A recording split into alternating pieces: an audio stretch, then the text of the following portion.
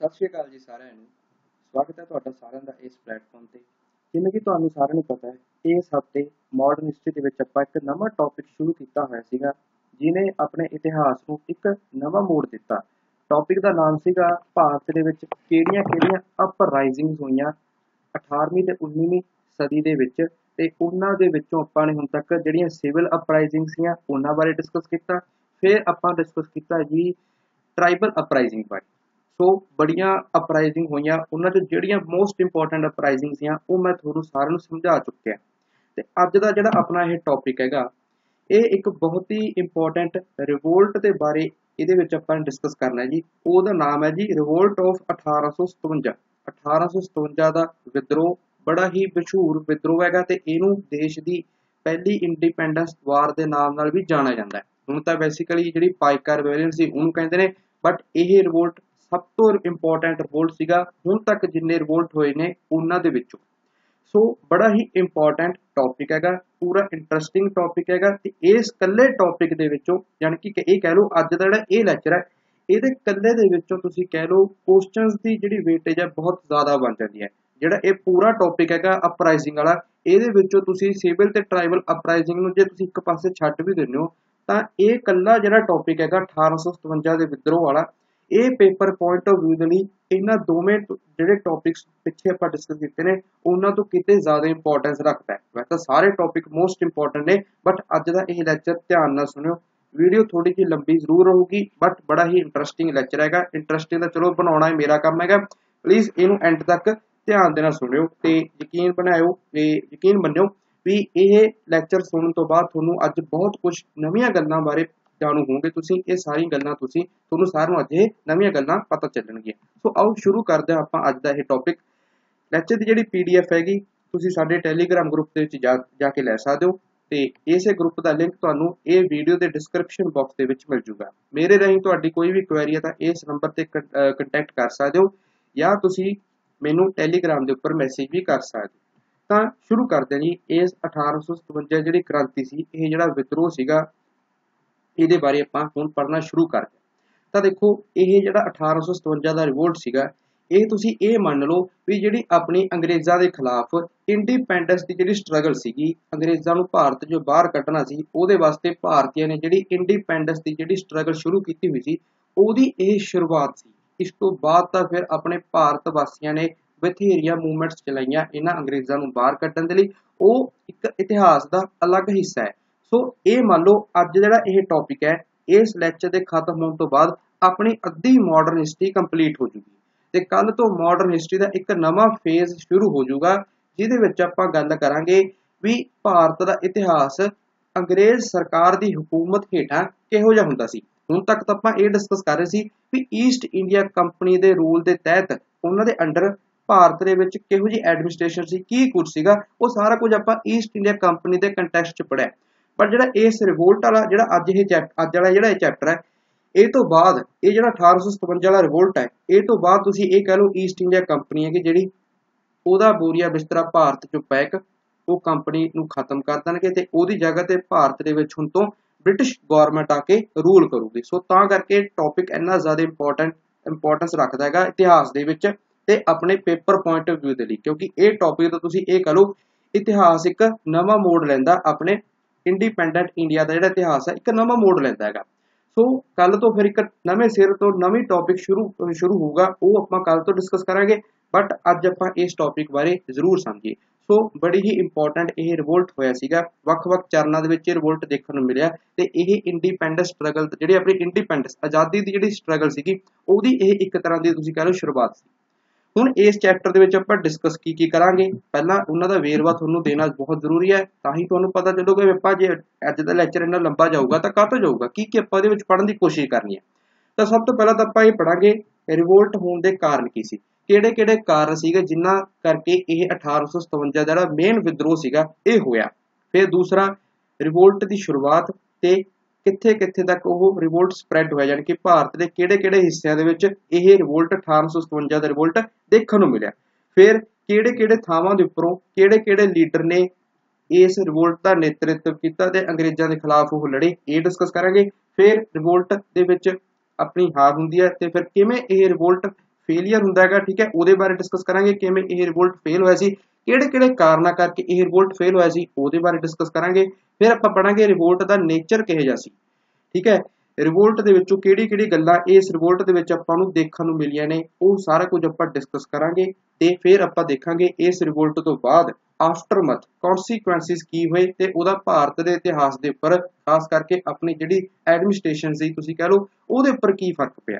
ਸੋ ਇਹ topic prelim point of View ਦੇ ਲਈ ਵੀ ਬਹੁਤ ਇੰਪੋਰਟੈਂਟ ਹੈ ਤੇ ਮੇਨਸ ਪੁਆਇੰਟ ਆਫ View ਦੇ ਲਈ ਵੀ ਬਹੁਤ ਇੰਪੋਰਟੈਂਟ ਹੈ। ਇੱਥੋਂ ਬਹੁਤ ਕੁਐਸਚਨ ਬਣਦੇ ਨੇ। ਹੁਣ ਦੇਖੋ, ਇਹ ਜਿਹੜਾ 1857 ਦਾ ਰਿਵੋਲਟ ਸੀਗਾ, ਇਹਨੂੰ ਜੇ ਆਪਾਂ ਕਿਸੇ ਇੱਕ ਨਾਮ ਤੋਂ ਨਹੀਂ ਬੁਲਾ ਸਕਦੇ।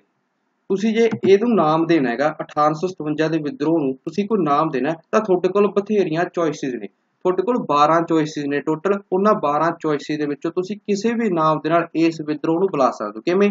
ਇੱਕ ਸਾਈਡ ਤੇ ਤੁਹਾਨੂੰ ਤਿੰਨ ਸ਼ਬਦ ਦਿੱਤੇ ਹੋਏ ਨੇ ਗ੍ਰੇਟ ਇੰਡੀਅਨ ਤੇ ਸਿਪੋਏ ਦੂਜੀ ਸਾਈਡ ਤੇ ਤੁਹਾਨੂੰ ਚਾਰ ਸ਼ਬਦ ਦਿੱਤੇ ਹੋਏ ਨੇ, ਕਿਹੜੇ ਕਿਹੜੇ? ਰਿਬੈਲੀਅਨ ਰਿਵੋਲਟ ਮਿਊਟਨੀ ਤੇ ਅਪਰਾਈਜ਼ਿੰਗ ਤੇ ਤੀਸਰੀ ਸਾਈਡ ਤੇ ਤੁਹਾਨੂੰ ਕੱਲਾ ਸਾਲ ਦਿੱਤਾ ਹੋਇਆ 1857 ਦਾ।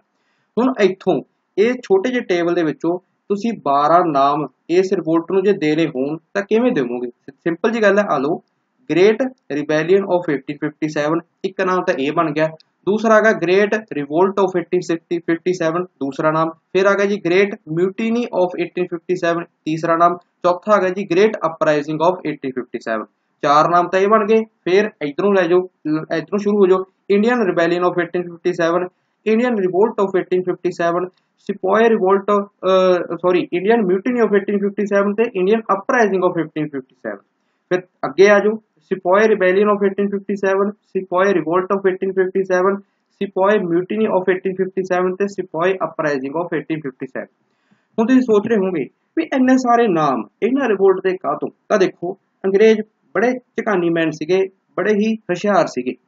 ਹੁਣ ਦੇਖੋ, ਇਹਨਾਂ ਸ਼ਬਦਾਂ ਬਾਰੇ ਵੀ ਆਪਾਂ ਨੂੰ ਪਤਾ ਹੋਣਾ ਚਾਹੀਦਾ। ਇੱਕ ਤਾਂ ਦਾ ਰਿਵੋਲਟ ਬਹੁਤ ਹੀ ਵੱਡੇ ਪੱਧਰ ਤੇ ਵਿਦਰੋਹ ਕਰਨਾ, ਉਹਨੂੰ ਰਿਵੋਲਟ ਕਹਿੰਦੇ ਨੇ। ਇੱਕ ਹੁੰਦੇ ਛੋਟੀ ਜੀ ਝੜਪ, ਉਹਨੂੰ ਮਿਊਟੀਨੀ ਕਹਿੰਦਾ ਹੁਣ ਜਿਹੜੇ ਅੰਗਰੇਜ਼ ਨੇ ਆਪਦੀ ਜਾਨ ਚ ਤਾਂ ਇੰਗਲੈਂਡ 'ਚ ਇਹ ਬਥੇਰੀਆਂ ਤਾਰੀਫਾਂ ਕਰਦੇ ਸੀ ਵੀ ਛੋਟੀ ਜਿਹੀ ਮਿਊਟੀਨੀ ਹੋਈ ਸੀ ਭਾਰਤ ਦੇ ਵਿੱਚ, ਲੋਕਾਂ ਦੇ ਅਸੀਂ ਥਾਪੜੇ ਥੁਪੜੇ ਮਾਰ ਮਾਰ ਕੇ ਉਹਨਾਂ ਦੇ, ਠੀਕ ਹੈ, ਉਹਨਾਂ ਨੂੰ ਅਸੀਂ ਉਹਨਾਂ ਦੇ ਜਿਹੜਾ ਉਹਨਾਂ ਛੋਟੀ ਜਿਹੀ ਨਹੀਂ ਸੀ, ਉਹਨੂੰ ਅਸੀਂ ਦਬਾਤਾ।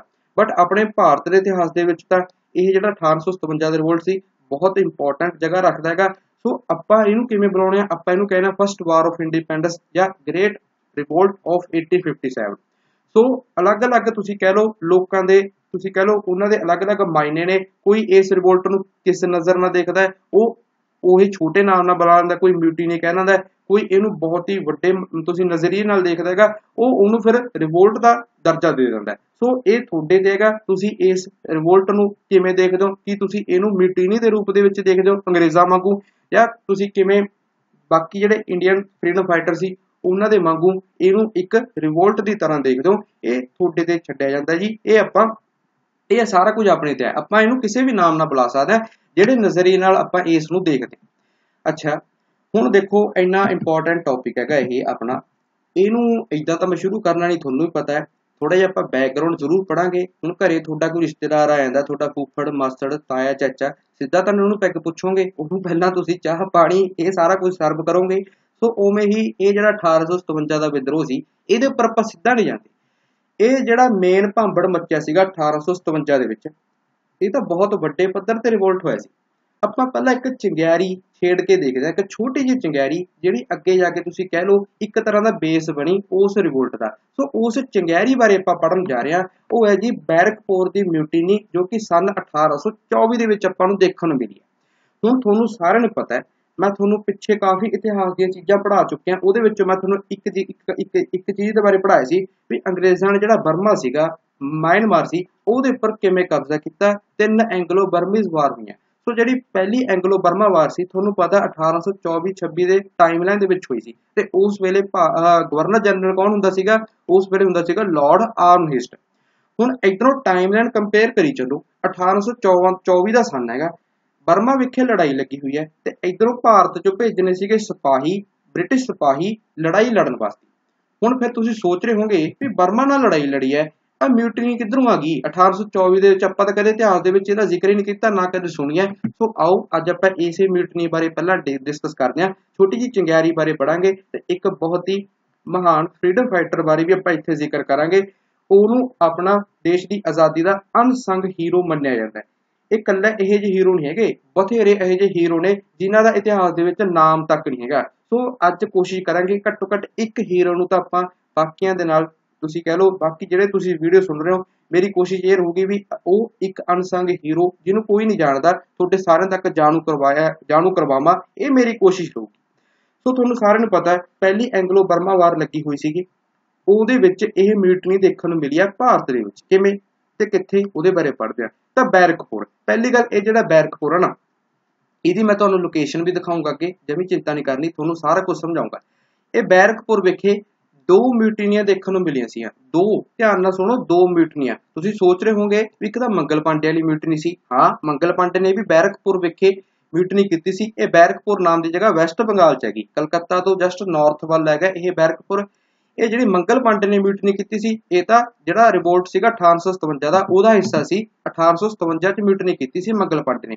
ਬਟ ਜਿਹੜੀ 1824 ਚ ਮਿਊਟਨੀ ਹੋਈ ਸੀ ਬੈਰਕਪੁਰ ਵਿਖੇ, ਉਹਦੇ ਪਿੱਛੇ ਮੰਗਲ ਪਾਂਡੇ ਦਾ ਕੋਈ ਹੱਥ ਨਹੀਂ ਸੀ, ਉਹਦੇ ਪਿੱਛੇ ਕੋਈ ਹੋਰ ਬੰਦੇ ਸੀਗੇ, ਉਹਨਾਂ ਬਾਰੇ ਆਪਾਂ ਜ਼ਿਕਰ ਕਰਨਾ ਸੋ ਮੰਗਲ ਪਾਂਡੇ ਜੀ ਵਾਲੀ ਜਿਹੜੀ ਮਿਊਟਨੀ ਸੀ ਬੈਰਕਪੁਰ ਵਿਖੇ 1857 ਚ ਹੋਈ ਸੀ, ਉਹ ਤੋਂ ਤੁਸੀਂ ਤਿੰਨ ਕ ਦਸ਼ਕ ਪਿੱਛੇ ਆ ਜਾਓ। ਉੱਥੇ ਪਹਿਲੀ ਵਾਰ ਜਿਹੜੀ ਬੈਰਕਪੁਰ ਦੀ ਜਗ੍ਹਾ ਦੇ ਉੱਪਰ ਮਿਊਟਨੀ ਦੇਖਣ ਨੂੰ ਮਿਲੀ ਹੈ, ਉਹਦੇ ਬਾਰੇ ਆਪਾਂ ਪੜਨ ਜਾ ਰਹੇ ਹਾਂ।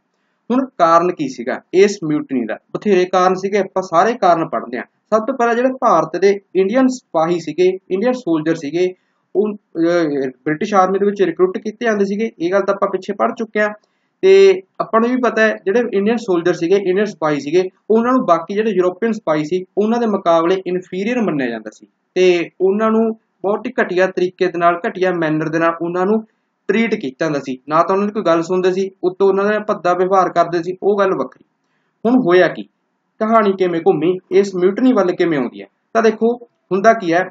ਜਿਹੜੀ ਬੰਗਾਲ ਦੀ ਨੇਟਿਵ ਇਨਫੈਂਟਰੀ ਸੀਗੀ, ਉਹ ਤੋਂ ਭਾਰਤ ਦੇ ਸਿਪਾਹੀ ਬਿਲੋਂਗ ਕਰਦੇ ਸੀ। ਉਹਨਾਂ ਨੂੰ ਅੰਗਰੇਜ਼ਾਂ ਨੇ ਆਰਡਰ ਦਿੱਤੇ ਵੀ ਦੇਖੋ, ਬਰਮਾ 'ਚ ਆਪਣੀ ਲੜਾਈ ਲੱਗੀ ਹੋਈ ਹੈ, ਤੁਸੀਂ ਸਾਰਿਆਂ ਨੇ ਬਰਮਾ ਜਾਣਾ ਪਰ ਬਰਮਾ ਜਾਣਾ ਕਿਵੇਂ ਹੈ? ਤੁਹਾਨੂੰ ਰੂਟ ਅਸੀਂ ਦੱਸਦੇ ਹਾਂ। ਅੰਗਰੇਜ਼ ਕਹਿੰਦੇ, ਤੁਸੀਂ ਨੇ ਸਭ ਤੋਂ ਪਹਿਲਾਂ ਬੈਰਕਪੁਰ ਤੋਂ ਤੁਸੀਂ ਨੇ ਮਾਰਚ ਕਰਨਾ ਹੈ, ਚਿੱਟਾਗੋਂਗ ਤੱਕ ਜਾਣਾ ਇਹ ਚਿੱਟਾਗੋਂਗ ਨਾਮ ਦੀ ਜਗ੍ਹਾ ਬੰਗਲਾਦੇਸ਼ ਵਿੱਚ ਇੱਥੇ ਤੁਸੀਂ ਜਾਓ ਜੀ ਪੈਰਾਂ ਤੇ, ਮਤਲਬ ਮਤਲਬ ਤੁਰ ਕੇ ਜਾਓ। ਫਿਰ ਉਸ ਤੋਂ ਬਾਅਦ ਚਿੱਟਾਗੋਂਗ ਤੋਂ ਤੁਸੀਂ ਚੜੋ ਸਮੁੰਦਰੀ ਜਹਾਜ਼ਾਂ ਤੇ ਤੇ ਤੁਸੀਂ ਰੰਗੂਨ ਪਹੁੰਚੋ। ਤੇ ਉੱਥੇ ਪਹਿਲੀ ਐਂਗਲੋ ਬਰਮੀਜ਼ ਵਾਰ ਜਿਹੜੀ ਲੱਗੀ ਹੋਈ ਹੈ, ਉਹਦੇ ਵਿੱਚ ਜਾ ਕੇ ਤੁਸੀਂ ਫੈਂਟੋ ਜਿਹੜੇ ਆਪਣੇ ਵਿਰੋਧੀ ਨੇਗੇ। ਸੋ ਹੁਣ ਆਪਾਂ ਪਹਿਲਾਂ ਮੈਪ ਦੇ ਉੱਪਰ ਚੱਲਦੇ ਹਾਂ, ਤੁਹਾਨੂੰ ਮੈਂ ਲੋਕੇਸ਼ਨ ਹੀ ਦਿਖਾਉਣਾ ਵੀ ਇੱਥੋਂ ਫਿਰ ਚੱਕਰ ਕੀ ਸੀ ਆਪਣੇ ਭਾਰਤੀਆਂ ਨੂੰ। ਸੋ ਆ ਹੈ ਜੀ ਭਾਰਤ ਦਾ ਨਕਸ਼ਾ। ਆਪਾਂ ਪਹਿਲਾਂ ਕਲਕੱਤਾ ਯਾਨੀ ਕਿ ਬੰਗਾਲ ਦਾ ਜਿਹੜਾ ਹਿੱਸਾ ਹੈਗਾ, ਉੱਥੇ ਜਾਂਦੇ ਆ। ਆ ਹੈ ਜੀ ਕੋਲਕਾਤਾ। ਕੋਲਕਾਤਾ ਤੋਂ ਤੁਸੀਂ ਜਸਟ ਨਾਰਥ ਵੱਲ ਜੇ ਦੇਖੋਗੇ, ਆ ਲਓ। ਆ ਕਲਕੱਤਾ ਹੈਗਾ। ਕਲਕੱਤਾ ਤੋਂ ਜਸਟ ਨਾਰਥ ਵੱਲ ਆ ਲਓ, ਆਪਾਂ ਨੂੰ ਦੇਖਣ ਨੂੰ ਮਿਲੂਗਾ ਬੈਰਕਪੁਰ ਨਾਮ ਦੀ ਕੰਟੋਨਮੈਂਟ ਆਰਮੀ ਦਾ ਏਰੀਆ ਹੈਗਾ ਕੰਟੋਨਮੈਂਟ ਏਰੀਆ ਇਸ ਕੰਟੋਨਮੈਂਟ ਏਰੀਆ ਵਿਖੇ ਹੀ ਇਹ ਮਿਊਟਨੀ ਦੇਖਣ ਨੂੰ ਮਿਲੀ ਸੀਗੀ। ਹੁਣ ਹੋਇਆ ਕੀ? ਅੰਗਰੇਜ਼ਾਂ ਨੇ ਭਾਰਤੀ ਜਿਹੜੀ ਬੰਗਾਲ ਦੀ ਨੇਟਿਵ ਇਨਫੈਂਟਰੀ ਸੀ, ਜਿਹਦੇ ਵਿੱਚ ਭਾਰਤੀ ਸਿਪਾਹੀ ਸੀਗੇ, ਉਹਨਾਂ ਨੂੰ ਕਹਿਤਾ ਵੀ, ਰਾਜੇ ਤੁਸੀਂ ਐਂ ਕਰੋ, ਇੱਥੋਂ ਪੈਦਲ ਤੁਸੀਂ ਜਾਓ, ਪਹਿਲਾਂ ਤਾਂ ਇੱਥੋਂ ਪੈਦਲ ਜਾਓ ਤੁਸੀਂ ਚਿੱਟਾਗੋਂਗ। ਚਿੱਟਾਗੋਂਗ ਕਿੱਥੇ ਹੈਗਾ? ਉਹ ਵੀ ਦਿਖਾ ਦੇਣਾ ਤੁਹਾਨੂੰ ਮੈਂ। ਬੈਰਕਪੁਰ ਤੋਂ ਚਿੱਟਾਗੋਂਗ ਜਾਣਾ ਸੀਗਾ। ਆ ਲੋ ਆ ਬੰਗਲਾਦੇਸ਼ ਆ ਗਿਆ। ਵੈਸਟ ਬੰਗਾਲ ਦੇ ਨਾਲ ਲੱਗਦਾ। ਆ ਜਿਹੜਾ ਤੁਹਾਨੂੰ ਦਿਸ ਰਿਹਾ ਨਾ ਚੈਟੋਗ੍ਰਾਮ, ਇਹ ਇਸੇ ਨੂੰ ਚਿੱਟਾ, ਚਿੱਟਾਗੋਂਗ ਕਹਿੰਦੇ ਨੇ। ਉਹ ਕਹਿੰਦੇ ਇੰਨੀ ਦੂਰ ਸਫ਼ਰ, ਚਿੱਟਾਗੋਂਗ, ਪਹਿਲਾਂ ਬੈਰਕਪੁਰ ਤੋਂ ਤੁਸੀਂ ਦੇਖੋ ਕਿੱਥੇ ਬੈਰਕਪੁਰ, ਕਿੱਥੇ ਚਿੱਟਾ ਚਿੱਟਾਗੋਂਗ। ਇੱਥੇ ਤੁਸੀਂ ਪਹਿਲਾਂ ਤੁਰ ਕੇ ਜਾਓ, ਫਿਰ ਇੱਥੋਂ ਸਮੁੰਦਰੀ ਜਹਾਜ਼ ਫੜੋ ਤੇ ਸਮੁੰਦਰੀ ਜਹਾਜ਼ ਫੜ ਕੇ ਚਿੱਟਾ ਚਿੱਟਾਗੋਂਗ ਤੋਂ ਤੁਸੀਂ ਹੇਠਾਂ ਆ ਜਾਓ। ਮਾਇਨਮਾਰ ਦੇ ਵਿੱਚ ਤੁਸੀਂ ਜਿਹੜਾ ਆ ਯੰਗੂਨ ਹੈ, ਜਿਹਨੂੰ ਰੰਗੂਨ ਕਹਿੰਦੇ ਨੇ ਇੱਥੇ ਪਹੁੰਚੋ ਤੇ ਇੱਥੇ ਆਪਣੀ ਲੜਾਈ ਲੱਗੀ ਹੋਈ ਹੈ, ਐਂਗਲੋ ਬਰਮਾ ਵਾਰ ਉੱਥੇ ਆਪਾਂ ਨੇ ਲੜਨਾ ਹੈਗਾ। ਹੁਣ ਤੁਸੀਂ ਸੋਚ ਰਹੇ ਹੋਗੇ ਵੀ ਠੀਕ ਹੈ, ਇਹ ਔਖਾ ਕਿੱਡੀ ਗੱਲ ਸੀ? ਅੱਗੇ ਵੀ ਸਿਪਾਹੀ ਤੁਰਦੇ ਸੀਗੇ। ਪ੍ਰੋਬਲਮ ਕੀ ਸੀ ਆਪਣੇ ਭਾਰਤੀ ਸਿਪਾਹੀਆਂ ਨੂੰ? ਕਾਹਤੋਂ ਨਹੀਂ ਗਏ ਤੇ ਲੜਾਈ ਕਾਹਤੋਂ ਛੇੜ ਕੇ ਬਹਿ ਗਏ? ਉਸੇ ਬਾਰੇ ਹੀ ਸਮਝਾਉਣਾ। ਆਪਾਂ ਮਾੜੀ ਜੀ ਠੰਡ ਰੱਖੋ। ਹੁਣ ਹੁੰਦਾ ਕੀ ਹੈ? ਉਸ ਦੌਰ ਦੇ ਵਿੱਚ ਨਾ, ਜਿਹੜੇ ਆਪਣੇ ਭਾਰਤੀ ਸਿਪਾਹੀ ਹੁੰਦੇ ਸੀਗੇ, ਉਹਨਾਂ ਦੇ ਵਿੱਚ ਇੱਕ ਟੈਬੂ ਹੁੰਦਾ ਸੀ। ਇੱਕ ਸੋਸ਼ਲ ਸਟਿਗਮਾ ਹੁੰਦਾ। ਟੈਬੂ ਨੂੰ ਬੇਸਿਕਲੀ ਕੀ ਕਹਾਂ ਮੈਂ ਤੁਹਾਨੂੰ? ਇੱਕ ਤਰ੍ਹਾਂ ਦਾ ਵਹਿਮ ਹੁੰਦਾ ਸੀਗਾ।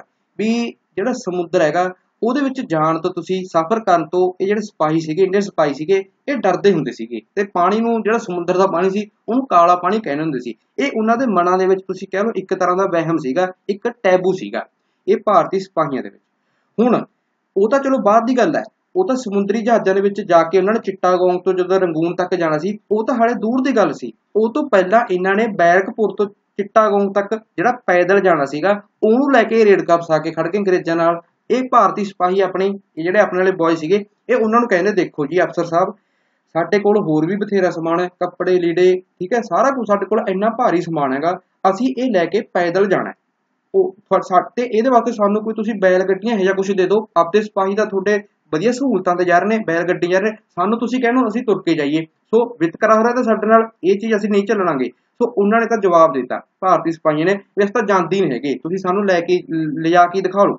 ਦੂਸਰਾ ਮੇਨ ਉਹ ਕਹਿੰਦੇ ਵੀ ਭਾਈ ਜਿਹੜੇ ਇਹ ਤੁਹਾਡੇ ਅੰਗਰੇਜ਼ ਸਿਪਾਹੀ ਨੇ, ਇਹਨਾਂ ਨੂੰ ਤੁਸੀਂ ਤਨਖਾਹਾਂ ਤੇ ਭੱਤੇ ਨੇ, ਜਿਹੜੇ ਐਮੋਲੀਮੈਂਟਸ ਨੇ, ਉਹ ਸਾਡੇ ਨਾਲ ਜ਼ਿਆਦਾ ਦਿੰਦੇ ਹੋ, ਸਾਡੇ ਨਾਲ ਵਿਤਕਰਾ ਕਰਦੇ ਹੋ। ਸੋ ਇਹਨਾਂ ਕਾਰਨਾਂ ਕਰਕੇ ਅਸੀਂ ਤੁਹਾਡੇ ਨਾਲ ਇਸ ਮਾਰਚ ਦੇ ਵਿੱਚ ਹਿੱਸਾ ਨਹੀਂ ਬਣਾਂਗੇ, ਅਸੀਂ ਲੜਾਈ ਦੇ ਵਿੱਚ ਨਹੀਂ ਜਾਵਾਂਗੇ। ਤੇ ਇਹਨਾਂ ਨੇ ਅੰਗਰੇਜ਼ ਅਫਸਰ ਸੀਗੇ, ਉਹਨਾਂ ਦੇ ਖਿਲਾਫ ਜਿਹੜਾ ਰਿਵੋਲਟ ਸੀਗਾ, ਉਹ ਛੇੜਤਾ। ਸੋ ਜਿਹੜਾ ਇਹ ਬੈਰਕਪੁਰ ਦਾ ਕੰਟੋਨਮੈਂਟ ਏਰੀਆ ਸੀ, ਜਿਹੜਾ ਤੁਹਾਨੂੰ ਮੈਂ ਮੈਪ ਦੇ ਵਿੱਚ ਪਿੱਛੇ ਦਿਖਾਏਗਾ, ਉਹ 2 ਦਿਨ ਤੱਕ ਜਿਹੜੇ ਇਹ ਇੰਡੀਅਨ ਸਪੋਈ ਸੀਗੇ, ਇਹਨਾਂ ਦੇ ਕਬਜ਼ੇ ਦੇ ਵਿੱਚ ਰਿਹਾ ਤੇ ਇੱਕ ਬੰਦੇ ਦੀ ਲੀਡਰਸ਼ਿਪ ਦੇ ਅੰਡਰ ਰਿਹਾ। ਉਸ ਬੰਦੇ ਦਾ ਨਾਮ ਸੀਗਾ ਬਿੰਦਾ। ਬਿੰਦਾ ਜਾਂ ਇਹਨੂੰ ਬਿੰਦੇ ਤਿਵਾਰੀ ਵੀ ਕਹਿ ਲਓ। ਇਸ ਬੰਦੇ ਦੀ ਕੋਈ ਫੋਟੋ ਤੱਕ ਨਹੀਂ ਮਿਲੀ। ਮੈਨੂੰ ਗੂਗਲ ਤੇ ਦੇਖੋ, ਇਹ ਹੈ ਆਪਣੇ ਅਨਸੰਗ ਹੀਰੋ ਬਥੇਰੇ ਗਾਂਧੀ, ਬਾਪੂ ਗਾਂਧੀ ਹੋਰਾਂ ਦੀਆਂ ਹੋਰ ਬਥੇਰੇ ਫਰੀडम ਫਾਈਟਰ ਸੀਗੇ, ਸਾਰਿਆਂ ਦੇ ਫੋਟੋਜ਼ ਆਪਾਂ ਨੂੰ ਗੂਗਲ ਤੇ ਮਿਲ ਜਾਣਗੀਆਂ। ਬਟ ਇਹ ਜਿਹੜਾ ਬਿੰਦਾ ਸੀਗਾ, ਬਿੰਦੇ ਤਿਵਾਰੀ ਇਹਦੀ ਕੋਈ ਵੀ ਫੋਟੋ ਨੈਟ ਤੇ ਨਹੀਂ ਮਿਲੀ। ਇਹਦੀ ਸਿਰਫ ਇੱਕ ਮੂਰਤੀ ਬਣਾਈ ਹੋਈ ਹੈ, ਉਹ ਫੋਟੋ ਮਿਲੀ ਹੈ, ਸਿਰਫ ਉਹੀ ਦਿਖਾਉਣ ਦੀ ਕੋਸ਼ਿਸ਼ ਕੀਤੀ ਹੈ, ਉਸ ਤੋਂ ਇਮੇਜਿਨ ਕਰ ਲਓ ਵੀ ਇਹੋ ਜਿਹੇ ਦਿਖਦੇ ਹੁੰਦੇ ਸੀਗੇ ਬਿੰਦੇ ਤਿਵਾਰੀ ਜੀ। ਇਹਨਾਂ ਨੇ ਇਹ ਮਿਲਟਰੀ ਨੂੰ ਅੰਜਾਮ ਦਿੱਤਾ, ਇਹ ਸਿਪਾਹੀਆਂ ਨੂੰ ਲੀਡ ਕਰ ਰਹੇ ਸੀਗੇ। ਅੰਗਰੇਜ਼ ਆ ਗਏ, ਅੰਗਰੇਜ਼ ਕਹਿੰਦੇ, ਕਾਕੇ, ਕਿਉਂ ਤੂੰ ਉਲਝਣਾ ਸਾਡੇ ਨਾਲ? ਤੁਹਾਡੀਆਂ ਜਿਹੜੀਆਂ ਡਿਮਾਂਡਾਂ ਨੇ, ਉਹ ਅਸੀਂ ਹੌਲੀ ਹੌਲੀ ਕਰਕੇ ਦੇਖ ਲਾਂਗੇ ਕਿਹੜੀ ਮੰਨਣੀ ਹੈ, ਕਿਹੜੀ ਨਹੀਂ। ਤੁਸੀਂ ਸਰੈਂਡਰ ਕਰ ਦਿਓ। ਇਹ ਕੰਟੋਨਮੈਂਟ ਦਾ ਏਰੀਆ ਜਿਹੜਾ ਤੁਸੀਂ ਕੰਟੋਨਮੈਂਟ ਦਾ ਏਰੀਆ ਕਬਜ਼ੇ 'ਚ ਲੈ ਰੱਖਿਆ, ਇਹਨੂੰ ਤੁਸੀਂ ਸਰੈਂਡਰ ਕਰ ਦਿਓ। ਉਹ ਕਹਿੰਦੇ ਡੰਡੀ ਪੈ ਜਾਓ ਅਸੀਂ ਤਾਂ ਤੁਹਾਡੀ ਕੋਈ ਨਾ ਡਿਮਾਂਡ ਮੰਗਣੀ ਹੈ ਤੇ ਨਾ ਇਹ ਏਰੀਆ ਸਰੈਂਡਰ ਕਰਨਾ ਅਸੀਂ ਤਾਂ ਹੁਣ ਆਪਦੇ ਦੇਸ਼ ਨੂੰ ਆਜ਼ਾਦ ਕਰਾਵਾਂਗੇ, ਤੁਹਾਨੂੰ ਇੱਥੋਂ ਭਜਾਵਾਂਗੇ। ਅੱਕੇ ਹੋਏ ਫਿਰ ਅੰਗਰੇਜ਼ ਕਹਿੰਦੇ, ਕੋਈ ਨਹੀਂ ਸ਼ੂਗਰ ਚੈੱਕ ਤੁਹਾਡੀ ਕਰਨੀ ਪਊਗੀ। ਉਹਨਾਂ ਨੇ 6 ਤੇ ਸ਼ੂਗਰ ਚੈੱਕ ਕਰਤੀ। ਉਹਨਾਂ ਨੇ ਫਿਰ ਫੁੱਲ ਸਕੇਲ ਅਸੌਲਟ ਸੀਗਾ। ਇਹਨਾਂ ਇੰਡੀਅਨ ਸਪਾਈਜ਼ ਦੇ ਉੱਪਰ ਲਾਂਚ ਕਰਤਾ ਤੇ ਇਹਨਾਂ ਨੂੰ, ਕਈਆਂ ਨੂੰ ਫੜ ਲਿਆ। ਸੋ ਜਿਹੜਾ ਬਿੰਡਾ ਸੀਗਾ, ਇਹ ਹੀਰੋ ਸੀਗਾ, ਇਸ ਜੰਗ ਦਾ, ਇਸ ਲੜਾਈ ਦਾ। ਉਹਨੂੰ ਅੱਜ ਦੇ ਸਮੇਂ ਮੈਂ ਇਹ ਗਾਰੰਟੀ ਦਿੰਦਾ, ਤੁਸੀਂ ਜੇ ਇਸ ਵੀਡੀਓ ਨੂੰ ਸੁਣ ਰਹੇ ਹੋ ਤਾਂ ਮੋਸਟਲੀ 90 95% ਬੱਚਿਆਂ ਨੇ ਇਸ ਬੰਦੇ ਦਾ ਨਾਮ ਹੀ ਨਹੀਂ ਸੁਣਿਆ ਹੋਣਾ। ਸੋ ਇਹ ਲੋਕ ਸੀ ਨਾ ਜਿਹੜੇ ਕੱਲਾ ਬਿੰਦਾ ਹੀ ਨਹੀਂ ਕੱਲਾ ਬਿੰਦਾ ਤਵਾਰੀ ਨਹੀਂ, ਹੋਰ ਬਥੇਰੇ ਇਹ ਜਿਹੇ ਫਰੀडम ਫਾਈਟਰ ਸੀਗੇ, ਜਿਨ੍ਹਾਂ ਦਾ ਇਤਿਹਾਸ ਦੇ ਵਿੱਚ ਨਾਮ ਤੱਕ ਨਹੀਂ ਲਿਆ ਜਾਂਦਾ। ਸੋ ਇਹ ਆਪਣਾ ਫਰਜ਼ ਬਣਦਾ ਹੈ ਕਿ ਜਿੰਨਾ ਕੁ ਬਾਰੇ ਆਪਾਂ ਜਾਣ ਸਕੀਏ, ਉਹਨਾਂ ਉਹਨਾਂ ਬੰਦਿਆਂ ਦਾ ਜਿਹੜਾ ਇਤਿਹਾਸ ਦੇ ਵਿੱਚ ਯੋਗਦਾਨ ਰਿਹਾ, ਆਪਣੇ ਦੇਸ਼ ਦੀ ਆਜ਼ਾਦੀ ਦੇ ਵਿੱਚ ਯੋਗਦਾਨ ਰਿਹਾ ਉਹ ਆਪਾਂ ਜੇ ਅੱਗੇ ਕਿਸੇ ਨੂੰ ਸੁਣਾਉਣੇ ਆ ਕੋਈ ਗੱਲ, ਤਾਂ ਉਹਨਾਂ ਲੋਕਾਂ ਤੱਕ, ਇਹਨਾਂ ਬੰਦਿਆਂ ਦੇ ਜਿਹੜਾ ਇਤਿਹਾਸ ਦੇ ਵਿੱਚ ਯੋਗਦਾਨ ਰਿਹਾ, ਉਹ ਉਹਨਾਂ ਲੋਕਾਂ ਨੂੰ ਆਪਾਂ ਦੱਸ ਸਕੀਏ। ਸੋ ਇਹ ਅਨਸੰਗ ਹੀਰੋ ਨੇ ਆਪਣੇ ਭਾਰਤ ਦੇ ਕਿੱਡੀ ਵੱਡੀ, ਤੁਸੀਂ ਕਹਿ ਲਓ ਮਿਲਟਰੀ ਨੂੰ ਇਹਨਾਂ ਨੇ ਅੰਜਾਮ ਦਿੱਤਾ ਸੀਗਾ ਬਟ ਇਤਿਹਾਸ ਦੇ ਪੰਨਿਆਂ ਦੇ ਵਿੱਚ ਇਹ ਕਈ ਵਾਰ ਇਹ ਚੀਜ਼ਾਂ ਗੈਪ ਆਪਾਂ ਨੂੰ ਮਿਲਦੀਆਂ ਨੇਗੀਆਂ। ਸੋ ਬਿੰਦੇ ਦੀ ਯਾਦ ਦੇ ਵਿੱਚ ਜਿਹੜਾ ਇਹ ਬਿੰਦਾ ਤਿਵਾਰੀ ਸੀਗਾ ਇਹਦੇ ਬੇਸਿਕਲੀ ਇਹਦੀ ਯਾਦ ਵਿੱਚ ਇੱਕ ਮੰਦਿਰ ਬਣਾਇਆ ਗਿਆ ਬੈਰਕਪੁਰ ਦੀ ਸਾਈਟ ਦੇ ਵਿਖੇ, ਜਿੱਥੇ ਇਹਨੂੰ ਫਾਂਸੀ ਦਿੱਤੀ ਗਈ ਸੀ। ਤੇ ਉਸ ਮੰਦਿਰ ਦਾ ਨਾਮ ਹੈ ਜੀ ਬਿੰਦਾ ਬਾਬਾ ਟੈਂਪਲ ਤੇ ਇਸ ਮੰਦਿਰ ਦੇ ਵਿੱਚ ਜਿਹੜੇ ਹਨੂਮਾਨ ਜੀ ਨੇ, ਉਹਨਾਂ ਦੀ ਪੂਜਾ ਕੀਤੀ ਜਾਂਦੀ ਹੈ। ਇਹ ਉਸ ਬੈਰਕਪੁਰ ਦੀ ਜਿਹੜੀ ਪਹਿਲੀ ਮਿਊਟਨੀ ਸੀ 1824 ਵਾਲੀ, ਉਹਦੇ ਦ੍ਰਿਸ਼ ਨੇ ਤੇ ਆਹ ਮੰਦਿਰ ਹੈ ਜੀ ਬਿੰਦੇ ਤਿਵਾਰੀ ਜੀ ਦਾ ਬੈਰਕਪੁਰ ਵਿਖੇ। ਛੋਟਾ ਜਿਹਾ ਮੰਦਿਰ ਹੈਗਾ, ਇਹਨਾਂ ਨੂੰ ਸਮਰਪਿਤ ਕੀਤਾ ਹੋਇਆ ਹੈਗਾ ਬਿੰਦਾ ਤਿਵਾਰੀ ਜੀ ਨੂੰ। ਫਿਰ ਹੁਣ ਆਪਾਂ ਗੱਲ ਕਰਦੇ ਹਾਂ ਜੀ ਮੇਨ ਆਪਾਂ ਟੌਪਿਕ ਉੱਪਰ ਛਾਲ ਮਾਰਦੇ ਹਾਂ, ਉਹ ਹੈ ਜੀ ਰਿਵੋਲਟ ਆਫ 1857 1857 ਦਾ ਵਿਦਰੋਹ। ਪਹਿਲਾਂ ਇਹ ਦੇਖੀਏ 1857 ਦੇ ਵਿੱਚ ਭਾਰਤ ਦਾ ਗਵਰਨਰ ਜਨਰਲ ਕੌਣ ਹੁੰਦਾ ਸੀ? ਰਿਵੋਲਟ ਬਾਰੇ ਤਾਂ ਭਾਉਣੇ ਪਹਿਲਾਂ ਇਹ ਦੇਖੀਏ ਭਾਰਤ ਦੇ ਵਿੱਚ ਜਿਹੜਾ ਮੇਨ ਤੁਸੀਂ ਕਹਿ ਲਓ ਰਾਜਾ ਸੀਗਾ, ਕੌਣ ਸੀਗਾ? ਸੋ ਇਸ ਵੇਲੇ ਜਿਹੜੇ ਲਾਰਡ ਡਲਹੌਜ਼ੀ ਸਾਹਿਬ ਸੀ, ਉਹਨਾਂ ਦਾ ਟਿਕਟ ਕੱਟਤੀ ਇੰਗਲੈਂਡ ਦੀ, ਉਹਨਾਂ ਨੂੰ ਤਾਂ ਕਹਿਦਾ ਵੀ ਪੁੱਤ ਆ ਜਾ ਵਾਪਸ। ਉਹਦੀ ਜਗ੍ਹਾ ਤੇ ਜਿਹੜਾ ਲਾਰਡ ਕੈਨਿੰਗ ਸਾਹਿਬ ਸੀਗੇ, ਇਹ ਭਾਰਤ ਭੇਜੇ ਗਏ। ਫਰਵਰੀ ਮਹੀਨੇ ਦੇ ਤੁਸੀਂ ਕਹਿ ਲਓ ਐਂਡ ਤੱਕ ਇਹ ਭਾਰਤ ਪਹੁੰਚੇ ਤੇ ਇਹ ਬਣੇ ਜੀ, ਤੁਸੀਂ ਕਹਿ ਲਓ ਪਹਿਲੇ governor general of free India free ਇਹ ਛੱਡੋ ਤੁਸੀਂ ਉਲਝੋਗੇ ਇਹ ਬੇਸਿਕਲੀ ਈਸਟ ਇੰਡੀਆ ਕੰਪਨੀ ਜੋ ਕਿ ਇਹਨਾਂ ਤੋਂ ਬਾਅਦ ਅਬੋਲਿਸ਼ ਹੋਣ ਵਾਲੀ ਹੈ, ਉਹਦੇ ਇਹ ਲਾਸਟ ਗਵਰਨਰ ਜਨਰਲ ਸੀਗੇ। ਧਿਆਨ ਨਾਲ ਸੁਣਾ ਕੁਐਸਚਨ ਬਣੂਗਾ ਇੱਥੋਂ। ਲਾਰਡ ਕੈਨਿੰਗ ਸਾਹਿਬ ਸੀਗੇ ਜਿਹੜੇ ਈਸਟ ਇੰਡੀਆ ਕੰਪਨੀ ਦੇ ਲਾਸਟ ਗਵਰਨਰ ਜਨਰਲ ਸੀਗੇ ਤੇ ਉਸ ਤੋਂ ਬਾਅਦ ਜਿਹੜੀ ਬ੍ਰਿਟਿਸ਼ ਹਕੂਮਤ ਆਈ ਸੀਗੀ, ਉਹਦੇ ਪਹਿਲੇ ਗਵਰਨਰ ਜਨਰਲ ਸੀਗੇ, ਯਾਨੀ ਕਿ ਬ੍ਰਿਟਿਸ਼ ਰਾਜ ਦੇ ਅੰਡਰ ਇੰਡੀਆ ਦੇ ਪਹਿਲੇ ਗਵਰਨਰ ਜਨਰਲ ਸੀਗੇ ਤੇ ਪਹਿਲੇ ਵਾਇਸ ਰਾਏ ਵੀ ਸੀਗੇ। ਹੁਣ ਸੇਮ ਬੰਦੇ ਨੂੰ ਗਵਰਨਰ ਜਨਰਲ ਵੀ ਕਿਹਾ ਜਾਂਦਾ ਸੇਮ ਬੰਦੇ ਨੂੰ ਵਾਇਸ ਰਾਏ ਵੀ ਕਿਹਾ ਜਾਂਦਾ। ਉਹ ਕਾਤੋਂ ਇਸੇ ਲੈਕਚਰ ਦੇ ਵਿੱਚ ਮੈਂ ਤੁਹਾਨੂੰ ਅੱਗੇ ਜਾ ਕੇ ਸਮਝਾਉਂਗਾ। ਵੈਸੇ ਤਾਂ ਤੁਹਾਨੂੰ ਮੈਂ ਪੋਲਿਟੀ ਦੇ ਵਿੱਚ ਸਮਝਾ ਚੁੱਕਿਆ। ਵੀ ਵਾਇਸ ਤੇ ਗਵਰਨਰ ਦੇ ਵਿੱਚ ਫ਼ਰਕ ਕੀ ਹੈ? ਜੇ ਤੁਸੀਂ ਨੇ ਉਹ ਐਕਟ ਵਾਲੇ ਲੈਕਚਰ ਸੁਣੇ ਨੇ, ਜਿਹੜੇ ਕਿ ਮੈਂ ਤੁਹਾਨੂੰ ਟੈਲੀਗ੍ਰਾਮ ਦੇ ਵਿੱਚ ਸ਼ੇਅਰ ਕੀਤੇ ਸੀਗੇ, ਜਿਹੜੇ ਅੰਗਰੇਜ਼ਾਂ ਦੁਆਰਾ ਐਕਟ ਲਿਆਂਦੇ ਸੀ ਨਾ, ਉਹਦੇ ਵਿੱਚ ਤੁਹਾਨੂੰ ਮੈਂ ਡਿਫਰੈਂਸ ਦੱਸਿਆ ਸੀ ਵਾਇਸ ਤੇ ਗਵਰਨਰ ਦੇ ਵਿੱਚ। ਬਸ ਚਿੰਤਾ ਨਾ ਕਰੋ, ਅੱਜ ਤੁਹਾਨੂੰ ਫੇਰ ਸਮਝਾ ਦੂੰਗਾ। ਸੋ ਲਾਰਡ ਕੈਨਿੰਗ ਸਾਹਿਬ ਆਏ ਭਾਰਤ ਦੇ ਵਿੱਚ ਡਲਹੌਜ਼ੀ ਸਾਹਿਬ ਦੀ ਜਗ੍ਹਾ 1856 ਦੇ ਰਾਉਂਡ ਤੇ ਇਹਨਾਂ ਦੇ ਸਮੇਂ ਦੇ ਵਿੱਚ ਜਿਹੜਾ ਇਹ 1857 ਦਾ ਰਿਵੋਲਟ ਸੀਗਾ, ਇਹ ਦੇਖਣ ਨੂੰ ਮਿਲਿਆ। ਸੋ ਦੇਖੋ ਹੁਣ ਆਪਾਂ ਇਹ ਦੇਖਦੇ ਹਾਂ ਵੀ ਰਿਵੋਲਟ ਦੇ ਕਾਰਨ ਕੀ ਨੇ। ਹੁਣ ਆਪਾਂ ਸਾਰਿਆਂ ਨੂੰ ਪਤਾ ਹੈ 1857 ਤੋਂ ਉਸ ਤੇ ਉਸ ਤੋਂ ਪਹਿਲਾਂ ਵੀ ਅੰਗਰੇਜ਼ਾਂ ਦੀ ਤਾਂ ਕਈ ਰਾਜਿਆਂ ਦੇ ਨਾਲ ਲੜਾਈਆਂ ਰਹੀਆਂ, ਪੇਸ਼ਵਿਆਂ ਦੇ ਨਾਲ ਅੰਗਰੇਜ਼ਾਂ ਦੀ ਲੜਾਈਆਂ ਰਹੀਆਂ, ਮੈਸੂਰ ਵਾਲਿਆਂ ਦੇ ਨਾਲ ਲੜਾਈਆਂ ਰਹੀਆਂ, ਬੰਗਾਲ ਦੀ ਸ਼ੂਗਰ ਚੈੱਕ ਕੀਤੀ ਇਹਨਾਂ ਨੇ। ਸੋ ਜਿਹੜੀ ਬੈਟਲ ਆਫ ਪਲਾਸੀ ਲੜੀ ਗਈ ਸੀ 1757 ਦੇ ਵਿੱਚ, ਜਿਹਦੇ ਵਿੱਚ ਕਲਾਈਵ ਹੋਰਾਂ ਨੇ, ਸਰਾਜੂ ਦੋਲਾ ਸੀਗਾ ਬੰਗਾਲ ਦਾ ਨਵਾਬ, ਉਹਨੂੰ ਹਰਾਤਾ। ਤੇ ਇਸ ਲੜਾਈ ਨੂੰ ਜਿੱਤਣ ਤੋਂ ਬਾਅਦ ਅੰਗਰੇਜ਼ਾਂ ਨੇ ਤੁਸੀਂ ਕਹਿ ਲਓ ਨਰਦਨ, ਉੱਤਰ ਭਾਰਤ ਸੀਗਾ ਜਿਹੜਾ ਨਰਦਨ ਇੰਡੀਆ ਸੀ, ਉੱਥੇ ਇਹਨਾਂ ਦੇ ਜਿਹੜੇ ਪੈਰ ਸੀਗੇ, ਉਹ ਜੰਮ ਚੁੱਕੇ ਸੀਗੇ। ਪਲਾਸੀ ਨੂੰ ਮਤਲਬ ਜਿਹੜਾ ਬੰਗਾਲ ਸੀਗਾ, ਇਹਦੇ ਨਾਲ ਨਾਲ ਜੇ ਤੁਹਾਨੂੰ ਯਾਦ ਹੋਵੇ ਇਲਾਹਾਬਾਦ ਵਾਲੀ ਟ੍ਰੀਟੀ ਤਾਂ ਤੁਸੀਂ ਇਹ ਸਮਝ ਲਓ ਬੰਗਾਲ ਦੇ ਨਾਲ ਜਿਹੜਾ ਅਵਧ ਸੀਗਾ ਉਹ ਤੇ ਦਿੱਲੀ ਤੱਕ ਇਹਨਾਂ ਦੀ ਅੰਗਰੇਜ਼ਾਂ ਦੀ ਪੂਰੀ ਹੁਣ ਤੱਕ ਪੂਰੀ ਮਾਰ ਸੀਗੀ। ਸੋ ਹੁਣ ਦੇਖੋ, ਲਗਭਗ ਤੁਸੀਂ ਕਹਿ ਲਓ ਭਾਰਤ ਦਾ ਬਹੁਤ ਵੱਡਾ ਚੰਕ ਅੰਗਰੇਜ਼ਾਂ ਦੇ ਹਿੱਸੇ 'ਚ ਸੀ ਤੇ ਆਪਾਂ ਤਾਂ ਹੁਣ ਪੂਰਾ ਭਾਰਤ ਅੰਗਰੇਜ਼ਾਂ ਨੂੰ ਕਬਜ਼ੇ 'ਚ ਦਬਾ ਵੀ ਚੁੱਕਿਆ। ਪਿਛਲੇ ਲੈਕਚਰ ਦੇ ਵਿੱਚ ਆਪਾਂ ਸਾਰਾ ਕੁਝ ਡਿਸਕਸ ਕੀਤਾ। ਤੇ ਹੁਣ ਤੁਸੀਂ, ਤੁਹਾਨੂੰ ਸਾਰਿਆਂ ਨੂੰ ਪਤਾ ਹੈ ਇਹਨਾਂ ਨੇ ਭਾਰਤ ਦੇ ਵਿੱਚ ਆਏ। ਭਾਰਤ ਦੇ ਵਿੱਚ ਫਿਰ ਇਹਨਾਂ ਨੇ ਟੈਸਟਿੰਗ ਸ਼ੁਰੂ ਕਰਤੀ ਵੀ ਆਪਾਂ ਹੁਣ ਜ਼ਮੀਨੀ ਪੱਧਰ ਤੇ ਦੇਖੋ ਕਿਹੋ ਜਿਹੇ ਰਿਫਾਰਮ ਕਰਕੇ ਦੇਖੀਏ। ਆ ਤੁਹਾਡੇ ਪਰਮਾਨੈਂਟ ਸੈਟਲਮੈਂਟ ਵਰਗੇ ਜਿਹੜੇ ਸਿਸਟਮ ਸੀਗੇ, ਇਹ ਲਿਆਂਦੇ ਇਹਨਾਂ ਨੇ। ਇਕਨੋਮਿਕ ਐਕਸਪਲੋਇਟੇਸ਼ਨ ਕੀਤੀ ਰੱਜ ਕੇ। ਐਕਸਪੈਂਸ਼ਨਿਸਟ ਪਾਲਿਸੀ ਰਾਜੇ ਦੇ ਜਿਹੜੇ ਟੈਰੀਟਰੀਆਂ ਖੁੰਦੇ ਸੀਗੇ, ਉਹਨਾਂ ਦੇ ਨਾਲ ਸੰਧੀਆਂ ਵਗੈਰਾ ਕਰਦੇ ਸੀ। ਕਿਸੇ ਨਾਲ ਡਾਕਟਰੀਨ ਆਫ ਲੈਬਸ ਕਿਸੇ ਨਾਲ ਸਬਸਿਡਰੀ ਲਾਈਨਸ ਉਹਨਾਂ ਤੋਂ ਰਾਜੇ ਬਹੁਤ ਤੱਕ ਚੁੱਕੇ ਸੀਗੇ। ਐਡਮਿਨਿਸਟ੍ਰੇਟਿਵ ਇਨੋਵੇਸ਼ਨ ਆ ਤੁਹਾਡੀ ਪੁਲਿਸ ਦੇ ਵਿੱਚ ਰਿਫਾਰਮ ਕਰਤਾ ਜੁਡੀਸ਼ਰੀ ਦੇ ਵਿੱਚ ਰਿਫਾਰਮ ਕਰਤਾ। ਇਹਨਾਂ ਸਾਰੀਆਂ ਚੀਜ਼ਾਂ ਜਿਹੜੇ ਭਾਰਤ ਦੇ ਆਮ ਨਾਗਰਿਕ ਸੀਗੇ, ਉਹ ਪਹਿਲਾਂ ਅਣਜਾਣ ਸੀ ਵਿਚਾਰੇ।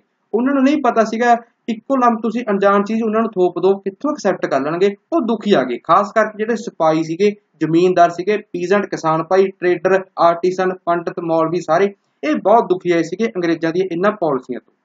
ਸੋ ਫਿਰ ਇਹ ਸਾਰੇ ਕਾਰਨ ਜਿਹੜੇ 1757 ਦੀ ਬੈਟਲ ਆਫ ਪਲਾਸੀ ਦੀ, ਤੁਸੀਂ ਕਹਿ ਲਓ, ਇਹ ਤੋਂ 100 ਸਾਲ ਬਾਅਦ 1857 ਦੇ ਵਿੱਚ ਫਿਰ ਅੱਕੇ ਹੋਏ ਲੋਕਾਂ ਨੇ ਈਸਟ ਇੰਡੀਆ ਕੰਪਨੀ ਦੇ ਖਿਲਾਫ ਇੱਕ ਵੱਡੇ ਪੱਧਰ ਤੇ ਜਿਹੜਾ ਵਾਇਲੈਂਟ ਸਟਾਰਮ ਸੀਗਾ, ਤੂਫਾਨ ਸੀਗਾ, ਉਹ ਉਮੜ ਗਿਆ ਸੀਗਾ ਤੇ ਇਹ ਰਿਵੋਲਟ ਸ਼ੁਰੂ ਹੋ ਗਿਆ ਸੀਗਾ। ਤੇ ਦੇਖੋ, ਇਹਨਾਂ 100 ਸਾਲਾਂ ਦੇ ਵਿੱਚ 1757 ਤੋਂ 1857 ਤੱਕ ਕੱਲਾ ਇਹ ਇੱਕੋ ਰਿਵੋਲਟ ਨਹੀਂ ਸੀਗਾ, ਜਿਹੜਾ ਲੜਿਆ ਗਿਆ ਸੀਗਾ ਅੰਗਰੇਜ਼ਾਂ ਦੇ ਖਿਲਾਫ। ਅੰਗਰੇਜ਼ਾਂ ਤੋਂ ਤਾਂ ਬਹੁਤ ਲੋਕ ਅੱਕੇ ਹੋਏ ਸੀ। ਸਿਵਿਲੀਅਨ ਲੋਕ ਸੀਗੇ, ਉਹ ਅੱਕੇ ਹੋਏ ਸੀਗੇ। ਇਹਨਾਂ 100 ਸਾਲਾਂ ਦੇ ਵਿੱਚ ਜਿਹੜੇ ਸਿਵਿਲੀਅਨ ਲੋਕਾਂ ਨੇ ਰਿਵੋਲਟ ਛੇੜੇ ਸੀ ਮੈਂ ਤੁਹਾਨੂੰ ਪੜਾਏ ਨੇ, ਉਹ ਵੀ ਆਪਾਂ ਨੂੰ ਦੇਖਣ ਨੂੰ ਮਿਲੇ। ਟ੍ਰਾਈਬਲ ਲੋਕ ਸੀਗੇ ਜਿਹੜੇ ਬਾਕੀ ਦੁਨੀਆ ਤੋਂ ਕੱਟ ਸੀਗੇ ਉਹਨਾਂ ਦੇ ਨਾਲ ਕਿਹੜੇ ਅੰਗਰੇਜ਼ਾਂ ਦੇ ਰਿਵੋਲਟ ਸੀਗੇ, ਉਹ ਵੀ ਤੁਹਾਨੂੰ ਕੱਲ ਪੜਾਏ ਤੇ ਮੇਨ ਜਿਹੜਾ 1857 ਦਾ ਰਿਵੋਲਟ ਸੀ, ਇਹਦੇ ਬਾਰੇ ਆਪਾਂ ਅੱਜ ਗੱਲ ਕਰ ਰਹੇ ਹਾਂ। ਸੋ ਇਹ ਕੁਝ ਕੁ ਫੈਕਟਰ ਸੀਗੇ, ਆਪਾਂ ਨੂੰ ਇੱਥੋਂ ਅੰਦਾਜ਼ਾ ਮਿਲ ਗਿਆ ਵੀ ਅੰਗਰੇਜ਼ਾਂ ਦੇ ਖਿਲਾਫ ਲੋਕਾਂ ਦਾ ਜਿਹੜਾ ਤੁਸੀਂ ਕਹਿ ਲਓ ਗੁੱਸਾ ਸੀਗਾ, ਲੋਕ ਭਰੇ ਬੈਠੇ ਸੀਗੇ, ਗੁੱਸਾ ਕੱਢਣ ਨੂੰ ਉਹ ਬਹਾਨਾ ਭਾਲਦੇ ਸੀ ਤੇ ਉਹਨਾਂ ਨੂੰ ਬਹਾਨਾ ਮਿਲਿਆ। ਹਲੇ ਆਪਾਂ ਹੁਣ ਇੱਕ ਗੱਲ ਹੋਰ ਇਹ ਡਿਸਕਸ ਕਰਦੇ ਹਾਂ ਵੀ ਹੁਣ ਮੇਨ ਕਿਹੜੇ ਕਿਹੜੇ ਮੇਨ ਕਾਰਨ ਰਹੇ ਨੇ ਜਿਨ੍ਹਾਂ ਕਰਕੇ ਇਹ ਜਿਹੜਾ 1857 ਦਾ ਰਿਵੋਲਟ ਸੀਗਾ, ਇਹ ਦੇਖਣ ਨੂੰ ਮਿਲਿਆ। ਸੋ ਇਹ ਜਿਹੜੇ ਕਾਰਨ ਨੇ, ਆਪਾਂ ਇਹਨਾਂ ਨੂੰ ਕੈਟਾਗਰੀਜ਼ ਦੇ ਵਿੱਚ ਵੰਡਾਂਗੇ। ਇੱਥੋਂ ਮੇਨਸ ਪੁਆਇੰਟ ਆਫ View ਦੇ ਨਾਲ ਵੀ ਕੁਐਸਚਨ ਬਣਦਾ ਹੈ। ਸੋ ਸਭ ਤੋਂ ਪਹਿਲਾਂ ਆਪਾਂ ਦੇਖਾਂਗੇ ਇਕਨੋਮਿਕ ਕਾਰਨ ਇਕਨੋਮਿਕ ਕਾਜ਼ਸ ਇਕਨੋਮੀ ਨੂੰ ਅੰਗਰੇਜ਼ਾਂ ਨੇ ਕਿਵੇਂ ਤਹਿਸ ਨਹਿਸ ਕੀਤਾ? ਭਾਰਤ ਦੀ ਜਿਹੜੀ ਇਕਨੋਮੀ ਸੀ, ਉਹ ਤੋਂ ਲੋਕ ਅੱਕੇ ਹੋਇਆਂ ਨੇ, ਵਿਦਰੋਹ ਛੇੜਤਾ। ਇਹ ਕਿਵੇਂ ਹੋ ਸਕਦਾ ਹੈ? ਸੋ ਜਿਹੜੇ ਇਕਨੋਮਿਕ ਕਾਜ਼ ਸੀ, ਆਪਾਂ ਇਹਨਾਂ ਨੂੰ ਪੜ੍ਹਦੇ ਹਾਂ। ਸੋ ਬੜੇ ਸਿੰਪਲ ਨੇ। ਸਭ ਤੋਂ ਪਹਿਲਾਂ ਆਪਾਂ ਦੇਖਦੇ ਹਾਂ, ਜਿਹੜੀ ਭਾਰਤ ਦੇ ਜਿਹੜੀ ਟ੍ਰੇਡ ਐਂਡ ਕਮਰਸ ਸੀ, ਉਹਨਾਂ ਨੂੰ ਰੱਜ ਕੇ ਲੁੱਟਿਆ ਇਹਨਾਂ ਨੇ। ਅੰਗਰੇਜ਼ਾਂ ਨੇ ਕੀ ਕੀਤਾ? ਜਿਹੜੇ ਭਾਰਤ ਦੇ ਤੁਸੀਂ ਕਹਿ ਲਓ ਗੁੱਡ ਸੀਗੇ ਇੰਡੀਅਨ ਗੁੱਡ ਸੀਗੇ, ਉਹਨਾਂ ਦੇ ਉੱਪਰ ਤਾਂ ਇਹਨਾਂ ਨੇ ਹਾਈ ਟੈਰਿਫ ਡਿਊਟੀਆਂ ਲਾਉਣੀਆਂ ਸ਼ੁਰੂ ਕਰਤੀਆਂ ਵੀ ਇਹ ਆਪਦਾ ਮਾਲ ਬਾਹਰਲਾ ਵੇਚ ਸਕਣ। ਉਸ ਤੋਂ ਇਲਾਵਾ ਜਿਹੜੇ ਇਹਨਾਂ ਦੇ ਆਪਦੇ ਖੁਦ ਖੁਦ ਦੇ ਪ੍ਰੋਡਕਟ ਸੀਗੇ, ਖੁਦ ਦੇ ਅੰਗਰੇਜ਼ਾਂ ਦੇ ਪ੍ਰੋਡਕਟ ਬਣ ਕੇ ਆਉਂਦੇ ਸੀ ਇੰਗਲੈਂਡ ਤੋਂ, ਉਹ ਐਨਕਰੇਜ ਕਰਦੇ ਸੀਗੇ ਵੀ ਭਾਰਤ ਦੇ ਵਿੱਚ ਉਹ ਵੇਚੇ ਜਾਣ। ਸੋ ਤੁਸੀਂ ਕਹਿ ਲਓ 19ਵੀਂ ਸਦੀ ਦੇ ਅੱਧ ਤੱਕ ਜਾਂਦੇ ਜਾਂਦੇ ਇੰਡੀਆ ਦੇ ਜਿਹੜੇ ਐਕਸਪੋਰਟ ਸੀਗੇ ਕਾਟਨ ਤੇ ਸਿਲਕ ਤੋਂ ਬਣੇ ਹੋਏ ਪ੍ਰੋਡਕਟਸ ਦੇ, ਉਹ ਲਗਭਗ ਖਤਮ ਹੋ ਚੁੱਕੇ ਸੀ। ਸੋ ਇੰਡੀਆ ਦਾ ਟ੍ਰੇਡ ਐਂਡ ਕਮਰਸ ਚੰਗੀ ਤਰ੍ਹਾਂ ਰੱਜ ਕੇ ਲੁੱਟਿਆ ਇਹਨਾਂ ਨੇ। ਇੰਡੀਅਨ ਪ੍ਰੋਡਕਟਸ ਦੇ ਉੱਪਰ ਰੱਜ ਕੇ ਡਿਊਟੀਜ਼ ਲਾ ਦਿੰਦੇ ਸੀ ਤਾਂ ਕਿ ਉਹ ਵੇਚ ਨਾ ਸਕਣ ਤੇ ਜਾਂ ਖਰੀਦ ਨਾ ਸਕਣ ਤੇ ਆਪਦੇ ਪ੍ਰੋਡਕਟਸ ਨੂੰ ਉਹ ਰੱਜ ਕੇ ਐਨਕਰੇਜ ਕਰਦੇ ਸੀ। ਫਿਰ ਜਿਹੜੇ ਡੋਮੈਸਟਿਕ ਇੰਡੀਆ ਦੇ ਮੈਨੂਫੈਕਚਰਰ ਸੀਗੇ, ਇਹਨਾਂ ਨੂੰ ਵੀ ਇਹਨਾਂ ਨੇ ਤਬਾਹ ਕਰਤਾ ਅੰਗਰੇਜ਼ਾਂ ਕਿਵੇਂ? ਇਹ ਆਪਦੇ ਜਿਹੜੇ ਕਾਟਨ ਗੁੱਡ ਸੀਗੇ ਇੰਗਲੈਂਡ ਤੋਂ ਬਣੇ ਹੋਏ, ਇੱਥੇ ਭਾਰਤ ਦੇ ਵਿੱਚ ਪ੍ਰਮੋਟ ਕਰਦੇ ਸੀ, ਇੱਥੇ ਵੇਚਦੇ ਸੀਗੇ। ਤੇ ਜਿਹੜੇ ਇੰਡੀਅਨ ਮੈਨੂਫੈਕਚਰ ਸੀਗੇ, ਉਹਨਾਂ ਨੂੰ ਇਹਨਾਂ ਨੇ ਰੱਜ ਕੇ ਫਿਰ ਐਕਸਪੋਰਟ ਕੀਤਾ। ਉਹਨਾਂ ਦੀ ਜਿਹੜੀ ਕਾਟਨ ਟੈਕਸਟਾਈਲ ਇੰਡਸਟਰੀ ਸੀਗੀਆਂ, ਉਹ ਸਾਰਾ ਕੁਝ ਬੰਦ ਹੋਣ ਦੀ ਤਾਰ ਤੇ ਆ ਗਿਆ। ਫਿਰ ਜਿਹੜੀਆਂ ਇਹਨਾਂ ਦੇ ਲੈਂਡ ਰੈਵਨਿਊ ਪਾਲਿਸੀਜ਼ ਸੀਆਂ ਤੁਹਾਨੂੰ ਪਤਾ ਹੈ ਕਿਹੜੀ ਕਿਹੜੀ ਲੈਂਡ ਰੈਵਨਿਊ ਪਾਲਿਸੀਜ਼ ਲਿਆਂਦੀਆਂ ਕਿੰਨਾ ਕਿੰਨਾ ਟੈਕਸ ਮੰਗਦੇ ਸੀ ਜ਼ਮੀਨਦਾਰਾਂ ਤੋਂ ਤੇ ਕਿਸਾਨਾਂ ਤੋਂ ਇਹ ਅੰਗਰੇਜ਼। ਉਹ ਤੋਂ ਅੱਕੇ ਹੋਏ ਲੋਕ ਸੀਗੇ, ਕਿੱਥੋਂ ਭਰਦੇ, ਠੀਕ ਹੈ? ਸੋ ਅੰਗਰੇਜ਼ ਲੋਕ ਦੁਖੀ ਸੀਗੇ ਇਕਨੋਮੀ ਨੂੰ ਬਹੁਤ ਜ਼ਿਆਦਾ ਤਬਾਹ ਕਰਤਾ ਸੀਗਾ। ਮੁਗਲ ਐਰਾ ਦੇ ਟਾਈਮ ਸਭ ਕੁਝ ਠੀਕ ਚੱਲ ਰਿਹਾ ਸੀਗਾ, ਪਹਿਲਾਂ ਵੀ ਸਭ ਕੁਝ ਠੀਕ ਚੱਲ ਰਿਹਾ ਸੀ। ਅੰਗਰੇਜ਼ਾਂ ਦੀਆਂ ਇਹਨਾਂ ਪਾਲਿਸੀ ਨੇ, ਇਹ ਮੈਂ ਤੁਹਾਨੂੰ ਪੜ੍ਹਾ ਚੁੱਕਿਆ, ਕਈ ਪਾਲਿਸੀਆਂ ਤੇ ਇਹਨਾਂ ਤੋਂ ਬਹੁਤ ਵੱਡੀਆਂ ਫੇਲੀਅਰ ਸਾਬਤ ਹੋਈਆਂ ਸੀ, ਜਿਵੇਂ ਕਿ ਪਰਮਨੈਂਟ ਸੈਟਲਮੈਂਟ ਵਗੈਰਾ। ਇਹ ਫੇਲੀਅਰ ਸਾਬਤ ਹੋਈਆਂ ਸੀ, ਕਈ ਪਾਲਿਸੀ ਸੋ ਇਹਨਾਂ ਅੰਜਾਮ ਕਿਹਨੂੰ ਭੁਗਤਣਾ ਪਿਆ? ਅੰਗਰੇਜ਼ਾਂ ਨੂੰ ਥੋੜੀ ਭੁਗਤਣਾ ਪਿਆ। ਆ ਜਿਹੜੇ ਗਰੀਬ ਕਿਸਾਨ ਸੀਗੇ, ਇਹਨਾਂ ਦੇ ਉੱਪਰ ਮਾਰ ਪਈ ਮਾਰ ਪਈ ਇਹਨਾਂ ਪਾਲਿਸੀ ਦੀ। ਸੋ ਜਿਹੜੀ ਜ਼ਮੀਨ ਸੀਗੀ ਇਹ ਜ਼ਮੀਨ ਜ਼ਮੀਨ ਨਹੀਂ ਸੀ, ਆਪਣੇ ਭਾਰਤੀ ਸੀਗੇ ਜਿਹੜੇ ਉਸ ਵੇਲੇ, ਉਹਨਾਂ ਵਾਸਤੇ ਇਨਕਮ ਦਾ ਸੋਰਸ ਹੁੰਦਾ ਸੀਗਾ। ਸੋ ਹੁਣ ਅੰਗਰੇਜ਼ ਕੀ ਕਰਨ ਲੱਗੇ? ਅੰਗਰੇਜ਼ ਥੋੜੀ ਸਕੀਮ ਖੇਡਣ ਲੱਗੇ। ਅੰਗਰੇਜ਼ ਕਹਿੰਦੇ, ਅਸੀਂ ਆਪਦਾ ਰੈਵਨਿਊ ਵਧਾਉਣਾ ਇਸ ਜ਼ਮੀਨ ਦੇ ਵਿੱਚ। ਉਹ ਕਿਵੇਂ? ਉਹ ਇਹ ਜਿਹੜੀ ਜ਼ਮੀਨ ਹੁੰਦੀ ਸੀ ਭਾਰਤੀਆਂ ਕੋਲ, ਇਹਨਾਂ ਵਿੱਚ ਪਹਿਲਾਂ ਤਾਂ ਉਹ ਖਾਣ ਪੀਣ ਜੋਗੇ ਜਿਹੜੇ ਦਾਣੇ ਹੁੰਦੇ ਸੀ ਨਾ, ਉਹ ਉਗਾਉਂਦੇ ਸੀਗੇ। ਬਾਜਰਾ ਗਾਲਿਆ, ਕਣਕ ਵਗੈਰਾ ਗਾਲੀ, ਠੀਕ ਹੈ? ਇਹ ਕੁਝ ਉਗਾਉਂਦੇ ਹੁੰਦੇ ਸੀਗੇ। ਪਰ ਜਿਹੜੇ ਅੰਗਰੇਜ਼ ਸੀ ਨਾ, ਇਹਨਾਂ ਨੇ ਕੀ ਸਕੀਮ ਖੇਡੀ? ਇਹ ਕਹਿੰਦੇ ਵੀ ਫੂਡ ਕ੍ਰੌਪਸ ਦਾ ਤੁਸੀਂ ਕੀ ਕਰੋਗੇ? ਤੁਸੀਂ ਕੈਸ਼ ਕ੍ਰੌਪਸ ਨੇ ਜਿਹੜੀਆਂ ਉਹ ਬੀਜੋ ਕਾਟਨ ਬੀਜੋ, ਤੁਸੀਂ ਇੰਡੀਗੋ ਨੀਲ ਦੀ ਖੇਤੀ ਕਰੋ ਜੀ ਤੋਂ ਆਪਾਂ ਨੂੰ ਮੁਨਾਫਾ ਹੋਵੇ।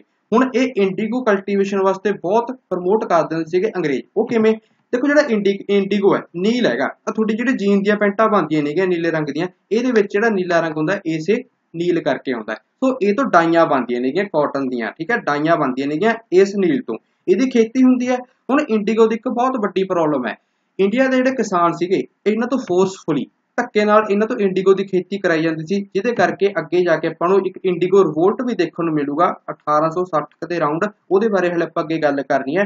ਬਟ ਆਪਾਂ ਇਹ ਦੇਖਿਆ ਇੰਡੀਗੋ ਦੀ ਖੇਤੀ ਹਲੇ ਚੱਲ ਰਹੀ ਹੈ। ਲੋਕ ਬਹੁਤ ਦੁਖੀ ਸੀਗੇ। ਦੁਖੀ ਕਾਹਤੋਂ ਸੀ? ਉਹ ਜਿਹੜੀ ਇਹ ਇੰਡੀਗੋ ਸੀ, ਜਿਹੜਾ ਇਹ ਨੀਲ ਸੀ ਨਾ, ਇਹਦੀ ਜੜਾਂ ਬਹੁਤ ਡੂੰਘੀਆਂ ਸੀਆਂ। ਇੱਕ ਵਾਰ ਜਿੱਥੇ ਇੰਡੀਗੋ ਲਾਤਾ, ਉੱਥੇ ਕੋਈ ਹੋਰ ਫਸਲ ਨਹੀਂ ਹੁੰਦੀ ਸੀਗੀ। ਸੋ ਜ਼ਮੀਨ ਤਾਂ ਵੇਸਟ ਗਈ। ਸੋ ਕਿਸਾਨ ਦੁਖੀ ਸੀਗੇ। ਉਹ ਕਹਿੰਦੇ ਅਸੀਂ ਜਿਹੜੇ ਦਾਣੇ ਚਾਰ ਕ ਦਾਣੇ ਸੀ ਬੀਜਦੇ ਸੀਗੇ। ਤੁਸੀਂ ਉਹ ਜ਼ਮੀਨ ਵੀ ਸਾਡੀ ਤਬਾਹ ਕਰਤੀ ਆ ਇੰਡੀਗੋ ਦੀ ਖੇਤੀ, ਨੀਲ ਦੀ ਖੇਤੀ ਸਾਤੋਂ ਕਰਾ ਕਰਾ ਕੇ।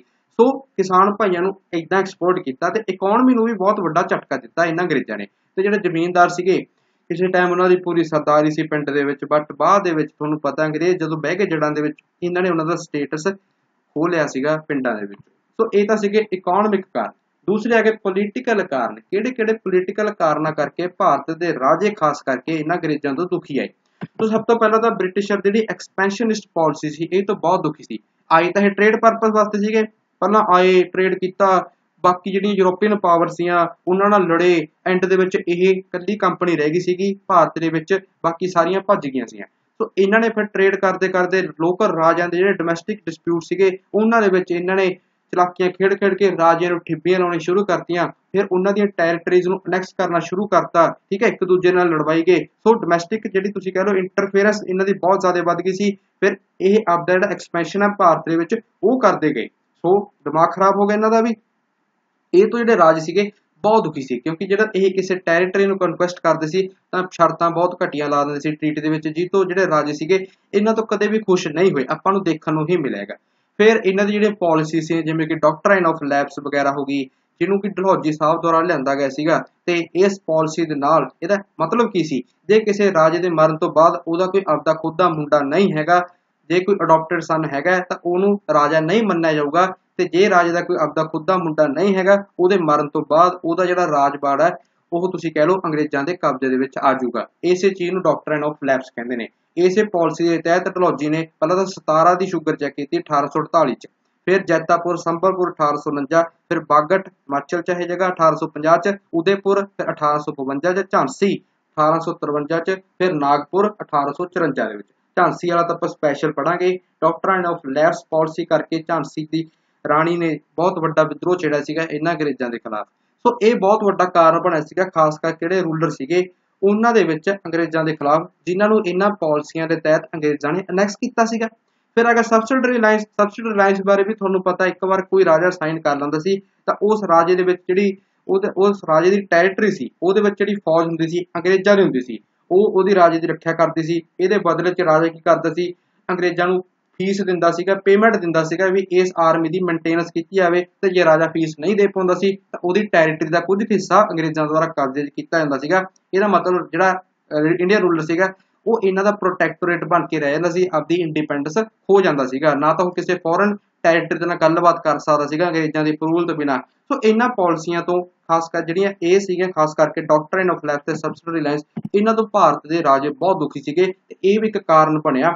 ਆਪਣਾ 1857 ਦੇ ਵਿਦਰੋਹ ਦਾ, ਜਿਵੇਂ ਕਿ ਆਪਾਂ ਨੂੰ ਦੇਖਣ ਨੂੰ ਹੀ ਮਿਲਿਆ, ਝਾਂਸੀ ਦੀ ਰਾਣੀ ਨੇ ਵਿਦਰੋਹ ਛੇੜਿਆ ਸੀਗਾ, ਉਹ ਇਸੇ ਪੋਲੀਟੀਕਲ ਕਾਰਨ ਦਾ ਇੱਕ ਹਿੱਸਾ ਸੀ। ਫਿਰ ਇੱਕ ਆਪਾਂ ਇੱਕ ਪਾਰਟਿਕੂਲਰ ਸਟੇਟ ਦੀ ਗੱਲ ਕਰਦੇ ਆ ਉਹਦਾ ਨਾਮ ਹੈ ਜੀ ਆਉਦ ਆਉਦ ਜਾਂ ਅਵਦ ਇੱਕੋ ਇੱਕੋ ਗੱਲ ਆ, ਇਹਨੂੰ ਕਹਿ ਲਓ। ਅਵਦ ਨੂੰ ਇਹਨਾਂ ਨੇ ਅਨੈਕਸ ਕੀਤਾ ਸੀਗਾ ਜਿੱਤੋਂ ਜਿਹੜੇ ਲੋਕ ਸੀਗੇ, ਅੰਗਰੇਜ਼ਾਂ ਤੋਂ ਬਹੁਤ ਦੁਖੀ ਆ ਗਏ ਸੀ। ਉਹ ਕਿਵੇਂ? ਦੇਖੋ, ਹੁਣ ਤੱਕ ਆਪਾਂ ਕੀ ਕੀ ਡਿਸਕਸ ਕੀਤਾ ਹੈ? ਹੁਣ ਤੱਕ ਆਪਾਂ ਹੀ ਡਿਸਕਸ ਕੀਤਾ ਹੈ ਵੀ ਕਈ ਕਈ ਸਟੇਟਾਂ ਨੂੰ ਅੰਗਰੇਜ਼ਾਂ ਨੇ ਡਾਕਟਰਾਈਨ ਆਫ ਲੈਬਸ ਦੇ ਤਹਿਤ ਅਨੈਕਸ ਕਰ ਲਿਆ। ਕਈਆਂ ਰਾਜਾਂ ਦੇ ਇਹਨਾਂ ਨੇ ਸਬਸਿਡਰੀ ਅਲਾਈਅੰਸ ਸਾਈਨ ਕਰਕੇ ਆਪਦਾ ਪ੍ਰੋਟੈਕਟੋਰੇਟ ਬਣਾ ਲਿਆ ਨੂੰ। ਬਟ ਇੱਕ ਸਟੇਟ ਇਹੀ ਜੀ ਸੀ, ਉਹਦਾ ਨਾਮ ਸੀਗਾ ਅਵਧ ਅਬਦ ਸਟੇਟ ਨੂੰ ਇਹਨਾਂ ਨੇ ਅਨੈਕਸ ਕੀਤਾ ਤਾਂ ਕਿਵੇਂ ਕੀਤਾ? ਅਬਦ ਨੂੰ ਇਹਨਾਂ ਨੇ ਮਿਸ ਗਵਰਨੈਂਸ ਦਾ ਟੈਗ ਲਾ ਕੇ ਅਨੈਕਸ ਕਰਤਾ। ਭਾਈ, ਇਹ ਕੀ ਗੱਲ ਬਣੀ? ਮਿਸ ਗਵਰਨੈਂਸ ਰਾਜਾ ਗਵਰਨੈਂਸ ਨਹੀਂ ਸਹੀ ਕਰ ਰਿਹਾ, ਇਹਨੂੰ ਅਨੈਕਸ ਕਰ ਲਓ। ਇਹ ਕੀ ਕਾਰਨ ਬਣਿਆ? ਇੱਥੋਂ ਹੀ ਲੋਕ ਭੜਕੇ ਅੰਗਰੇਜ਼ਾਂ ਦੇ ਖਿਲਾਫ। ਕਿਵੇਂ? ਲਾਰਡ ਡਲਹੌਜ਼ੀ ਨੇ ਪਹਿਲੀ ਗੱਲ 1856 ਦੇ ਵਿੱਚ ਅਬਦ ਨੂੰ ਅਨੈਕਸ ਕੀਤਾ। ਕਰਨਾ ਇਹ ਪਹਿਲਾਂ ਵੀ ਚਾਹੁੰਦੇ ਸੀ ਬਟ ਇਹਨਾਂ ਨੂੰ ਕੋਈ ਕਾਰਨ ਨਹੀਂ ਮਿਲ ਰਿਹਾ ਸੀ। ਹੁਣ ਅਬਦ ਇਹਨਾਂ ਵਾਸਤੇ ਇੰਨਾ ਇੰਪੋਰਟੈਂਟ ਕਿਉਂ ਸੀ? ਅਬਦ ਦੇਖੋ ਸਟ੍ਰੈਟੇਜੀਕਲੀ ਬਹੁਤ ਜ਼ਿਆਦਾ ਇੰਪੋਰਟੈਂਸ ਰੱਖਦਾ ਸੀ। ਯੂਪੀ ਦਾ ਏਰੀਆ ਸੀ, ਨਾਲ ਨੇਪਾਲ ਦਾ ਬਾਰਡਰ ਲੱਗਦਾ ਸੀਗਾ। ਸੋ ਸਟ੍ਰੈਟੇਜੀਕਲੀ ਇੰਨੀ ਜ਼ਿਆਦਾ ਇੰਪੋਰਟੈਂਸ ਲੋਕੇਸ਼ਨ ਸੀਗੀ ਅਬਦ ਇਹਨਾਂ ਦੇ ਲਈ। ਸੋ ਅਬਦ ਦੇ ਵਿੱਚ ਇਹਨਾਂ ਦੇ ਤੁਸੀਂ ਕਹਿੰਦੇ ਜੇ ਫੌਜ ਹੁੰਦੀ, ਤਾਂ ਉਧਰੋਂ ਬੰਗਾਲ ਤੱਕ ਵੀ ਪਹੁੰਚਣਾ ਬੜਾ ਸੌਖਾ ਸੀਗਾ ਤੇ ਉਧਰੋਂ ਦਿੱਲੀ ਤੱਕ ਵੀ ਪਹੁੰਚਣਾ ਬੜਾ ਸੌਖਾ ਸੀ। ਸੋ ਸਟ੍ਰੈਟੇਜੀਕਲੀ ਬੜੀ ਇੰਪੋਰਟੈਂਟ ਲੋਕੇਸ਼ਨ ਸੀ ਇਹਨਾਂ ਵਾਸਤੇ। ਅਬਦ ਦਾ ਜਿਹੜਾ ਰਾਜਾ ਹੁੰਦਾ ਸੀਗਾ ਵਾਜਿਦ ਅਲੀ ਸ਼ਾਹ, ਉਹਨੂੰ ਇਹਨਾਂ ਨੇ ਅੰਗਰੇਜ਼ਾਂ ਨੇ ਉਹਦੀ ਗੱਦੀ ਤੋਂ ਹਟਾਤਾ। ਕਾਹਤੋਂ? ਉਹ ਕਹਿੰਦੇ ਵੀ ਦੇਖੋ ਜਿਹੜਾ ਅਬਦ ਸੀ ਨਾ, ਤੁਹਾਨੂੰ ਸਾਰਿਆਂ ਨੂੰ ਪਤਾ ਹੈ ਆ ਜਿਹੜੀ ਬੈਟਲ ਆਫ ਬਕਸਰ ਤੋਂ ਬਾਅਦ ਲਾਹਾਬਾਦ ਦੀ ਟ੍ਰੀਟੀ ਹੋਈ ਸੀ, ਉਹਦੇ ਤੋਂ ਹੀ ਆਪਾਂ ਨੂੰ ਪਤਾ ਚੱਲ ਗਿਆ ਸੀ, ਆਪਾਂ ਪੜ ਚੁੱਕੇ ਵੀ ਅਬਦ ਦਾ ਜਿਹੜਾ ਰਾਜਾ ਸੀਗਾ, ਉਹ ਆਪਦੀ ਕਾਫੀ ਸਾਰੇ, ਸਾਰੀ ਜਿਹੜੀ ਡੋਮੀਨੈਂਸ ਸੀਗੀ, ਜਿਹੜਾ ਸ਼ੂਜਾ ਦੌਲਾ ਸੀਗਾ ਜਿਹੜਾ ਮੈਂ ਤੁਹਾਨੂੰ ਦੱਸਿਆ, ਉਹ ਗਵਾ ਚੁੱਕਿਆ ਸੀ। ਉਹ ਤੋਂ ਬਾਅਦ ਜਿਹੜੇ ਉਹਦੇ ਬਾਅਦ ਵਾਲੇ ਰਾਜੇ ਆਏ ਸੀਗੇ, ਉਹ, ਉਹਨਾਂ ਤੱਕ ਜਿਹੜਾ ਅਬਦ ਸੀਗਾ, ਤੁਸੀਂ ਕਹਿ ਲਓ ਇਕਨੋਮਿਕਲੀ ਬਹੁਤ ਜ਼ਿਆਦਾ ਐਕਸਪਲੋਇਟ ਹੁੰਦਾ ਰਿਹਾ ਗਵਰਨੈਂਸ ਰਾਜਾਂ ਤੋਂ ਸਾਂਭੀ ਨਹੀਂ ਜਾਂਦੀ ਸੀ। ਇਹੀ ਕਾਰਨ ਦੇ ਕੇ ਲਾਰਡ ਹੌਜੀ ਨੇ ਅਬਦ ਨੂੰ ਨੈਕਸ ਕਰ ਲਿਆ। ਉਹ ਕਹਿੰਦਾ ਜਿਹੜਾ ਰਾਜ ਹੈ ਨਾ ਅਬਦ ਦਾ ਵਾਜਿਦ ਅਲੀ ਸ਼ਾਹ ਆ ਬੰਦਾ ਹੈਗਾ। ਇਹਦੇ ਤੋਂ ਹੁਣ ਐਡਮਿਨਿਸਟ੍ਰੇਸ਼ਨ ਸਾਂਭੀ ਨਹੀਂ ਜਾਂਦੀ। ਸੋ ਇਹ ਬਹਾਨਾ ਲਾ ਕੇ ਡਲਹੌਜੀ ਨੇ ਬ੍ਰਿਟਿਸ਼ ਐਮਪਾਇਰ ਦੇ ਵਿੱਚ ਅਬਦ ਨੂੰ ਮਰਜ ਕਰ ਲਿਆ। ਹੁਣ ਜਿਹੜੇ ਲੋਕ ਸੀਗੇ, ਬਹੁਤ ਦੁਖੀ ਸੀਗੇ। ਰਾਜੇ ਨੂੰ ਇਹਨਾਂ ਨੇ ਡਿਪੋਰਟ ਕਰਤਾ ਸੀਗਾ। ਠੀਕ ਹੈ? ਡੀਥਰੋਨ ਕਰਕੇ ਉਹਨੂੰ ਤੁਸੀਂ ਡਿਪੋਰਟ ਕਰਤਾ, ਜਿਵੇਂ ਅੱਗੇ ਕਿਸੇ ਨੂੰ ਰੰਗੂਨ ਕਰ ਦਿੰਦੇ ਸੀ, ਕਿੱਥੇ ਕਿਸੇ ਨੂੰ ਕਿੱਥੇ ਕਰ ਦਿੰਦੇ ਸੀਗੇ। ਲੋਕ ਬਹੁਤ ਦੁਖੀ ਸੀ। ਜਿਹੜਾ ਇਹ ਰਾਜਾ ਸੀਗਾ, ਵਾਜਿਦ ਅਲੀ ਸ਼ਾਹ, ਲੋਕਪ੍ਰਿਯ ਰਾਜਾ ਸੀਗਾ। ਲੋਕ ਅੰਗਰੇਜ਼ਾਂ ਦੇ ਖਿਲਾਫ ਇੰਨੇ ਜ਼ਿਆਦਾ, ਤੁਸੀਂ ਕਹ ਲਓ, ਆਕੜ ਗਏ ਵੀ ਕੋਈ ਨਹੀਂ ਪੁੱਤ ਸਾਡਾ ਵੀ ਟਾਈਮ ਹੋਊਗਾ। ਜਦੋਂ ਸਾਡਾ ਟਾਈਮ ਹੈ ਫਿਰ ਤੁਹਾਨੂੰ ਅਸੀਂ ਪੰਜੀ ਦਾ ਭਾਉਣ ਸਿਖਾਵਾਂਗੇ। ਸੋ ਇਹ ਸਾਰੇ ਕਾਰਨਾਂ ਕਰਕੇ, ਇਹ ਮੇਨ ਕਾਰਨ ਸੀਗਾ ਵੀ ਅਬਦ ਨੂੰ ਨੈਕਸ ਕਰਕੇ ਜਿਹੜੇ ਲੋਕ ਸੀਗੇ ਸਿਵਿਲੀਅਨ ਲੋਕ ਸੀਗੇ ਇਸ ਏਰੀਆ ਦੇ, ਉਹ ਰਾਜੇ ਦੇ ਬਹੁਤ ਲੋਕ, ਲੋਕਪ੍ਰਿਯ ਸੀਗੇ ਤੇ ਲੋਕ ਵੀ ਉਸ ਰਾਜੇ ਦਾ ਬਹੁਤ ਕਰਦੇ ਸੀਗੇ। ਜਦੋਂ ਉਹਨੂੰ ਧਨੌਜੀ ਨੇ ਸੜਿਆ ਜਿਹਾ ਬਹਾਨਾ ਲਾ ਕੇ ਨੈਕਸ ਕਰਤਾ, ਤਾਂ ਲੋਕ ਬਹੁਤ ਜ਼ਿਆਦਾ ਦੁਖੀ ਆ ਗਏ। ਸੋ ਇਹ ਇੱਕ ਕਾਰਨ ਬਣਿਆ ਸੀਗਾ ਲੋਕਾਂ ਦੇ ਵਿਦਰੋਹ ਦਾ, ਅੰਗਰੇਜ਼ਾਂ ਦੇ ਖਿਲਾਫ, ਖਾਸ ਕਰਕੇ ਜਿਹੜਾ ਵਿਦਰੋਹ ਅਬਦ ਦਾ ਜਿਹੜਾ ਇਹ ਰੀਜਨ ਸੀਗਾ, ਇੱਥੋਂ ਦੇਖਣ ਨੂੰ ਮਿਲਿਆ। ਸੋ ਅੱਗੇ ਗੱਲ ਕਰਦੇ ਹਾਂ, ਫਿਰ ਆ ਗਈ ਜੀ ਐਡਮਿਨਿਸਟ੍ਰੇਟਿਵ ਕਾਜ਼ਸ ਐਡਮਿਨਿਸਟ੍ਰੇਸ਼ਨ ਐਡਮਿਨਿਸਟ੍ਰੇਸ਼ਨ ਦੇ ਵਿੱਚ ਕੀ ਕਮੀਆਂ ਸੀ ਅੰਗਰੇਜ਼ਾਂ ਦੇ, ਜਿਹੜੇ ਜਿਹਦੇ ਕਰਕੇ ਇਹ ਰਿਵੋਲਟ ਆਪਾਂ ਨੂੰ ਦੇਖਣ ਨੂੰ ਮਿਲਿਆ। ਸੋ ਸਭ ਤੋਂ ਪਹਿਲਾਂ ਆਪਾਂ ਨੂੰ ਪਤਾ ਕੰਪਨੀ ਦੇ ਵਿੱਚ ਕਰਪਸ਼ਨ ਬਹੁਤ ਵੱਡੇ ਲੈਵਲ ਤੇ ਹੁੰਦੀ ਸੀਗੀ। ਇਹਨਾਂ ਦੀ ਪੁਲਿਸ ਕਰਪਟ ਸੀ ਅਫੀਸ਼ੀਅਲ ਅਫਸਰ ਕਰਪਟ ਸੀਗੇ। ਕੋਰਟਸ ਦੇ ਵਿੱਚ ਜੱਜਾਂ ਤੱਕ ਨੂੰ ਪੈਸੇ ਦਿੱਤੇ ਜਾਂਦੇ ਸੀ, ਪੈਸੇ ਖਵਾਏ ਜਾਂਦੇ ਸੀ। ਸੋ ਜਿਹੜੇ ਸਿਸਟਮ ਭਾਰਤ ਦੇ ਵਿੱਚ ਇਹ ਲੈ ਕੇ, ਭਾਰਤ ਨੂੰ ਰਿਫਾਰਮ ਕਰਨ ਦੇ ਲਈ ਸਿਸਟਮ ਲੈ ਕੇ, ਉਹਨਾਂ ਦੇ ਵਿੱਚ ਹੀ ਕਰਪਸ਼ਨ ਕਰਨ ਲੱਗੇ ਜਿਵੇਂ ਕਿ ਆਪਾਂ ਅੱਜ ਵੀ ਦੇਖਣ ਨੂੰ ਮਿਲਦਾ, ਕਈ ਮਹਿਕਮਿਆਂ 'ਚ ਕਰਪਸ਼ਨ ਹੁੰਦੀ ਹੈ। ਸੋ ਅੰਗਰੇਜ਼ਾਂ ਤੋਂ ਸਿੱਖੀਆਂ ਹੋਈਆਂ ਗੱਲਾਂ ਅੱਜ ਕੱਲ ਜਿਹੜੇ ਆਪਣੇ ਮੰਤਰੀ ਨੇ ਲੀਡਰ ਨੇ, ਇਹ ਵਰਤਦੇ ਨੇਗੇ। ਸੋ ਕਰਪਸ਼ਨ ਇਹਨਾਂ ਦੇ ਵਿੱਚ ਬਹੁਤ ਹੁਣ ਦੇਖਣ ਨੂੰ ਮਿਲੀ ਸੀ। ਦੂਸਰਾ ਜਿਹੜੇ ਭਾਰਤੀ ਜੱਜ ਸੀਗੇ, ਉਹ ਯੂਰੋਪੀਅਨ ਕ੍ਰਿਮੀਨਲ ਨੂੰ ਸਜ਼ਾ ਨਹੀਂ ਸੁਣਾ ਸਕਦੇ ਸੀਗੇ। ਇਹ ਵੀ ਚੱਕਰ ਸੀਗਾ। ਇਹ ਅੱਗੇ ਇੱਕ ਕੰਟਰੋਵਰਸੀ ਵੀ ਹੋਈ ਸੀ 1884 ਚ ਲਾਰਡ ਰਿਪਨ ਦੇ ਸਮੇਂ। ਉਹ ਆਪਾਂ ਉਦੋਂ ਸਮਝਾਂਗੇ। ਬਟ ਇਹ ਵੀ ਹੁਣ ਇੱਕ ਤਰ੍ਹਾਂ ਦਾ ਇਹਨਾਂ ਨੂੰ ਲੱਗਿਆ ਸਾਡੇ ਨਾਲ ਡਿਸਕ੍ਰਿਮੀਨੇਸ਼ਨ ਹੈਗਾ। ਐਡਮਿਨਿਸਟ੍ਰੇਸ਼ਨ ਸਾਨੂੰ ਪੂਰਾ ਹੱਕ ਹੈਗਾ। ਅਸੀਂ ਕਿਸੇ ਨੂੰ ਜੇ ਜੱਜ ਆ ਅਸੀਂ ਕਿਸੇ ਨੂੰ ਵੀ ਸਜ਼ਾ ਦੇ ਸਕਦੇ ਹਾਂ। ਇਹ ਕੀ ਬਣਿਆ? ਅੰਗਰੇਜ਼ਾਂ ਨੂੰ ਅਸੀਂ ਸਜ਼ਾ ਨਹੀਂ ਦੇਣੀ। ਇਹ ਵੀ ਇੱਕ ਕਾਰਨ ਬਣਿਆ। ਫਿਰ ਜਿਹੜੀ ਹਾਇਰ ਐਡਮਿਨਿਸਟ੍ਰੇਟਿਵ ਪੋਸਟਾਂ ਹੁੰਦੀਆਂ ਸੀਗੀਆਂ ਆਈਏਐਸ ਵਗੈਰਾ, ਅਫਸਰ ਵਗੈਰਾ ਜਿਹੜੇ ਹੁੰਦੇ ਟੌਪ ਦੇ, ਉਹ ਅੰਗਰੇਜ਼ ਪਹਿਲਾਂ ਇੰਡੀਅਨਸ ਨੂੰ ਸੂਟੇਬਲ ਨਹੀਂ ਸਮਝਦੇ ਸੀਗੇ ਵੀ ਇਹ ਲੋਕ ਕਾਬਿਲ ਨਹੀਂ ਹੈਗੇ, ਇੰਨੀ ਉੱਚੀ ਪੋਸਟ ਤੱਕ ਪਹੁੰਚਣ ਦੇ ਲਈ। ਦੂਸਰਾ ਕਹਿੰਦੇ ਕੰਪੀਟੀਸ਼ਨ ਹੀ ਇੰਨਾ ਹੁੰਦਾ ਸੀ। ਸਾਡੇ ਆਪਦੇ ਅੰਗਰੇਜ਼ੀ ਜਵਾਕਾਂ 'ਚ ਇੰਨਾ ਕੰਪੀਟੀਸ਼ਨ ਹੈ, ਇਹਨਾਂ ਭਾਰਤੀਆਂ ਨੂੰ ਅਸੀਂ ਫਿਰ ਕਾਹ ਤੋਂ ਸੀਟਾਂ ਦਈਏ? ਸੋ ਸ਼ੁਰੂ ਸ਼ੁਰੂ ਦੇ ਵਿੱਚ ਇਹ ਹਾਇਰ ਐਡਮਿਨਿਸਟ੍ਰੇਟਿਵ ਪੋਸਟਾਂ ਜਿਹੜੀਆਂ ਸਿਰਫ ਇੰਗਲਿਸ਼ ਵਾਸਤੇ ਰਿਜ਼ਰਵ ਹੁੰਦੀ ਸੀ। ਬਾਅਦ ਦੇ ਵਿੱਚ ਆਪਾਂ ਨੂੰ ਦੇਖਣ ਨੂੰ ਮਿਲਿਆ, ਆਪਾਂ ਪਿੱਛੇ ਪੜਿਆ ਵੀ ਹੈ ਹੌਲੀ ਹੌਲੀ ਫਿਰ ਰਿਲੈਕਸੇਸ਼ਨ ਦਿੱਤੀ ਗਈ। ਜਿਹੜੇ ਭਾਰਤੀ ਸੀਗੇ, ਫਿਰ ਉਹ ਵੀ ਐਡਮਿਨਿਸਟ੍ਰੇਸ਼ਨ ਸਰਵਿਸ ਦੇ ਵਿੱਚ ਆਉਣ ਲੱਗੇ ਸੀਗੇ। ਹੌਲੀ ਹੌਲੀ ਕਰਕੇ ਫਿਰ ਸਿਚੁਏਸ਼ਨ ਠੀਕ ਹੁੰਦੀ ਗਈ। ਸੋ ਇੱਕ ਤਾਂ ਗੱਲ ਕਲੀਅਰ ਇਹ ਐਡਮਿਨਿਸਟ੍ਰੇਟਿਵ ਕਾਜ਼ਸ ਸੀਗੇ, ਜਿਹਦੇ ਕਰਕੇ ਲੋਕ ਅੱਕੇ ਹੋਏ ਸੀਗੇ। ਖਾਸ ਕਰਕੇ ਅਫਸਰਸ਼ਾਹੀ। ਫਿਰ ਆ ਗਏ ਜੀ ਸੋਸ਼ੀਓ ਰਿਲੀਜੀਅਸ ਕਾਜ਼ਸ ਬੜਾ ਹੀ ਇੰਪੋਰਟੈਂਟ ਇਹ ਕਾਜ਼ ਸੀਗਾ ਅੰਗਰੇਜ਼ਾਂ ਦੇ ਖਿਲਾਫ ਵਿਦਰੋਹ ਦਾ। ਬਹੁਤ ਇੰਪੋਰਟੈਂਟ ਇੱਥੋਂ ਕੁਐਸਚਨ ਬਣ ਗਈ ਸੋ ਤੁਹਾਨੂੰ ਸਾਰਿਆਂ ਨੂੰ ਪਤਾ, ਅੰਗਰੇਜ਼ਾਂ ਨੇ ਇੱਕ ਗੱਲ ਤਾਂ ਬਹੁਤ ਵਧੀਆ ਕੀਤੀ ਸੀ, ਦੇਖੋ। ਅੰਗਰੇਜ਼ਾਂ ਨੇ ਜਿਹੜੀਆਂ ਵਿਧਵਾ ਹੁੰਦੀਆਂ ਸੀ ਉਹਨਾਂ ਨੂੰ ਦੁਬਾਰਾ ਵਿਆਹ ਕਰਨ ਦੇ ਲਈ ਉਹਨਾਂ ਨੂੰ ਇਹਨਾਂ ਨੇ ਪ੍ਰੇਰਿਤ ਕੀਤਾ ਸੀਗਾ। ਵਿਡੋ ਰੀਮੈਰਿਜ ਐਕਟ ਇਹ ਲੈ ਕੇ ਆਏ ਸੀ। ਸਤੀ ਇਹਨਾਂ ਨੇ ਬੈਨ ਕਰਤੀ ਸੀ, ਸਤੀ ਅਬੋਲਿਸ਼ ਕਰਤੀ ਸੀ ਅੰਗਰੇਜ਼ਾਂ ਨੇ। ਫਿਰ ਫੀਮੇਲ ਇਨਫੈਂਟੀਸਾਈਡ ਠੀਕ ਹੈ, ਜੰਮਦੀ ਬੱਚੀ ਨੂੰ ਮਾਰ ਦੇਣਾ ਇਸ ਚੀਜ਼ਾਂ ਨੂੰ ਰੋਕਿਆ, ਇਹਨਾਂ ਪ੍ਰੈਕਟਿਸਿਸ ਨੂੰ ਰੋਕਿਆ ਹਿਊਮਨ ਸੈਕਰੀਫਾਈਸ ਬਲੀ ਦੇਣੀ ਜਵਾਕਾਂ ਦੀ, ਇਹ ਸਾਰੀਆਂ ਇਲ ਪ੍ਰੈਕਟਿਸਿਸ ਸੀ ਜਿਹੜੀਆਂ, ਇਹਨਾਂ ਨੂੰ ਠੱਲ ਪਾਈ ਸੀ ਅੰਗਰੇਜ਼ਾਂ ਨੇ। ਹੁਣ ਕੰਮ ਤਾਂ ਬਹੁਤ ਵਧੀਆ ਸੀਗਾ, ਆਪਾਂ ਨੂੰ ਸੁਣਨ ਚ ਵਧੀਆ ਲੱਗ ਰਿਹਾ। ਇਸ ਚੀਜ਼ ਦੇ ਵਿੱਚ ਆਪਾਂ ਅੰਗਰੇਜ਼ਾਂ ਦੀ ਨਿੰਦਾ ਕਰ ਨਹੀਂ ਸਕਦੇ। ਬਟ ਉਸ ਵੇਲੇ ਜੇ ਆਪਾਂ ਜਾਈਏ, ਆਪਾਂ ਤਾਂ ਅੱਜ ਦੇ ਸਮੇਂ ਦੇ ਮਾਡਰਨ ਜਵਾਕ ਆ ਆਪਾਂ ਤਾਂ ਇਸ ਚੀਜ਼ ਦੇ ਵਿੱਚ ਅੰਗਰੇਜ਼ਾਂ ਦਾ ਹਾਮੀ ਭਰਾਂਗੇ ਕਿ ਕੰਮ ਬਹੁਤ ਵਧੀਆ ਕੀਤੇ ਸੀ। ਬਟ ਤੁਸੀਂ ਉਸ ਸਦੀ ਦੇ ਵਿੱਚ ਜਾ ਕੇ ਦੇਖੋ, ਆਪਦੇ ਆਪ ਨੂੰ ਇਮੇਜਿਨ ਕਰੋ ਵੀ ਉਸ ਵੇਲੇ ਆਰਥੋਡਾਕਸੀ ਕਿੰਨੀ ਸੀ ਰੂੜੀਵਾਦੀ ਸੋਚ ਲੋਕਾਂ 'ਚ ਕਿੰਨੀ ਸੀ। ਸੋ ਉਹ ਲੋਕ, ਹੁਣ ਤੁਸੀਂ ਫਰਜ਼ ਕਰੋ, ਤੁਸੀਂ ਵੈਜੀਟੇਰੀਅਨ ਹੋ ਪਿਓਰ ਵੈਜੀਟੇਰੀਅਨ ਹੋ ਤੁਹਾਨੂੰ ਅਚਾਨਕ ਕੋਈ ਬੰਦਾ ਇਹ ਆ ਕੇ ਤੁਹਾਡੇ ਤੇ ਥੋਪ ਦੇ ਵੀ ਕੱਲ ਤੋਂ ਤੁਸੀਂ ਨੇ ਮੁਰਗਾ ਖਾਣਾ ਤੁਸੀਂ ਕੀ ਖਾ ਲਓਗੇ? ਸੋ ਇਹ ਜਿਹੜੇ ਸਡਨ ਚੇਂਜਸ ਸੀ ਨਾ, ਇਹ ਇਹਨਾਂ ਤੋਂ ਜਿਹੜੇ ਭਾਰਤ ਦੇ ਲੋਕ ਸੀਗੇ, ਇਹ ਪੁਰਾਣੇ ਕਸਟਮ ਉਹਦੇ ਫੋਲੋ ਕਰਦੇ ਸੀ। ਇਹ ਜਿਹੜੇ ਸਡਨ ਚੇਂਜ ਅੰਗਰੇਜ਼ਾਂ ਦੁਆਰਾ ਕੀਤੇ ਗਏ, ਇਹ ਉਹਨਾਂ ਲੋਕਾਂ ਨੂੰ ਐਕਸੈਪਟੇਬਲ ਨਹੀਂ ਸੀਗੇ। ਰੂੜੀਵਾਦੀ ਸੋਚ ਸੀਗੀ, ਉਹ ਇਹਨਾਂ ਚੀਜ਼ਾਂ ਤੋਂ ਬਹੁਤ ਜ਼ਿਆਦਾ ਦੁਖੀ ਸੀ ਵੀ ਅੰਗਰੇਜ਼ ਸਾਡੇ ਜਿਹੜੇ ਕਾਸਟ ਤੇ ਕਸਟਮ ਵਗੈਰਾ ਨੇ, ਇਹਨਾਂ ਵਿੱਚ ਇੰਟਰਫੇਅਰ ਦਾਖਲ ਕਰ ਰਹੇ ਨੇ ਤੇ ਇਹ ਅਸੀਂ ਬਿਲਕੁਲ ਬਰਦਾਸ਼ਤ ਨਹੀਂ ਕਰਾਂਗੇ। ਹੁਣ ਆ ਜਿਹੜੀਆਂ ਚੀਜ਼ਾਂ ਬਾਰੇ ਮੈਂ ਤੁਹਾਨੂੰ ਪੜਾਇਆ ਸਤੀ ਅਬੋਲਿਸ਼ ਕੀਤੀ ਵਿਡੋਜ਼ ਰੀਮੈਰਿਜ ਐਕਟ ਆਇਆ ਫੀਮੇਲ ਇਨਫੈਂਟਿਸਾਈਡ ਇਹਨਾਂ ਬਾਰੇ ਹੁਣ ਆਪਾਂ ਥੋੜਾ ਜਿਹਾ ਵਿਸਥਾਰ ਡਿਟੇਲ ਦੇ ਵਿੱਚ ਆਪਾਂ ਗੱਲ ਕਰਨੀ ਹੈ, ਬੜਾ ਇੰਪੋਰਟੈਂਟ ਟੌਪਿਕ ਹੈਗਾ, ਆਪਾਂ ਇਹਨਾਂ ਬਾਰੇ ਵੀ ਜ਼ਰੂਰ ਪੜ੍ਹਨਾ ਹੈਗਾ। ਸੋ ਸਤੀ ਅਬੋਲਿਸ਼ ਤਾਂ ਹੋ ਗਈ ਤਾਂ ਆਪਾਂ ਨੂੰ ਪੜ੍ਹਦਾ ਹੈ ਬਟ ਇਹਦਾ ਇਤਿਹਾਸ ਵੀ ਪੜ੍ਹ ਲਈਏ, ਠੀਕ ਹੈ, ਜੇ ਪੇਪਰ ਪੁਆਇੰਟ ਆਫ View ਦੇ ਲਈ ਇੱਕ ਦੋ ਚੀਜ਼ਾਂ ਇੱਥੋਂ ਇੰਪੋਰਟੈਂਟ ਨੇ, ਆਪਾਂ ਨੂੰ ਉਦਾਂ ਵੀ ਆਪਣੇ ਇਤਿਹਾਸ ਬਾਰੇ ਪਤਾ ਹੋਣਾ ਚਾਹੀਦਾ ਸੋ ਟੌਪਿਕ ਤੋਂ ਆਪਾਂ ਵਿੱਚ ਵਿੱਚ ਦੀ ਥੋੜਾ ਜਿਹਾ ਡਾਈਵਰਟ ਵੀ ਹੋਵਾਂਗੇ, ਕਿਉਂਕਿ ਚੰਗੀ ਤਰ੍ਹਾਂ ਤੁਹਾਨੂੰ ਸਾਰਾ ਕੁਝ ਕ੍ਰਿਸਟਲ ਕਲੀਅਰ ਹੋ ਜੇ ਸੋ ਸਤੀ ਦੀ ਗੱਲ ਕਰਦੇ ਹਾਂ। ਹੁਣ ਸਤੀ ਬਾਰੇ ਮੈਂ ਤੁਹਾਨੂੰ ਪੜਾਇਆ ਸੀ, ਜਦੋਂ ਪੁਰਤਗਾਲੀ ਆਏ ਸੀ, ਸਭ ਤੋਂ ਪਹਿਲਾਂ ਇੱਕ ਬੰਦੇ ਨੇ ਸਤੀ ਨੂੰ ਗੋਆ 'ਚ ਬੈਨ ਕੀਤਾ ਸੀ। ਕੀ ਤੁਸੀਂ ਉਸ ਬੰਦੇ ਦਾ ਨਾਮ ਦੱਸ ਸਕਦੇ ਹੋ? ਮੈਨੂੰ ਕਮੈਂਟ ਬਾਕਸ ਦੇ ਵਿੱਚ, ਉਹਦਾ ਨਾਮ ਦੱਸੋ। ਸੋ ਪੁਰਤਗਾਲੀ ਸੀਗੇ, ਉਹਨਾਂ ਨੇ 1515 ਚ ਗੋਆ ਦੇ ਵਿੱਚ ਸਤੀ ਨੂੰ ਬੈਨ ਕਰਤਾ। ਬਟ ਇਹ ਹਲੇ ਮਤਲਬ ਤੁਸੀਂ ਕਹਿ ਲਓ ਕੋਈ ਮਤਲਬ ਵੱਡੇ ਪ੍ਰਾਪਤੀ ਨਹੀਂ ਸੀ ਇਹਨਾਂ ਵਾਸਤੇ, ਕਿਉਂਕਿ ਗੋਆ ਚ ਸਤੀ ਪਹਿਲਾਂ ਹੀ ਬਹੁਤ ਘੱਟ ਦੇਖਣ ਨੂੰ ਮਿਲਦੀ ਸੀਗੀ। ਫਿਰ ਹੁਣ ਜਿਹੜੇ ਫਰਾਂਸ ਵਾਲੇ ਸੀਗੇ, ਉਹਨਾਂ ਨੇ ਵੀ ਪੌਂਡੀਚੈਰੀ, ਜੋ ਕਿ ਫਰਾਂਸ ਦੀ ਟੈਰੀਟਰੀ ਸੀਗੀ ਉੱਥੇ ਸਤੀ ਨੂੰ ਬੈਨ ਕਰਤਾ। ਠੀਕ ਹੈ ਜੀ, ਫਰਾਂਸ ਵਾਲੇ ਨੇ ਵੀ ਬਹੁਤ ਵਧੀਆ ਕੀਤਾ। ਫਿਰ ਅੰਗਰੇਜ਼ ਆਏ। ਅੰਗਰੇਜ਼ਾਂ ਨੇ ਸ਼ੁਰੂ ਸ਼ੁਰੂ ਦੇ ਵਿੱਚ ਤਾਂ ਸਤੀ ਦੇ ਰਿਗਾਰਡਿੰਗ ਕੋਈ ਵੱਡੀ ਸਟੇਟਮੈਂਟ ਦਿੱਤੀ। ਇਹਨਾਂ ਨੇ ਪਰਮਿਟ ਵੀ ਕਰਤਾ ਸੀਗਾ ਵੀ ਠੀਕ ਹੈ, ਤੁਹਾਡੇ ਕਸਟਮ ਨੇ ਤੁਸੀਂ ਫੋਲੋ ਕਰੀ ਜਾਓ, ਅਸੀਂ ਕਿਉਂ ਦਖਲ ਦਈਏ? ਇਹ ਸ਼ੁਰੂ ਸ਼ੁਰੂ ਦੇ ਵਿੱਚ ਅੰਗਰੇਜ਼ਾਂ ਦੀ ਸੋਚ ਸੀਗੀ। ਬਟ ਬਾਅਦ ਦੇ ਵਿੱਚ 1798 ਦੇ ਵਿੱਚ ਕਲਕੱਤਾ ਵਿਖੇ ਕੌਣ ਸੀਗਾ ਇਸ ਵੇਲੇ? ਗਵਰਨਰ ਵੈਲਸਲੇ ਸਾਹਿਬ ਸੀਗੇ। ਉਹਨਾਂ ਨੇ ਫਿਰ ਬੈਨ ਕਰਤਾ ਕਲਕੱਤਾ ਵਿਖੇ ਸਤੀ ਨੂੰ। ਬਟ ਜਿਹੜਾ ਕਲਕੱਤਾ ਸੀਗਾ, ਉਹਦੇ ਆਸੇ-ਪਾਸੇ ਦੇ ਜਿਹੜੇ ਏਰੀਆ ਸੀਗੇ, ਉੱਥੇ ਹਲੇ ਵੀ ਸਤੀ ਪਰਫਾਰਮ ਕਰਨ ਨੂੰ ਮਿਲੀ ਜਾਂਦੀ ਸੀ। ਹੁਣ ਸਤੀ ਹੁੰਦੀ ਕੀ ਹੈ ਪਹਿਲਾਂ ਜੇ ਤਾਂ ਪੜ ਲਓ, ਆਪਾਂ ਸਤੀ ਸਤੀ ਕਰੀ ਜਾਂਦੇ ਆ ਸਤੀ ਇਹ ਹੁੰਦੀ ਸੀ, ਕਿਸੇ ਬੰਦੇ ਦੀ ਜਿਹੜੀ ਡੈਥ ਹੋ ਜੇ, ਉਹਦੀ ਜਿਹੜੀ ਵਿਧਵਾ ਹੈਗੀ, ਉਹਨੂੰ ਉਹਦੇ ਉਸ ਬੰਦੇ ਦੇ ਨਾਲ ਹੀ ਫੂਕਿਆ ਜਾਂਦਾ ਸੀ, ਨਾਲ ਹੀ ਉਹਨੂੰ ਜਲਾਇਆ ਜਾਂਦਾ ਸੀ। ਹੁਣ ਬੜੀ ਗਲਤ ਪ੍ਰੈਕਟਿਸ ਹੈਗੀ, ਜਿੰਦਾ ਔਰਤ ਨੂੰ ਬੰਦੇ ਦੇ ਮਰੇ ਹੋਏ, ਉਹਦੇ ਘਰ ਵਾਲੇ ਦੇ ਨਾਲ ਜਲਾਉਣਾ, ਇਹ ਕਿਹੜੀ ਕਿ ਇਨਸਾਨੀਅਤ ਹੈ? ਸੋ ਫਿਰ ਇਹਨਾਂ ਔਰਤਾਂ ਦੇ ਹੱਕ ਦੇ ਵਿੱਚ ਇੱਕ ਭਾਰਤੀ ਆ ਕੇ ਖੜਿਆ। ਉਸ ਬੰਦੇ ਦਾ ਨਾਮ ਸੀਗਾ ਰਾਜਾ ਰਾਮ ਮੋਹਨ ਰਾਏ। 1812 ਤੋਂ ਹੀ ਇਹ ਕੰਮ ਤੇ ਲੱਗ ਗਿਆ। ਆਪਦੇ ਤੇ ਇਹ ਕਹਿੰਦਾ ਵੀ ਇਹ ਘਟੀਆ ਪ੍ਰੈਕਟਿਸ ਮੈਂ ਜਿੰਨਾ ਤੱਕ ਜਿਉਂਦਾ, ਇਹ ਮੈਂ ਖਤਮ ਕਰਾ ਕੇ ਰਹੂੰਗਾ। ਸੋ ਕਿਉਂਕਿ ਇਹ ਰਾਜਾ ਰਾਮ ਮੋਹਨ ਰਾਏ ਸੀਗੇ ਜਿਹੜੇ ਸੋਸ਼ਲ ਰਿਫਾਰਮ ਸੀਗੇ, ਬੜੇ ਮਸ਼ਹੂਰ ਰਿਫਾਰਮਰ ਨੇਗੇ। ਇਤਿਹਾਸ ਦੇ ਵਿੱਚ ਅੱਜ ਵੀ ਇਤਿਹਾਸ ਦੇ ਪੰਨਿਆਂ 'ਚ ਇਹਨਾਂ ਦਾ ਨਾਮ ਸੁਨਹਿਰੀ ਅੱਖਰਾਂ 'ਚ ਲਿਖਿਆ ਜਾਂਦਾ ਹੈਗਾ।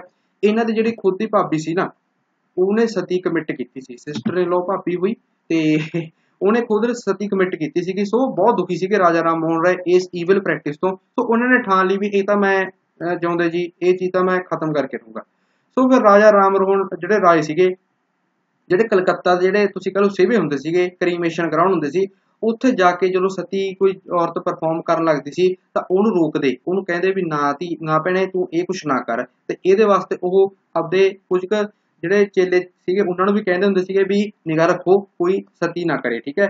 ਸੋ ਇਹ ਉਸ ਤੋਂ ਇਲਾਵਾ ਜਿਹੜਾ ਇਹਨਾਂ ਦਾ ਆਪਦਾ ਅਖਬਾਰ ਸੀਗਾ, ਉਹਦਾ ਨਾਮ ਸੀਗਾ ਸੰਵਾਦ ਕੌਮੋਦੀ। ਇਹ ਬੰਗਾਲੀ, ਇੱਕ ਵੀਕਲੀ ਨਿਊਜ਼ਪੇਪਰ ਸੀਗਾ। ਇਹਦੇ ਵਿੱਚ ਰਾਮ ਮੋਹਨ ਸਾਹਿਬ ਨੇ ਬਥੇਰੇ ਆਰਟੀਕਲਸ ਲਿਖੇ। ਉਹ ਕਹਿੰਦੇ, ਤੁਸੀਂ ਪਹਿਲਾਂ ਦਾ ਜਿਹੜੇ ਜਿਹੜੇ ਤੁਹਾਡੇ ਜੋ ਬੜੇ ਗਿਆਨੀ ਬਣਦੇ ਨੇ, ਜਿਹੜੇ ਸਤੀ ਸੁਤੀ ਨੂੰ ਪ੍ਰੇਰਿਤ ਕਰਦੇ ਨੇ, ਪਹਿਲਾਂ ਮੇਰੇ ਨਾਲ ਆ ਕੇ ਬੈਸੋ ਰਾਜਾ ਰਾਮ ਮੋਹਨ ਕਹਿੰਦੇ ਵੀ ਤੁਹਾਡੇ ਜਿਹੜੇ ਵੀ ਗ੍ਰੰਥ ਨੇ, ਚੱਕ ਲਓ, ਮੈਂ ਵੀ ਵਿਦਵਾਨ ਆ ਪੂਰਾ, ਠੀਕ ਹੈ?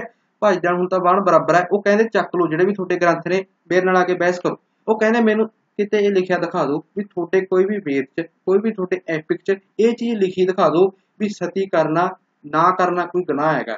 ਸੋ ਇਹਨਾਂ ਨੇ ਜਿਹੜੇ ਅਖਬਾਰ ਸੀਗਾ ਉਹਦੇ ਵਿੱਚ ਆਰਟੀਕਲ ਛਾਪਣੇ ਸ਼ੁਰੂ ਕਰਤੇ ਤੇ ਇਹ ਕਿਹਾ ਵੀ ਦੇਖੋ, ਕਿਸੇ ਵੀ ਵੇਦ ਦੇ ਵਿੱਚ ਇਹ ਗੱਲ ਨਹੀਂ ਲਿਖੀ ਹੋਈ ਵੀ ਸਤੀ ਕਰਨਾ ਹੀ ਕਰਨਾ ਹੈਗਾ। ਵੀ ਸਤੀ ਵੀ ਕਰਨੀ ਹੈ ਵੀ ਜੇ ਕੋਈ ਬੰਦਾ ਮਰ ਗਿਆ ਤਾਂ ਉਹਦੀ ਵਾਈਫ ਨੇ ਜਿੰਦਾ ਉਹਦੇ ਨਾਲ ਚੱਲਣਾ। ਇਹ ਤਾਂ ਕਿਤੇ ਵੀ ਨਹੀਂ ਗੱਲ ਲਿਖੀ ਫਿਰ ਤੁਸੀਂ ਕਿਉਂ ਇਹ ਪ੍ਰੈਕਟਿਸ ਫੋਲੋ ਕਰੀ ਜਾਂਦੇ ਹੋ? ਫਿਰ ਅੱਕ ਕੇ ਰਾਜਾ ਰਾਮ ਮੋਹਨ ਰਾਏ ਦੀ ਸਾਈਡ ਤੇ ਇੱਕ ਬੰਦਾ ਖੜਿਆ।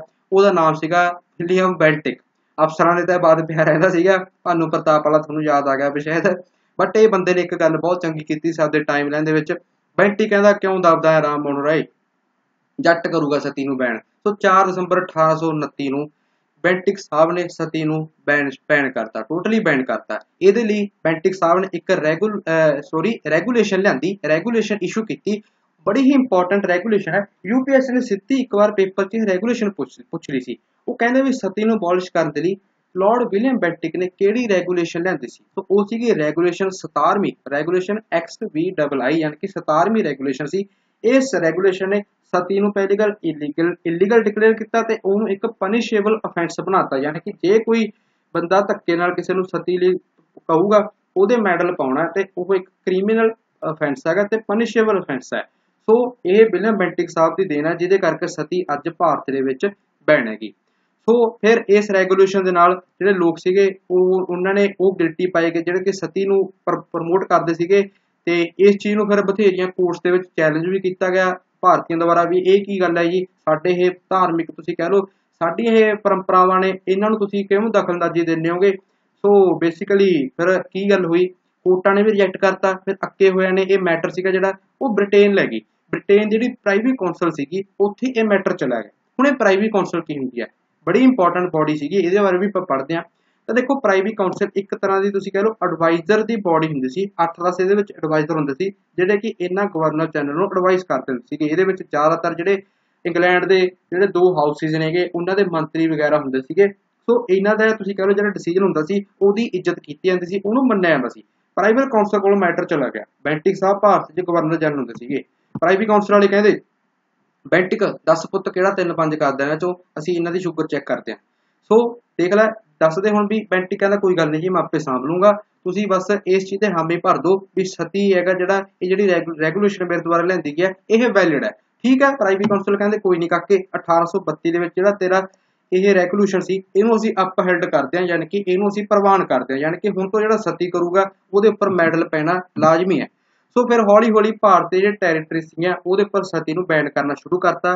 ਸੋ ਬਟ ਜਿਹੜੀਆਂ ਪ੍ਰਿੰਸਲੀ ਸਟੇਟਾਂ ਸੀਗੀਆਂ, ਰਿਆਸਤੀ ਸੂਬੇ ਸੀਗੇ ਉਹਨਾਂ ਦੇ ਵਿੱਚ ਕਈਆਂ ਦੇ ਵਿੱਚ ਹਲੇ ਵੀ ਇਹ ਪ੍ਰੈਕਟਿਸ ਪਰਫਾਰਮ ਕੀਤੀ ਜਾਂਦੀ ਸੀਗੀ। ਜਿਵੇਂ ਕਿ ਰਾਜਪੂਤਾਨਾ ਰਾਜਸਥਾਨ ਦੇ ਕਈ ਸਟੇਟਾਂ ਦੇ ਵਿੱਚ ਸਤੀ ਪਰਫਾਰਮ ਕੀਤੀ ਜਾਂਦੀ ਸੀ, ਉੱਥੇ ਇਹ ਦਖਲ ਘੱਟ ਦਿੰਦੇ ਸੀਗੇ ਰਾਜਿਆਂ ਦੇ ਮੈਟਰ ਦੇ ਵਿੱਚ। ਪਰ ਜਿਹੜੀਆਂ ਟੈਰੀਟਰੀ ਸਿੱਧੇ ਅੰਗਰੇਜ਼ਾਂ ਦੇ ਕਬਜ਼ੇ 'ਚ ਹੁੰਦੀਆਂ ਸੀ ਉੱਥੇ ਤਾਂ ਟੋਟਲੀ ਸਤੀ ਬੈਨ ਹੀ ਸੀ ਫਿਰ ਆ ਗਿਆ ਜੀ ਫੀਮੇਲ ਇਨਫੈਂਟੀਸਾਈਡ ਤੇ ਹਿਊਮਨ ਸੈਕਰੀਫਾਈਸ ਬੈਂਟਿਕ ਸਾਹਿਬ ਦੀ ਹੀ ਇਹ ਦੇਣ ਹੈਗਾ। ਇਹਨਾਂ ਨੇ ਦੇਖੋ, ਨਵੀਂ ਅੱਜ ਵੀ ਇਹ ਪ੍ਰੈਕਟਿਸ ਵੈਸੇ ਤਾਂ ਦੇਖਣ ਨੂੰ ਮਿਲਦੀ ਹੈ ਕਿ ਧੀਆਂ ਨੂੰ ਮਾਰਿਆ ਜਾਂਦਾ ਕੁੱਖ 'ਚ, ਇਹ ਚੀਜ਼ ਬੈਂਟਿਕ ਸਾਹਿਬ ਨੇ ਰੋਕੀ ਸੀਗੀ। ਇਸ ਚੀਜ਼ ਨੂੰ ਇਹਨਾਂ ਨੇ ਬੈਨ ਕੀਤਾ ਸੀ ਤੇ ਜਿਹੜੇ ਹਿਊਮਨ ਸੈਕਰੀਫਾਈਸ ਹੈ ਜਵਾਕਾਂ ਵਗੈਰਾ ਦੀ ਬਲੀ ਦੇਣਾ, ਇਹ ਸਾਰੇ ਜਿਹੜੀਆਂ ਘਟੀਆ ਹਰਕਤਾਂ ਸੀਆਂ, ਇਹਨਾਂ ਨੂੰ ਬੈਂਟਿਕ ਸਾਹਿਬ ਨੇ ਨੱਥ ਪਾਈ ਸੀਗੀ।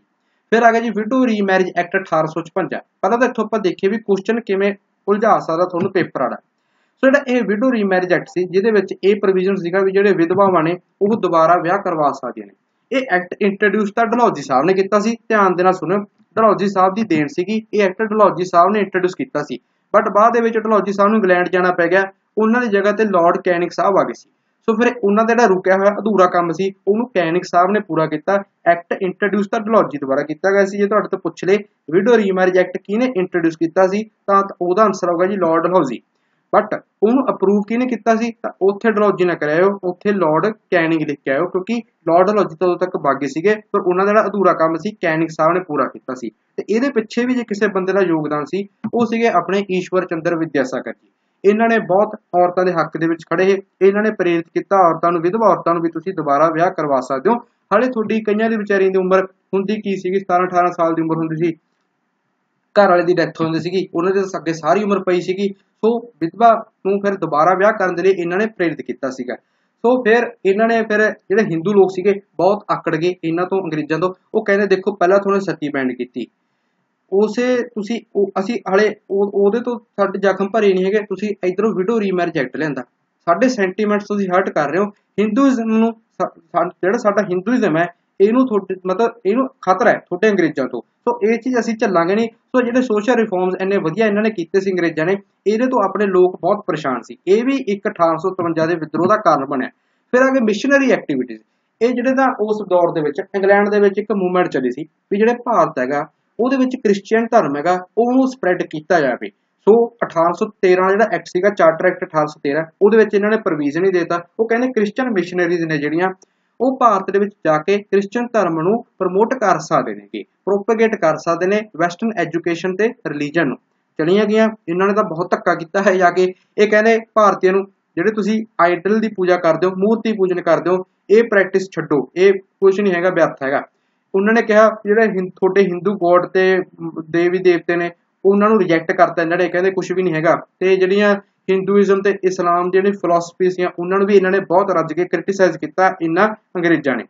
ਸੋ ਦੇਖੋ ਧਰਮ ਪ੍ਰਚਾਰ ਕਰਨਾ ਰੱਜ ਕੇ ਕਰੋ ਬਟ ਦੂਸਰੇ ਧਰਮ ਦੀ ਨਿੰਦਾ ਕਿਉਂ ਕਰਦੇ ਹੋ ਇਸ ਚੀਜ਼ ਤੋਂ ਅੱਕੇ ਹੋਏ ਫਿਰ ਭਾਰਤੀਆਂ ਨੇ ਬਹੁਤ ਇਹਨਾਂ ਦਾ ਵਿਦਰੋਹ ਕੀਤਾ ਸੀਗਾ ਤੇ ਉਹਨਾਂ ਦੇ ਮਨਾਂ ਦੇ ਵਿੱਚ ਖਾਰ ਪੈ ਗਈ ਸੀ ਅੰਗਰੇਜ਼ਾਂ ਦੇ ਖਿਲਾਫ ਵੀ ਇਹ ਗੱਲ ਤੁਸੀਂ ਠੀਕ ਨਹੀਂ ਕਰ ਰਹੇ। ਇਹ ਕ੍ਰਿਸਚੀਅਨ ਮਿਸ਼ਨਰੀਜ਼ ਜਿਹੜੇ ਸਪਰੈਡ ਕਰ ਰਹੇ ਹੋ, ਲੋਕਾਂ ਨੂੰ ਧੱਕੇ ਦੇ ਨਾਲ ਤੁਸੀਂ ਕਨਵਰਟ ਕਰਨ ਦੀ ਕੋਸ਼ਿਸ਼ ਕਰ ਰਹੇ ਹੋ। ਫਿਰ ਕੁਝ ਕੁ ਹੋਰ ਰਿਮੇਨਿੰਗ ਸੋਸ਼ਲ ਰਿਲੀਜੀਅਸ ਕਾਜ਼ਿਸ ਪੜ੍ਹਨੇ ਇੱਕ ਤਾਂ ਹੋ ਜੀ ਰੇਸ਼ੀਅਲ ਡਿਸਕ੍ਰਿਮੀਨੇਸ਼ਨ ਆ ਨਸਲੀ, ਨਸਲਵਾਦ ਦਾ ਜਿਹੜਾ ਕੀੜਾ ਸੀ ਨਾ, ਅੱਜ ਵੀ ਦੇਖਣ ਨੂੰ ਮਿਲਦਾ, ਉਦੋਂ ਵੀ ਦੇਖਣ ਨੂੰ ਮਿਲਦਾ ਸੀ। ਤੁਸੀਂ ਗੋਰ, ਅਸੀਂ ਗੋਰਿਆਂ, ਤੁਸੀਂ ਕਾਲੇ ਹੋ ਠੀਕ ਹੈ, ਅਸੀਂ ਵਾਈਟ ਆ ਤੁਸੀਂ ਬਰਾਊਨੀ ਹੋ। ਇਹ ਕੀ ਗੱਲ ਬਣੀ ਬਾਈ? ਇਹ ਸਾਰਾ ਪ੍ਰੈਕਟਿਸਿਸ ਉਦੋਂ ਦੇਖਣ ਨੂੰ ਮਿਲਦੀਆਂ ਸੀ। ਫਿਰ ਆ ਗਿਆ ਜੀ ਮੌਸਕ ਤੇ ਟੈਂਪਲ ਦੀਆਂ ਜਿਹੜੀ ਜ਼ਮੀਨਾਂ ਹੁੰਦੀਆਂ ਸੀਗੀਆਂ, ਉਹਨਾਂ ਦੇ ਉੱਪਰ ਇਹਨਾਂ ਨੇ ਟੈਕਸ ਲਾਉਣਾ ਸ਼ੁਰੂ ਕਰਤਾ ਤਾਂ ਕਿ ਕ੍ਰਿਸਚੀਅਨ ਧਰਮ ਨੂੰ ਲੋਕ ਉਧਰ ਬੜਾਵਾ ਮਿਲ ਜੇ, ਇੱਧਰ ਲੋਕ ਘੱਟ ਆਉਣ। ਠੀਕ ਹੈ, ਸੋ ਇਹ ਸਾਰਾ ਕੁਝ ਸੋਸ਼ਲ ਰਿਲੀਜੀਅਸ ਕਾਜ਼es ਦੀ ਕੈਟਾਗਰੀ ਦੇ ਵਿੱਚ ਆਉਂਦਾ। ਸੋ ਹੁਣ ਆਪਾਂ ਅੱਗੇ ਵਧਦੇ ਹਾਂ ਜੀ। ਮਿਲਟਰੀ ਕਾਜ਼es ਦੀ ਗੱਲ ਕਰਦੇ ਹਾਂ। ਮਿਲਟਰੀ ਕਾਜ਼es ਕਿਹੜੇ ਕਿਹੜੇ ਰਹੇ, ਜਿਹਦੇ ਕਰਕੇ 1857 ਜਿਹੜਾ ਇਹ ਵਿਦਰੋਹ ਸੀਗਾ, ਇਹਨੂੰ ਅੰਜਾਮ ਦਿੱਤਾ ਗਿਆ। ਤਾਂ ਦੇਖੋ, ਸਭ ਤੋਂ ਪਹਿਲਾਂ ਜਿਹੜੇ ਭਾਰਤੀ ਸਿਪਾਹੀ ਸੀਗੇ, ਪਹਿਲੇ ਦਿਨ ਤੋਂ ਉਹਨਾਂ ਨੂੰ ਡਿਸਕ੍ਰਿਮੀਨੇਸ਼ਨ ਦਾ ਸਾਹਮਣਾ ਕਰਨਾ ਪੈਂਦਾ ਸੀਗਾ। 1 ਮਿੰਟ ਵੇਟ ਕਰੋ। ਓਹੋ ਸੌਰੀ ਇੱਕ ਤਾਂ ਘਰ ਦੇ ਨਾ ਉੱਚੀ ਉੱਚੀ ਬੋਲੀ ਜਾਂਦੇ ਨੇ, ਫਿਰ ਵਿੱਚ ਇਹਨਾਂ ਨੂੰ ਚੁੱਪ ਕਰਾਉਣਾ ਪੈਂਦਾ ਚਲੋ ਆਪਾਂ ਆਪਣੇ ਟੌਪਿਕ ਵੱਲ ਵਾਪਸ ਆਉਂਦੇ ਆ ਮਿਲਟਰੀ ਕਾਜ਼es ਕਿਹੜੇ ਕਿਹੜੇ ਮਿਲਟਰੀ ਕਾਜ਼es ਸੀਗੇ, ਜਿਨ੍ਹਾਂ ਕਰਕੇ ਇਹ 1857 ਦਾ ਵਿਦਰੋਹ ਸੀਗਾ, ਇਹਨੂੰ ਅੰਜਾਮ ਦਿੱਤਾ ਗਿਆ। ਸੋ ਜਿਹੜੇ ਭਾਰਤੀ ਸਿਪਾਹੀ ਸੀ, ਮੈਂ ਤੁਹਾਨੂੰ ਦੱਸ ਚੁੱਕਿਆ, ਪਹਿਲੇ ਦਿਨ ਤੋਂ ਇਹ ਸ਼ਿਕਾਰ ਸੀਗੇ, ਅੰਗਰੇਜ਼ਾਂ ਦੇ ਜਿਹੜਾ ਡਿਸਕ੍ਰਿਮੀਨੇਸ਼ਨ ਹੁੰਦਾ ਸੀਗਾ ਉਹਦੇ। ਇਹਨਾਂ ਨੂੰ ਬਹੁਤ ਟੌਰਚਰ ਕੀਤਾ ਜਾਂਦਾ ਸੀ, ਇਹਨਾਂ ਨੂੰ ਘੱਟ ਤਨਖਾਹਾਂ ਦਿੱਤੀਆਂ ਜਾਂਦੀਆਂ ਸੀ ਉਸ ਤੋਂ ਇਲਾਵਾ ਇਹਨਾਂ ਨੂੰ ਵਰਬਲ ਤੇ ਫਿਜ਼ੀਕਲੀ ਅਬਿਊਜ਼ ਵੀ ਕੀਤਾ ਜਾਂਦਾ ਸੀਗਾ, ਇਹਨਾਂ ਜਿਹੜੇ ਸਿਰ ਤੇ ਅਫਸਰ ਬੈਠੇ ਸੀਗੇ ਤੇ ਇਹਨਾਂ ਜਿਹੜੇ ਫੈਲੋ ਅੰਗਰੇਜ਼ੀ ਸਿਪਾਹੀ ਸੀਗੇ, ਉਹਨਾਂ ਦੁਆਰਾ। ਸੋ ਕਹਿ ਰਿਹਾ ਅੰਗਰੇਜ਼, ਕਹਿੰਦਾ, ਆਓ ਏ ਅੱਜ ਕਿਹੜਾ ਤੁਹਾਡੇ ਚੋਂ ਰੈਗਿੰਗ ਕਰਵਾਊਗਾ? ਸੋ ਐਦਾਂ ਇਹਨਾਂ ਨੂੰ ਟੌਰਚਰ ਕੀਤਾ ਜਾਂਦਾ ਸੀ।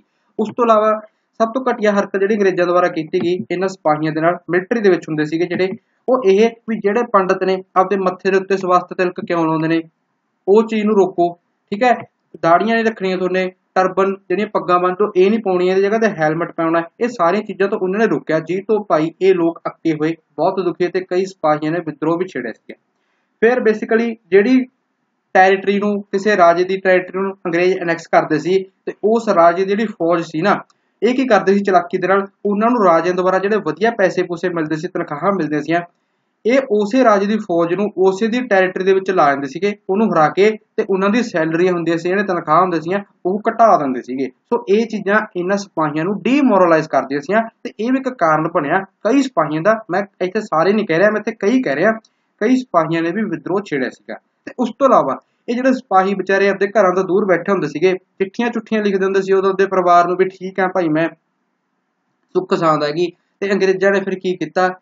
ਇਹਨਾਂ ਜਿਹੜੇ ਭਾਰਤੀ ਸੀਗੇ, ਇਹ ਇਹ ਜਿਹੜੇ ਚਿੱਠੀਆਂ ਵਗੈਰਾ ਦੇ ਪਰਿਵਾਰਕ ਜੀਆਂ ਨੂੰ ਭੇਜ ਦਿੰਦੇ ਸੀਗੇ, ਇਹ ਫੌਜੀ ਹੁੰਦੇ ਸੀਗੇ, ਫੌਜੀ ਭਾਈ। ਇਹ ਜਿਹੜੇ ਚਿੱਠੀ ਭੇਜਦੇ ਸੀਗੇ, ਇਹਦੇ ਉੱਪਰ ਵੀ ਫੀਸ ਲਾਤੀ, ਇੱਕ ਆਨਾ ਫੀਸ ਲਾਤੀ, ਇੱਕ ਆਨਾ ਤਾਂ ਉਸ ਵੇਲੇ ਬਹੁਤ ਜ਼ਿਆਦਾ ਫੀਸ ਹੁੰਦੀ ਸੀ ਕਿ, ਸੋ ਇਹ ਕਹਿੰਦੇ ਨੇ ਭਾਰਤੀ ਕਹਿੰਦੇ ਮਾਈ ਜਾਵੇ ਦੇਣੇ ਚਿੱਠੀਆਂ ਤੇ ਵੀ ਟੈਕਸ ਲਾਤਾ, ਸੋ ਇਹ ਕੋਈ ਚੰਗੀ ਗੱਲ ਨਹੀਂ ਕੀਤੀ। ਸੋ ਇਹ ਵੀ ਇੱਕ ਕਾਰਨ ਸੀਗਾ ਮਿਲਟਰੀ ਕਾਜ਼ ਸੀਗਾ, ਜਿਹਦੇ ਕਰਕੇ ਕੁਝ ਕੁ ਜਿਹੜੇ ਜਵਾਨ ਸੀਗੇ, ਉਹਨਾਂ ਨੇ ਇਹ ਬਗਾਵਤ ਨੂੰ ਜਾਣ ਦਿੱਤਾ ਸੀ। ਮੈਂ ਸਾਰੇ ਕਿਉਂ ਨਹੀਂ ਕਹਿ ਰਿਹਾ, ਉਹ ਤੁਹਾਨੂੰ ਅੱਗੇ ਖੁਦ ਪਤਾ ਚੱਲ ਜੂਗਾ। ਫਿਰ ਆਪਾਂ ਹੁਣ ਸ਼ੁਰੂ ਕਰਦੇ ਹਾਂ ਜੀ ਮੇਨ ਰਿਵੋਲਟ ਦੀ ਸ਼ੁਰੂਆਤ। ਸਭ ਤੋਂ ਪਹਿਲਾਂ ਇਮੀਡੀਏਟ ਕਾਜ਼ ਕਿਹੜਾ ਸਭ ਤੋਂ ਇਮੀਡੀਏਟ ਕਾਰਨ ਸੀਗਾ, ਜਿਹਦੇ ਕਰਕੇ ਰਿਵੋਲਟ ਦੀ ਚੰਗਿਆਰੀ ਸੀਗੀ, ਉਹ ਭਾਂਬੜ ਬਣਨਾ ਸ਼ੁਰੂ ਹੋ ਗਈ। ਸਭ ਤੋਂ ਪਹਿਲਾਂ ਇਹ ਸੀਗਾ, ਜਿਹੜੇ ਆਟੇ ਦੀਆਂ ਬਣੀਆਂ ਰੋਟੀਆਂ, ਇਹ ਸਿਪਾਹੀ ਖਾਂਦੇ ਸੀਗੇ। ਇਹ ਕਿਸੇ ਨੇ ਅਫਵਾਹ ਫੈਲਾਤੀ ਵੀ ਉਹ ਆਟੇ ਦੇ ਵਿੱਚ ਤਾਂ ਹੱਡੀਆਂ ਦਾ ਚੂਰਾ ਮਿਲਾਇਆ ਜਾਂਦਾ ਹੈ। ਸੋ ਆਪਣੇ ਭਾਰਤੀ ਸੀਗੇ, ਵੈਸ਼ਨੋ ਸੀਗੇ, ਸ਼ੁੱਧ। ਉਹ ਕਹਿੰਦੇ, ਇਹ ਕੀ ਗੱਲ ਬਣੀ ਭਾਈ? ਤੁਸੀਂ ਸਾਨੂੰ ਹੱਡੀਆਂ ਦਾ ਚੂਰਾ ਆਟੇ 'ਚ ਮਿਲਾ ਕੇ ਦਿੰਦੇ ਹੋ। ਇਹ ਕਾਰਨ ਬਣਿਆ ਵਿਦਰੋਹ ਦਾ। ਤੇ ਦੂਸਰਾ ਕਾਰਨ ਸੀਗਾ, ਇਹਨਾਂ ਦੁਆਰਾ ਲਿਆਂਦੀ ਹੋਈ ਅੰਗਰੇਜ਼ਾਂ ਦੁਆਰਾ ਇਨਫੀਲਡ ਰਾਈਫਲ ਇਹ ਇਨਫੀਲਡ ਰਾਈਫਲ ਬਹੁਤ ਸੁਰਖੀਆਂ 'ਚ ਰਹਿੰਦੀ ਸੀ ਉਸ ਵੇਲੇ। ਅਹੀ ਜੀ ਦਿਖਦੀ ਹੈ। ਇਨਫੀਲਡ ਰਾਈਫਲ 315 ਬੋਰ ਦੀ ਰਾਈਫਲ ਵਰਗੀ ਦਿੰਦੀ ਹੈ ਬਟ ਫ਼ਰਕ ਸੀਗਾ। ਤੇ ਇਹ ਇਨਫੀਲਡ ਰਾਈਫਲ ਸੀ ਕਿ ਜਿਹੜੀ, ਇਹਨੂੰ ਲੈ ਕੇ ਬਹੁਤ ਰੇੜਕਾ ਪਿਆ ਉਹ ਦਿਨਾਂ ਦੇ ਵਿੱਚ। ਤੇ ਇਹ ਰਿਵੋਲਟ ਦਾ ਕਾਰਨ ਕਿਵੇਂ ਬਣ ਸਕਦੀ ਹੈ ਇਹ ਰਾਈਫਲ ਇਹਦੇ ਬਾਰੇ ਵੀ ਆਪਾਂ ਪੜ੍ਹਦੇ ਹਾਂ। ਤਾਂ ਦੇਖੋ, ਇਹ ਪੂਰਾ ਪ੍ਰੋਸੀਜਰ ਸਮਝਾਇਆ ਹੈਗਾ, ਜਿਹੜੀ ਇਨਫਿਲਟ ਰਾਈਫਲ ਸੀਗੀ, ਇਹ ਕੰਮ ਕਿਵੇਂ ਕਰਦੀ ਹੈ? ਤੁਹਾਨੂੰ ਪੁਰਾਣੀਆਂ ਫਿਲਮਾਂ ਦੇਖੀਆਂ ਹੋਣੀਆਂ, ਆਪਣੇ ਜਿਹੜੇ ਜਿਹੜੇ ਆਪਣੇ ਐਕਟਰ ਸੀਗੇ, ਰਾਜਕੁਮਾਰ ਹੋਰੀ, ਇਹ ਕੀ ਕਰਦੇ ਸੀ?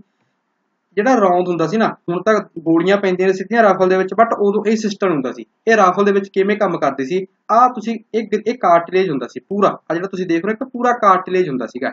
ਇਹ ਕਾਰਟਲੇਜ ਦੇ ਵਿੱਚ ਗੋਲੀ ਵੀ ਹੁੰਦੀ ਸੀ, ਇਹਦੇ ਵਿੱਚ ਹੀ ਬਰੂਦ ਹੁੰਦਾ ਸੀਗਾ, ਪਟਾਸ ਹੁੰਦਾ ਸੀਗਾ ਤੇ ਇਹਨੂੰ ਸਾਰੇ ਨੂੰ ਇੱਕ ਪੇਪਰ ਦੇ ਵਿੱਚ ਰੈਪ ਕੀਤਾ ਹੁੰਦਾ ਸੀ।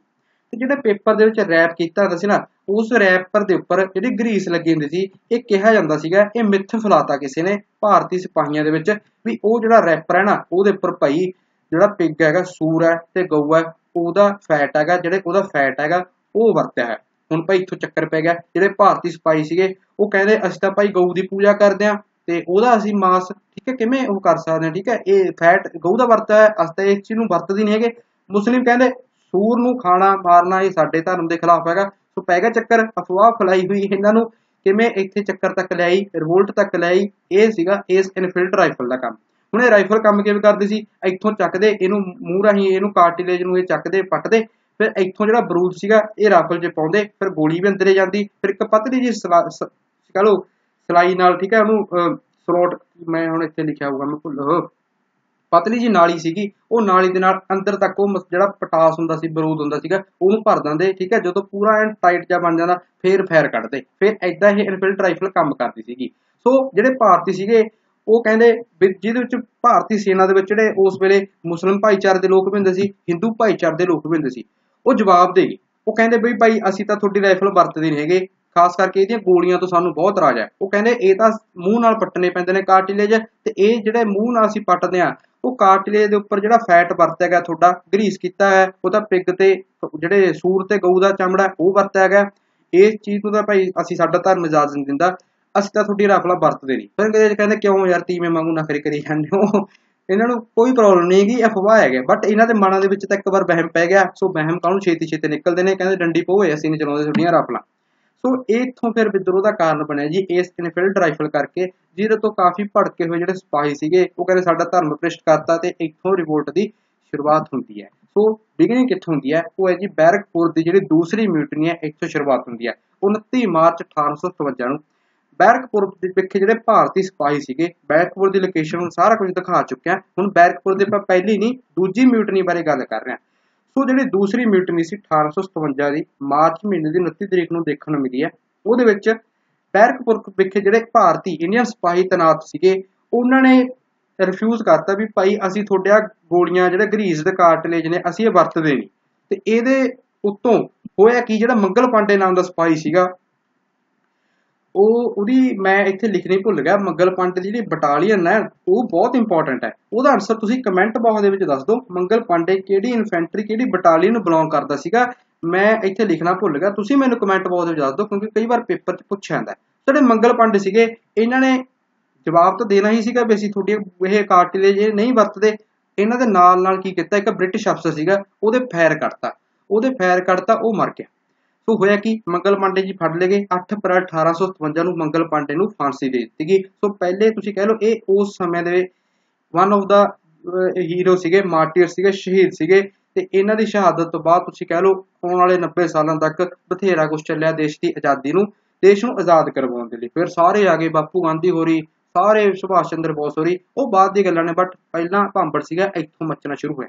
ਤੇ ਇੱਕ ਹੋਰ ਅਫਸਰ ਸੀਗੇ ਇਜ਼ਰੂਲ ਪਾਂਡੇ, ਇਹਨਾਂ ਨੂੰ ਵੀ ਫਾਂਸੀ ਤੇ ਚਾੜ ਦਿੱਤਾ ਗਿਆ ਕਿਉਂਕਿ ਇਹਨਾਂ ਨੇ ਅੰਗਰੇਜ਼ਾਂ ਦੀ ਹੈਲਪ ਨਹੀਂ ਕੀਤੀ ਇਸ ਛੋਟੀ ਜਿਹੀ ਮਿਊਟੀਨੀ ਨੂੰ ਰੋਕਣ ਦੇ ਲਈ।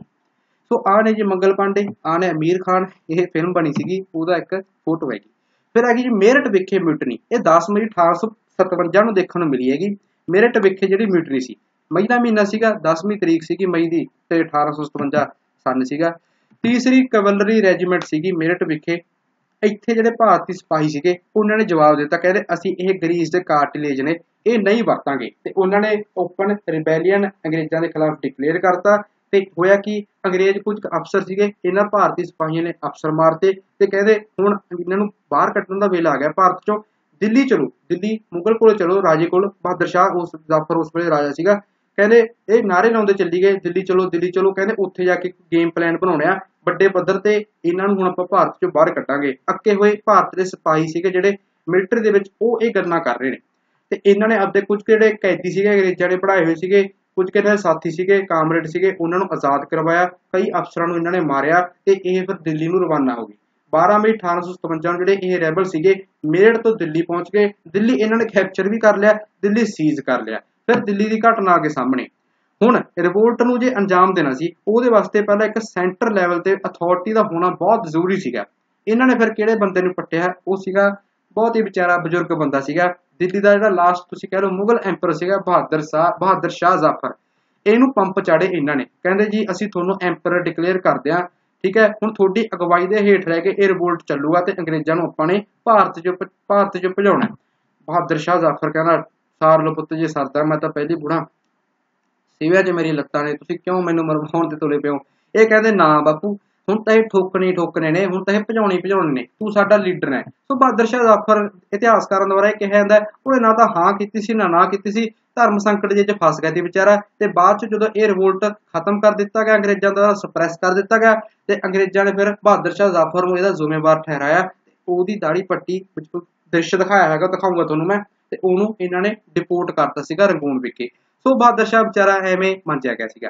ਸੋ ਦੇਖੋ, ਇੱਕ ਗੱਲ ਇੱਥੇ ਬਹੁਤ ਵਧੀਆ ਦੇਖ ਸਿੱਖਣ ਨੂੰ ਮਿਲਦੀ ਹੈ। ਮੁਗਲ ਡਾਇਨੈਸਟੀ ਹੀ ਕਿਉਂ ਚੁਣੀ ਗਈ ਬਹਾਦਰ ਸ਼ਾਹ ਜ਼ਾਫਰ ਨੂੰ ਹੀ ਇਹਨਾਂ ਨੇ ਲੋਕਾਂ ਨੇ, ਇਹ ਰੈਬਲ ਸੀਗੇ ਜਿਹੜੇ ਰੈਬਲ ਤਾਂ ਕਹਿਣਾ ਗਲਤ ਹੈ ਵੈਸੇ ਆਪਾਂ ਪਤਾ ਦੀ ਦੇਸ਼ ਦੀ ਆਜ਼ਾਦੀ ਦੀ ਹੀ ਗੱਲ ਕਰ ਰਿਹਾ ਇਹ ਜਿਹੜੇ ਲੋਕ ਸੀ ਨਾ ਇਹਨਾਂ ਨੇ ਬਹਾਦਰ ਸ਼ਾਹ ਜ਼ਾਫਰ ਨੂੰ ਹੀ ਕਿਉਂ ਚੁਣਿਆ ਵੀ ਤੂੰ ਸਾਡਾ ਰਾਜਾ ਬਣ ਤੇ ਤੈਨੂੰ ਅਸੀਂ ਮੁਗਲ ਐਮਪਰ ਡਿਕਲੇਅਰ ਕਰਦੇ ਤੇਰੀ ਅਗਵਾਈ ਹੇਠਾਂ ਹੀ ਅਸੀਂ ਇਹ ਰਿਵੋਲਟ ਨੂੰ ਅੰਜਾਮ ਦੇਵਾਂਗੇ। ਤਾਂ ਦੇਖੋ, ਇਹ ਉਸ ਵੇਲੇ ਇੱਕ ਤੁਸੀਂ ਕਹ ਲਓ ਟ੍ਰੈਡੀਸ਼ਨ ਹੀ ਸੀਗਾ। ਜਿਹੜੇ ਮੁਗਲ ਸੀ ਨਾ, ਬਹੁਤ ਸਮੇਂ ਤੋਂ ਭਾਰਤ ਨੂੰ ਰਾ ਭਾਰਤ ਉੱਪਰ ਰਾਜ ਕਰਦੇ ਆ ਰਹੇ ਸੀ। ਕਈ ਮੁਗਲ ਚੰਗੇ ਵੀ ਸੀਗੇ, ਲੋਕਾਂ ਦੀ ਨਿਗਾਹ ਦੇ ਵਿੱਚ ਉਹਨਾਂ ਦੇ ਲਈ ਇੱਜ਼ਤ ਵੀ ਬਹੁਤ ਸੀ। ਤਾਂ ਕਰਕੇ ਇੱਕ ਤਰ੍ਹਾਂ ਦਾ ਪੋਲੀਟੀਕਲ ਯੂਨਿਟੀ ਦਾ ਸਿੰਬਲ ਬਣ ਗਿਆ ਸੀ ਵੀ ਮੁਗਲ ਡਾਇਨੈਸਟੀ ਦਾ ਰਾਜਾ ਹੀ ਕੋਈ ਰੂਲ ਕਰੇ, ਨਾ ਕਿ ਇਹ ਅੰਗਰੇਜ਼। ਦੂਸਰਾ, ਕੋਈ ਉਸ ਵੇਲੇ ਲੋਕਾਂ ਨੇ ਇਹ ਨਹੀਂ ਦੇਖਿਆ ਵੀ ਇਹ ਮੁਸਲਮਾਨ ਹੈ, ਬਹਾਦਰ ਸ਼ਾਹ ਜ਼ਾਫਰ, ਅਸੀਂ ਇਹਨੂੰ ਕਿਉਂ ਗੱਦੀ ਤੇ ਬਿਠਾਈਏ? ਨਾ, ਉਹ ਕਹਿੰਦੇ ਸਾਡਾ ਇਸ ਵੇਲੇ ਇੱਕੋ ਦੁਸ਼ਮਣ ਹੈ, ਉਹ ਹੈ ਜੀ ਅੰਗਰੇਜ਼। ਸਾਡਾ ਸਾਰਿਆਂ ਦਾ ਕਾਮਨ ਦੁਸ਼ਮਣ ਅੰਗਰੇਜ਼ ਹੈ। ਇਹਨਾਂ ਨੂੰ ਅਸੀਂ ਭਾਰਤ ਚੋਂ ਬਾਹਰ ਕੱਢਣਾ ਤੇ ਇਹਦੇ ਲਈ ਅਸੀਂ ਇੱਕ ਲੀਡਰ ਦੀ ਅਗਵਾਈ ਹੇਠ ਰਹਾਂਗੇ। ਉਹ ਹੈ ਜੀ ਬਹਾਦਰ ਸ਼ਾਹ ਜ਼ਾਫਰ। ਇਹਨੂੰ ਅਸੀਂ ਐਮਪਰਰ ਆਫ ਇੰਡੀਆ ਪ੍ਰੋਕਲੇਮ ਕਰਦੇ ਹਾਂ। ਸੋ ਇਹ ਰਿਵੋਲਟ ਦੀ ਸ਼ੁਰੂਆਤ ਹੋ ਗਈ ਸੀ ਉਸ ਤੋਂ ਬਾਅਦ ਫਿਰ ਭਾਰਤ ਜਿਹੜਾ ਉੱਤਰ ਭਾਰਤ ਤੇ ਸੈਂਟਰਲ ਇੰਡੀਆ ਦੇ ਕਈ ਹਿੱਸੇ ਜਿਹੜੇ ਉੱਥੇ ਇਹ ਰਿਵੋਲਟ ਸਪਰੈਡ ਹੋ ਗਿਆ। ਜਿਵੇਂ ਕਿ ਲਖਨਊ, ਅਲਾਹਾਬਾਦ, ਕਾਨਪੁਰ, ਬਰੇਲੀ, ਬਨਾਰਸ, ਝਾਂਸੀ ਤੇ ਬਿਹਾਰ ਦੇ ਕੁਝ ਹਿੱਸੇ। ਇਹਨਾਂ ਸਾਰਿਆਂ ਬਾਰੇ ਹੁਣ ਕੱਲੇ-ਕੱਲੇ ਕਰਕੇ ਆਪਾਂ ਡਿਸਕਸ ਵੀ ਕਰਨਾ ਹੈਗਾ। ਸੋ ਇਹ ਰਿਵੋਲਟ ਦੀ ਫਿਰ ਸ਼ੁਰੂਆਤ ਹੋ ਜਾਂਦੀ ਹੈ। ਬਟ ਕੁਝ ਕੁ ਜਿਹੜੇ ਇੰਡੀਆ ਰੂਲਰ ਸੀਗੇ, ਖਾਸ ਕਰਕੇ ਰਿਆਸਤੀ ਸੂਬੇ ਪ੍ਰਿੰਸਲੀ ਸਟੇਟਾਂ ਦੇ ਰਾਜੇ ਸੀਗੇ, ਉਹਨਾਂ ਨੇ ਤੁਸੀਂ ਕਹਿ ਲਓ ਇਸ ਰਿਵੋਲਟ ਤੋਂ ਕੰਨੀ ਵੱਟ ਕੇ ਰੱਖੀ। ਜਿਹੜੇ ਐਜੂਕੇਟਡ ਇੰਡੀਅਨ ਸੀਗੇ, ਉਹਨਾਂ ਨੇ ਵੀ ਇਸ ਰਿਵੋਲਟ ਤੋਂ ਕੰਨੀ ਵੱਟੀ। ਕਾਹ ਤੋਂ ਵੱਟੀ? ਅੱਗੇ ਸਮਝਾਉਂਗਾ। ਹਲੇ ਆਪਾਂ ਇਸ ਚੀਜ਼ ਦੇ ਉੱਪਰ ਨਹੀਂ ਡਿਸਕਸ ਕਰਨਾ। ਫਿਰ ਜਿਹੜੇ ਸਿਵਿਲੀਅਨ ਪੋਪੂਲੇਸ਼ਨ ਸੀਗੀ, ਖਾਸ ਕਰਕੇ ਅਵਧ ਪ੍ਰੋਵਿੰਸ ਸੀ ਉਹਦਾ ਪਹਿਲੀ ਐਕਟਿਵ ਹੋਈ ਸੀ ਅੰਗਰੇਜ਼ਾਂ ਤੋਂ, ਕਿਉਂਕਿ ਉਹਨਾਂ ਦਾ ਰਾਜਾ ਸੀਗਾ ਵਾਜਿਦ ਅਲੀ, ਉਹਨੂੰ ਮਿਸ ਗਵਰਨਰਸ ਦਾ ਟੈਗ ਲਾ ਕੇ ਰਿਮੂਵ ਕਰਤਾ। ਉਹਨਾਂ ਨੇ ਵੀ ਇਸ ਪੋਈ ਮਟੀਨੀ ਦੇ ਵਿੱਚ ਅੰਗਰੇਜ਼ਾਂ ਦੇ ਖਿਲਾਫ ਹਿੱਸਾ ਲਿੱਤਾ। ਇਹ ਜਿਹੜੇ ਕਿਸਾਨ ਭਾਈ ਸੀਗੇ ਆਪਣੇ ਤੇ ਛੋਟੇ ਜ਼ਮੀਂਦਾਰ ਸੀ। ਇੱਥੇ ਗੱਲ ਧਿਆਨ ਨਾਲ ਸੁਣੋ, ਸਾਰੇ ਜ਼ਮੀਂਦਾਰ ਨੇ ਕੁਝ ਕੁ ਛੋਟੇ ਜ਼ਮੀਂਦਾਰ ਤੇ ਕਿਸਾਨ ਭਾਈ, ਇਹਨਾਂ ਨੇ ਵੀ ਅੰਗਰੇਜ਼ਾਂ ਦੇ ਖਿਲਾਫ ਵਿਦਰੋਹ ਛੇੜਤਾ ਆਪਦੇ ਪੱਧਰ ਤੇ। ਇਹਨਾਂ ਨੇ ਕੀ ਵਿਦਰੋਹ ਛੇੜਨਾ ਸੀ? ਇਹਨਾਂ ਨੇ ਜਿਹੜੇ ਮਨੀ ਲੈਂਡਰ ਸੀਗੇ, ਉਹਨਾਂ ਦੇ ਜਿਹੜੇ ਬਹੀ ਖਾਤੇ ਹੁੰਦੇ ਸੀਗਾ ਅਕਾਊਂਟ ਬੁੱਕ ਸੀਗੇ, ਉਹ ਤਬਾਹ ਕਰਤੀਆਂ ਵੀ ਸਾਡੇ ਜਿਹੜੇ ਕਰਜ਼ੇ ਸਿਰ ਤੇ ਚੜੇ ਹੋਏ ਨੇ, ਹੋਰ ਨਹੀਂ, ਉਹਨਾਂ ਨੂੰ ਫੂਕਤਾ ਦਿਓ ਤਾਂ ਕਿ ਅਸੀਂ ਕਰਜ਼ਾ ਮੁਕਤ ਹੋ ਜਾਈਏ। ਸੋ ਆਹ ਸਾਰਾ ਸੀਗਾ ਸੈਂਟਰ ਜਿਹੜੇ ਏਰੀਆ ਦੇ ਵਿੱਚ ਇਹ ਰਿਵੋਲਟ ਆਪਾਂ ਨੂੰ ਦੇਖਣ ਨੂੰ ਮਿਲਿਆ, ਸੋ ਉੱਤਰ ਭਾਰਤ ਤੇ ਸੈਂਟਰ ਇੰਡੀਆ ਦਾ ਜਿਹੜਾ ਕੁਝ ਮਤਲਬ ਹਿੱਸਾ ਸੀਗਾ, ਕਾਫੀ ਹਿੱਸਾ, ਉੱਥੇ ਇਹ ਰਿਵੋਲਟ ਜ਼ਿਆਦਾਤਰ ਕਨਸੈਂਟਰੇਟਡ ਸੀ। ਵੈਸੇ ਤਾਂ ਭਾਰਤ ਦੇ ਹੋਰ ਵੀ ਕਈ ਛੋਟੇ ਛੋਟੇ ਹਿੱਸਿਆਂ ਦੇ ਵਿੱਚ ਦੇਖਣ ਨੂੰ ਮਿਲਿਆ। ਤੁਹਾਨੂੰ ਮੈਂ ਅੱਗੇ ਦਿਖਾਉਂਗਾ ਵੀ ਵੀ ਕਿੱਥੇ ਕਿੱਥੇ ਛੋਟੀ ਛੋਟੀ ਇਹ ਮਿਊਟਨੀ ਹੋਈ ਹੈ। ਪਰ ਜਿਹੜਾ ਮੇਨ ਸੈਂਟਰ ਆਫ ਤੁਸੀਂ ਕਹਿ ਲਓ, ਜਿਹੜਾ ਮੇਨ ਸੈਂਟਰ ਸੀਗਾ, ਜਿਹੜਾ ਮੇਨ ਰੀਜਨ ਸੀਗਾ, ਇਸ ਰਿਵੋਲਟ ਦਾ ਉਹ ਆ ਸੀਗਾ, ਨਰਦਨ ਤੇ ਸੈਂਟਰ ਇੰਡੀਆ। ਇਹਦੇ ਆ ਹਿੱਸਿਆਂ ਦੇ ਵਿੱਚ ਦੇਖਣ ਨੂੰ ਮਿਲਿਆ, ਜਿਵੇਂ ਕਿ ਅਰਰਾ, ਬਿਹਾਰ ਦਾ ਹਿੱਸਾ, ਲਖਨਊ, ਕਾਨਪੁਰ ਗਵਾਲੀਅਰ, ਮੱਧ ਪ੍ਰਦੇਸ਼ ਦਾ ਹਿੱਸਾ ਹੈਗਾ, ਠੀਕ ਹੈ ਸਾਰੇ ਇਹ ਇਕੱਲੇ ਇਕੱਲੇ ਰਿਵੋਲਟ ਵਾਲੇ ਹੜੇ ਨੇ ਹੁਣ ਅੱਗੇ ਡਿਸਕਸ ਕਰਨਾ ਵੀ ਕਿੱਥੇ ਕਿੱਥੇ ਕਿਵੇਂ ਕਿਹੜੇ ਕਿਹੜੇ ਬੰਦੇ ਨੇ ਕਿੱਥੇ ਕਿੱਥੇ ਆਪਦੀ ਦੀ ਜਗ੍ਹਾ ਤੇ ਇਸ ਰਿਵੋਲਟ ਨੂੰ ਅੰਜਾਮ ਦਿੱਤਾ। ਸੋ ਮੈਪ ਦੇ ਵਿੱਚ ਇਹ ਦੇਖਣਾ ਤਾਂ ਬਹੁਤ ਜ਼ਰੂਰੀ ਸੀਗਾ ਵੀ main centre of revolt Bharat ਦਾ ਕਿਹੜਾ ਹਿੱਸਾ ਸੀਗਾ। ਸੋ ਸਾਰੇ ਭਾਰਤ ਦੇ ਵਿੱਚ ਰਿਵੋਲਟ ਦੇਖਣ ਨੂੰ ਨਹੀਂ ਮਿਲਿਆ, ਇਹੀ ਤਾਂ ਕਮੀ ਰਹਿ ਗਈ। ਜੇ ਸਾਰੇ ਭਾਰਤ ਦੇ ਵਿੱਚ ਰਿਵੋਲਟ ਹੁੰਦਾ, ਤਾਂ ਅੰਗਰੇਜ਼ ਪੱਕਾ ਭਾਰਤ ਚੋਂ ਬਾਹਰ ਜਾਂਦੇ। ਬਟ ਸਾਰੇ ਭਾਰਤ 'ਚ ਨਹੀਂ ਸੀਗਾ, ਸਿਰਫ ਕੁਝ ਕੁ ਹਿੱਸੇ ਦੇ ਵਿੱਚ ਹੀ ਇਹ ਰਿਵੋਲਟ ਸੀਮਿਤ ਰਿਹਾ ਸੀ। ਤੇ ਆ ਉਹ ਮੇਨ ਹਿੱਸੇ ਨੇ ਜੀ, ਜਿਨ੍ਹਾਂ ਬਾਰੇ ਪੜ੍ਹਨਾ ਬਹੁਤ ਜ਼ਰੂਰੀ ਹੈਗਾ ਕਿੱਥੇ ਕਿੱਥੇ ਇਹ ਰਿਵੋਲਟ ਦੇਖਣ ਨੂੰ ਮਿਲਿਆ। ਸੋ ਆਹ ਸਲਾਈਡ ਦੇ ਵਿੱਚ ਜੋ ਤੁਸੀਂ ਬੰਦਿਆਂ ਦੇ ਨਾਮ ਦੇਖ ਰਹੇ ਹੋ, ਇਹਨਾਂ ਬਾਰੇ ਤੁਹਾਨੂੰ ਮਿਰਜ਼ਾ ਵਾਲਾ ਰੱਟਾ ਲੱਗਿਆ ਹੋਣਾ ਚਾਹੀਦਾ, ਇੱਥੋਂ ਕੁਐਸਚਨ ਬਣਦੇ ਨੇ। ਦਿੱਲੀ ਦਿੱਲੀ ਦੇ ਵਿੱਚ ਅੰਗਰੇਜ਼ਾਂ ਦੇ ਖਿਲਾਫ ਬਗਾਵਤ ਨੂੰ ਕੌਣ ਲੀਡ ਕਰ ਰਿਹਾ ਸੀ? ਉਸ ਬੰਦੇ ਦਾ ਨਾਮ ਸੀਗਾ ਬਖਤ ਖਾਨ। ਬਖਤ ਖਾਨ ਤੇ ਇੱਥੇ ਦਿੱਲੀ ਦੇ ਵਿੱਚ ਅੰਗਰੇਜ਼ ਕੌਣ ਸੀਗਾ ਜਿਹੜੇ ਇਹਨਾਂ ਨੂੰ ਹਰਾਉਣ ਪਹੁੰਚੇ? ਇੱਕ ਤਾਂ ਸੀਗਾ ਜੌਨ ਨਿਕਲਸਨ ਤੇ ਦੂਸਰੇ ਸੀਗੇ ਹਡਸਨ ਸਾਹਿਬ। ਫਿਰ ਕਾਨਪੁਰ ਵਿਖੇ ਨਾਨਾ ਸਾਹਿਬ ਪੇਸ਼ਵਾ ਹੁੰਦੇ ਸੀਗੇ, ਇਹਨਾਂ ਦਾ ਇਤਿਹਾਸ ਲੱਗੇ ਪੜਨਾ ਫਿਰ ਤਾਂਤਿਆ ਤੋਪੇ, ਇਹਨਾਂ ਨੇ ਕਾਨਪੁਰ ਵਿਖੇ ਵੀ ਲੜਾਈ ਲੜੀ ਸੀਗੀ ਤਾਂਤਿਆ ਤੋਪੇ ਨੇ ਤੇ ਗਵਾਲੀਅਰ ਵਿਖੇ ਵੀ ਲੜੀ ਸੀ। ਸੋ ਇਹ ਕਾਨਪੁਰ ਵਿਖੇ ਸੀ ਤੇ ਇਧਰੋਂ ਬ੍ਰਿਟਿਸ਼ਰ ਕਿਹੜੇ ਸੀਗੇ? Hugh Wheeler, Havelock, Colin Campbell ਬੜੇ ਇੰਪੋਰਟੈਂਟ ਨਾਮ ਨੇਗੇ, ਪੇਪਰ ਸਿੱਧੇ ਪੁੱਛੇ ਜਾਣਗੇ ਵੀ ਕਿਹੜੇ ਬ੍ਰਿਟਿਸ਼ਰ ਸੀਗੇ ਜਿਨ੍ਹਾਂ ਨੇ ਕਾਨਪੁਰ ਨੂੰ ਆ ਕੇ ਸਥਿਤੀ ਕਾਬੂ ਕਰੀ ਸੀ। ਸੋ ਆਹ ਬੰਦੇ ਸੀਗੇ। ਫਿਰ ਲਖਨਊ ਵਿਖੇ ਬੇਗਮ ਹਜ਼ਰਤ ਮਹਿਲ ਹੁੰਦੇ ਸੀ। ਝਾਂਸੀ ਵਿਖੇ ਰਾਣੀ ਲక్ష్ਮੀ ਬਾਈ, ਬਰੇਲੀ ਵਿਖੇ ਖਾਨ ਬਹਾਦਰ, ਅਰਰਾ, ਬਿਹਾਰ ਦਾ ਰੀਜਨ ਸੀ। ਉੱਥੇ ਕਨਵਰ ਸਿੰਘ ਨੇ ਰਿਵੋਲਟ ਨੂੰ ਲੀਡ ਕੀਤਾ ਸੀਗਾ। ਫੈਜ਼ਾਬਾਦ ਯੂਪੀ ਦਾ ਏਰੀਆ ਇੱਥੇ ਮੌਲਵੀ ਅਹਿਮਦੁੱਲਾ ਸਾਹਿਬ ਹੁੰਦਾ ਸੀ। ਬਗਪਤ ਯੂਪੀ ਦਾ ਏਰੀਆ ਇੱਥੇ ਸ਼ਾਹ ਮੱਲ ਸੀ। ਸੋ ਇਹ ਤਾਂ ਕਾਫੀ ਇੰਪੋਰਟੈਂਟ ਜਗ੍ਹਾਵਾਂ ਸੀ ਇਹਦੇ ਬਾਰੇ ਤੁਹਾਨੂੰ ਪਤਾ ਹੋਣਾ ਚਾਹੀਦਾ। ਇਸ ਤਰ੍ਹਾਂ ਕਈ ਹੋਰ ਥਾਵਾਂ ਦੇ ਉੱਪਰ ਵੀ ਰਿਵੋਲਟ ਦੇਖਣ ਨੂੰ ਮਿਲਦਾ ਹੈ। ਉਹ ਉਹ ਨੂੰ ਕਿਹੜੇ ਕਿਹੜੇ ਬੰਦਿਆਂ ਨੇ ਲੀਡ ਕੀਤਾ, ਉਹਦੇ ਬਾਰੇ ਵੀ ਪੜ੍ਹ ਲਓ। ਮਥੁਰਾ ਵਿਖੇ ਦੇਵੀ ਸਿੰਘ ਨੇ, ਮੇਰਠ ਯੂਪੀ ਦਾ ਹਿੱਸਾ ਸੀ, ਇੱਥੇ ਕਦਮ ਸਿੰਘ ਨਾਮ ਦਾ ਬੰਦਾ ਸੀ। ਅਲਾਹਾਬਾਦ ਵਿਖੇ ਮੌਲਵੀ ਲਿਆਕਤ ਅਲੀ ਖਾਨ ਸੀਗੇ। ਹਰਿਆਣਾ 'ਚ ਵੀ ਹੋਇਆ ਸੀ ਛੋਟਾ ਜਿਹਾ ਸਕਰਮਿਸ਼ ਉੱਥੇ ਰਾਓ ਤੋਲਾਰਾਮ ਸੀ। ਸੰਬਲਪੁਰ, ਉੜੀਸਾ ਦਾ ਇੱਥੇ ਵੀ ਦੇਖਣ ਨੂੰ ਮਿਲਿਆ ਸੀਗਾ। ਵੀਰ ਸੁਰਿੰਦਰ ਸਾਈ ਨੇ ਇਹਨੂੰ ਲੀਡ ਕੀਤਾ ਸੀ। ਇਹ ਪੁੱਛਿਆ ਜਾ ਸਕਦਾ ਤੁਹਾਡੇ ਤੋਂ, ਕਿਉਂਕਿ ਵੀਰ ਸੁਰਿੰਦਰ ਸਾਈ ਜੀ ਦੇ ਨਾਮ ਦੇ ਉੱਤੇ ਉੜੀਸਾ ਦਾ ਜਿਹੜਾ ਝਾਰਸੂਗੂੜਾ 에ਅਰਪੋਰਟ ਹੈ, ਉਹਦਾ ਨਾਮ ਹੁਣ ਤੋਂ ਵੀਰ ਸੁਰਿੰਦਰ ਸਾਈ 에ਅਰਪੋਰਟ ਰੱਖ ਦਿੱਤਾ ਗਿਆ ਪਿੱਛੇ ਜੇ ਖਬਰਾਂ 'ਚ ਸੀਗੇ ਇਹ। ਫਿਰ 17 ਮਹਾਰਾਸ਼ਟਰ ਵਿਖੇ ਰੰਗੋ ਬਾਪੂ ਜੀ ਗੁਪਤੇ ਨੇ ਲੀਡ ਕੀਤਾ ਸੀਗਾ, ਕੁਝ ਹਿੱਸੇ ਵਿਖੇ ਫਿਰ ਕਰਨਾਟਕਾ 'ਚ ਮੌਲਵੀ ਸੈਯਦ ਐਲੁਦੀਨ ਤੇ ਆ ਜਿਹੜੀਆਂ ਬਾਕੀ ਹਿੱਸੇ ਨੇ ਭਾਰਤ ਦੇ ਕੁਝ ਕੁਝ ਕਥਾਵਾਂ ਤੇ ਉਹ ਇੱਥੇ ਦੇਖਣ ਨੂੰ ਮਿਲਿਆ। ਬਟ ਜਿਹੜਾ ਮੇਨ ਤੁਹਾਨੂੰ ਪਿੱਛੇ ਮੈਪ ਦਿਖਾਇਆ ਹੈਗਾ ਉਹ ਆ ਬੰਦਿਆਂ ਨੇ ਲੀਡ ਕੀਤਾ ਸੀਗਾ ਆ ਸਾਰੇ ਰੀਜਨ ਦੇ ਵਿੱਚ ਰਿਵੋਲਟ ਨੂੰ ਆ ਬੰਦਿਆਂ ਨੇ ਲੀਡ ਕੀਤਾ ਸੀ। ਇਹਨਾਂ ਨੇ ਕਿਵੇਂ ਕਿਵੇਂ ਰਿਵੋਲਟ ਨੂੰ ਜਾਣ ਦਿੱਤਾ, ਹੁਣ ਉਹਦੇ ਬਾਰੇ ਪੜ੍ਹਦੇ ਹਾਂ। ਸੋ ਮਿਊਟਨੀ ਸਪਰੈਡ ਹੋ ਗਈ ਜੀ, ਆਪਾਂ ਹੁਣ ਪੜ੍ਹ ਲਿਆ। ਲਾਰਡ ਕੈਨਿੰਗ ਸਾਹਿਬ ਭਾਰਤ ਦੇ ਵਾਈਸ ਰਹਿੰਦੇ ਸੀ। ਹੋਇਆ ਕਿ? ਇਹਨਾਂ ਨੂੰ ਪਤਾ ਲੱਗ ਗਿਆ ਵੀ ਭਾਈ ਹੁਣ ਸਾਡੇ ਖਿਲਾਫ ਬਗਾਵਤ ਸ਼ੁਰੂ ਹੋ ਗਈ। ਕੈਨਿੰਗ ਸਾਹਿਬ ਨੇ ਫਿਰ ਫਟਾਫਟ ਕੀ ਕੀਤਾ? 43ਵੀਂ ਕੁਈਨ ਰੈਜੀਮੈਂਟ ਸੀਗੀ ਤੇ ਪਹਿਲੀ ਮਦਰਾਸ ਫੁਸਲੈਰ ਸੀਗੇ। ਇਹਨਾਂ ਨੂੰ ਭਾਈ ਸਨੇਹਾ ਲਾਤਾ ਵੀ ਕਲਕੱਤੇ ਛੇਤੀ ਛੇਤੀ ਪਹੁੰਚ ਰਿਵੋਲਟ ਆਪਾਂ ਨੇ ਸਪਰੈਸ ਕਰਨਾ ਉਸ ਤੋਂ ਬਾਅਦ ਲਾਰਡ ਕੈਨਿੰਗ ਨੇ ਬੰਬੇ ਵਿਖੇ ਜਿਹੜਾ ਗਵਰਨਰ ਹੁੰਦਾ ਸੀਗਾ ਈਸਟ ਇੰਡੀਆ ਕੰਪਨੀ ਦਾ, ਉਹਦਾ ਨਾਮ ਸੀਗਾ ਲਾਰਡ ਐਲਫਿਨਸਟੋਨ ਇਹਨੂੰ ਕਿਹਾ ਵੀ ਛੋਟੇ ਭਾਈ ਲੋੜ ਪੈ ਗਈ ਸਿਪਾਹੀਆਂ ਦੀ, ਛੇਤੀ ਛੇਤੀ ਆਪਦੀ ਜਿਹੜੀ ਫੌਜ ਹੈਗੀ ਉਹ ਭੇਜ। ਸੋ ਟੈਲੀਗ੍ਰਾਫ ਕੀਤਾ। ਆ ਟੈਲੀਗ੍ਰਾਫ ਕੀ ਚੀਜ਼ ਹੈ? ਇਲੈਕਟ੍ਰਿਕ ਟੈਲੀਗ੍ਰਾਫ ਕੀ ਚੀਜ਼ ਹੈ? ਬੜੀ ਘੈਂਟ ਇਹਨਾਂ ਕੋਲ ਟੈਕਨੋਲੋਜੀ ਹੁੰਦੀ ਸੀ ਅੰਗਰੇਜ਼ਾਂ ਕੋਲ। ਇਹ point to point text message ਦੇ ਲਈ ਇਹ ਚੀਜ਼ ਵਰਤੀ ਜਾਂਦੀ ਸੀ। ਇਹੀ ਬਹੁਤ ਵੱਡਾ ਕਾਰਨ ਰਿਹਾ ਸੀਗਾ ਇਸ ਰਿਵੋਲਟ ਦੇ ਵਿੱਚ ਅੰਗਰੇਜ਼ਾਂ ਨੂੰ ਲੀਡ ਦਿਵਾਉਣ ਦੇ ਵਿੱਚ। ਕਿਵੇਂ? ਅੱਗੇ ਤੁਹਾਨੂੰ ਸਮਝਾਉਂਗਾ। ਸੋ ਇਹ ਦੇਖ ਲਓ ਵੀ ਇਲੈਕਟ੍ਰਿਕ ਟੈਲੀਗ੍ਰਾਮ ਇਹ ਜਾਂਦਾ ਹੈਗਾ। ਸੋ ਇੱਥੋਂ ਇਹ ਮੈਸੇਜ ਵਗੈਰਾ ਇੱਕ ਦੂਜੇ ਨੂੰ ਸੈੱਟ ਕਰਦੇ ਸੀਗੇ। ਸੋ ਕੈਨਿਕ ਸਾਹਿਬ ਨੇ ਕਿਹਾ, ਇਸ ਟੈਲੀਗ੍ਰਾਮ ਦੀ ਮਦਦ ਦੇ ਨਾਲ ਵੱਖ-ਵੱਖ ਥਾਵਾਂ ਤੋਂ ਨੇ ਫੌਜ ਸੱਦ ਲਈ। ਜਿਵੇਂ ਕਿ ਬਰਮਾ ਤੋਂ ਵੀ ਬੁਲਾ ਲਈ ਨੇ ਫੌਜ। ਇਸ ਵੇਲੇ ਢਲੋਜੀ ਸਾਹਿਬ ਸੈਕੰਡ ਐਂਗਲੋ ਬਰਮੀਜ਼ ਵਾਰ ਨੂੰ ਅੰਜਾਮ ਦੇ ਚੁੱਕੇ ਸੀਗੇ। ਬਰਮਾ ਦੇ ਵਿੱਚ ਅੰਗਰੇਜ਼ਾਂ ਦੀ ਜਿਹੜੀ ਫੌਜ ਸੀਗੀ ਤਾਇਨਾਤ ਸੀਗੀ। ਲੋਅਰ ਬਰਮਾ ਇਹਨਾਂ ਨੇ ਨੈਕਸਟ ਕਰ ਚੁੱਕਿਆ ਸੀਗੇ। ਸੋ ਉਹ ਫੌਜ ਦੇ ਕੁਝ ਕੁ ਟੁਕੜੀ ਨੂੰ ਵਾਪਸ ਬੁਲਾਇਆ ਬਰਮਾ ਚੋਂ, ਇੱਥੇ ਰਿਵੋਲਟ ਨੂੰ ਸਪਰੈਸ ਕਰਨ ਦੇ ਲਈ। 16 ਮਈ 1857 ਨੂੰ ਕੀ ਹੋਇਆ? 50 ਯੂਰੋਪੀਅਨ ਸੀਗੇ, ਦਿੱਲੀ ਵਿਖੇ ਉਹ ਕਰ ਰਹੇ ਸੀਗੇ ਤੇ ਉਹਨਾਂ ਨੂੰ ਮਾਰ ਦਿੱਤਾ ਗਿਆ ਭੀੜ, ਯਾਨੀ ਕਿ ਕਰਾਊਡ ਦੁਆਰਾ, ਜਿਹੜੇ ਕਿ ਇਹ ਰਿਵੋਲਟ ਨੂੰ ਅੰਜਾਮ ਦੇ ਰਹੇ ਸੀਗੇ ਉਹਨਾਂ ਦੁਆਰਾ। 16 ਮਈ ਨੂੰ ਹੀ ਲਾਰਡ ਕੈਨਿੰਗ ਸਾਹਿਬ ਨੇ ਫਿਰ ਲਾਰਡ ਐਲਕਿੰਗ ਜੋ ਕਿ ਸਿੰਗਾਪੁਰ ਵਿਖੇ ਹੁੰਦੇ ਸੀ ਲਾਰਡ ਕੈਨਿੰਗ ਤੋਂ ਬਾਅਦ ਅਗਲੇ ਵਾਇਸਰਾਏ ਬਣਨ ਵਾਲੇ ਨੇਗੇ। ਇਹਨਾਂ ਨੂੰ ਚਿੱਠੀ ਭੇਜੀ। ਇਹਨਾਂ ਨੂੰ ਕਿਹਾ ਵੀ ਭਾਈ ਕਲਕੱਤਾ 'ਚ ਤੁਹਾਡੇ ਸਿਪਾਹੀ ਦੇ ਟੁਕੜੀਆਂ ਚਾਹੀਦੀਆਂ, ਛੇਤੀ ਭੇਜੋ। ਫਿਰ ਇਹ ਰਿਬੈਲੀਅਨ ਹੌਲੀ ਹੌਲੀ ਭਾਰਤ ਦੇ ਜਿਹੜੇ ਹਿੱਸੇ ਸੀਗੇ, ਉਹਨਾਂ 'ਚ ਦੇਖਣ ਮਿਲੀ। ਬਟ ਲਾਰਡ ਕੈਨਿੰਗ ਨੇ ਜਿੰਨਾ ਜ਼ੋਰ ਸੀਗਾ ਲਾਇਆ ਸਿਪਾਹੀਆਂ ਨੂੰ ਬੁਲਾਉਣ ਦੇ ਲਈ, ਇਸ ਰਿਵੋਲਟ ਨੂੰ ਸਪਰੈਸ ਕਰਨ ਦੇ ਲਈ। ਹੁਣ ਦੇਖੀਏ ਕਿਹੜੇ ਕਿਹੜੇ ਮੇਨ ਸੈਂਟਰ ਸੀਗੇ ਇਸ ਰਿਵੋਲਟ ਦੇ। ਸਭ ਤੋਂ ਪਹਿਲਾਂ ਦਿੱਲੀ ਦੀ ਗੱਲ ਕਰਦੇ ਦਿੱਲੀ ਦੇ ਵਿੱਚ ਦੇਖੋ ਬੈਸਟਾ emperor Bahadur Shah Zafar main leader ਸੀਗੇ ਇਸ ਰਿਵੋਲਟ ਦੇ ਤੇ ਅੰਗਰੇਜ਼ਾਂ ਨੇ ਰਿਵੋਲਟ ਨੂੰ ਸਪਰੈਸ ਕਰਨ ਤੋਂ ਬਾਅਦ ਬਹਾਦਰ ਸ਼ਾਹ ਜ਼ਾਫਰ ਨੂੰ ਹੀ ਜ਼ਿੰਮੇਵਾਰ ਠਹਿਰਾਇਆ ਸੀਗਾ ਇਸ ਰਿਵੋਲਟ ਦਾ। ਬਟ ਇਸ ਰਿਵੋਲਟ ਨੂੰ ਦਿੱਲੀ ਚੋਂ ਲੀਡ ਕੌਣ ਕਰ ਰਿਹਾ ਸੀ? ਉਸ ਬੰਦੇ ਦਾ ਨਾਮ ਸੀਗਾ ਬਖਤ ਖਾਨ। ਬਖਤ ਖਾਨ ਨਾਮ ਦਾ ਬੰਦਾ ਲੀਡ ਕਰ ਰਿਹਾ ਸੀ। ਸਤੰਬਰ 1857 ਦੇ ਵਿੱਚ ਦਿੱਲੀ ਨੂੰ ਤਾਂ ਦੇਖੋ ਰੀਕੈਪਚਰ ਕਰ ਲਿੱਤਾ ਗਿਆ ਅੰਗਰੇਜ਼ਾਂ ਦੁਆਰਾ।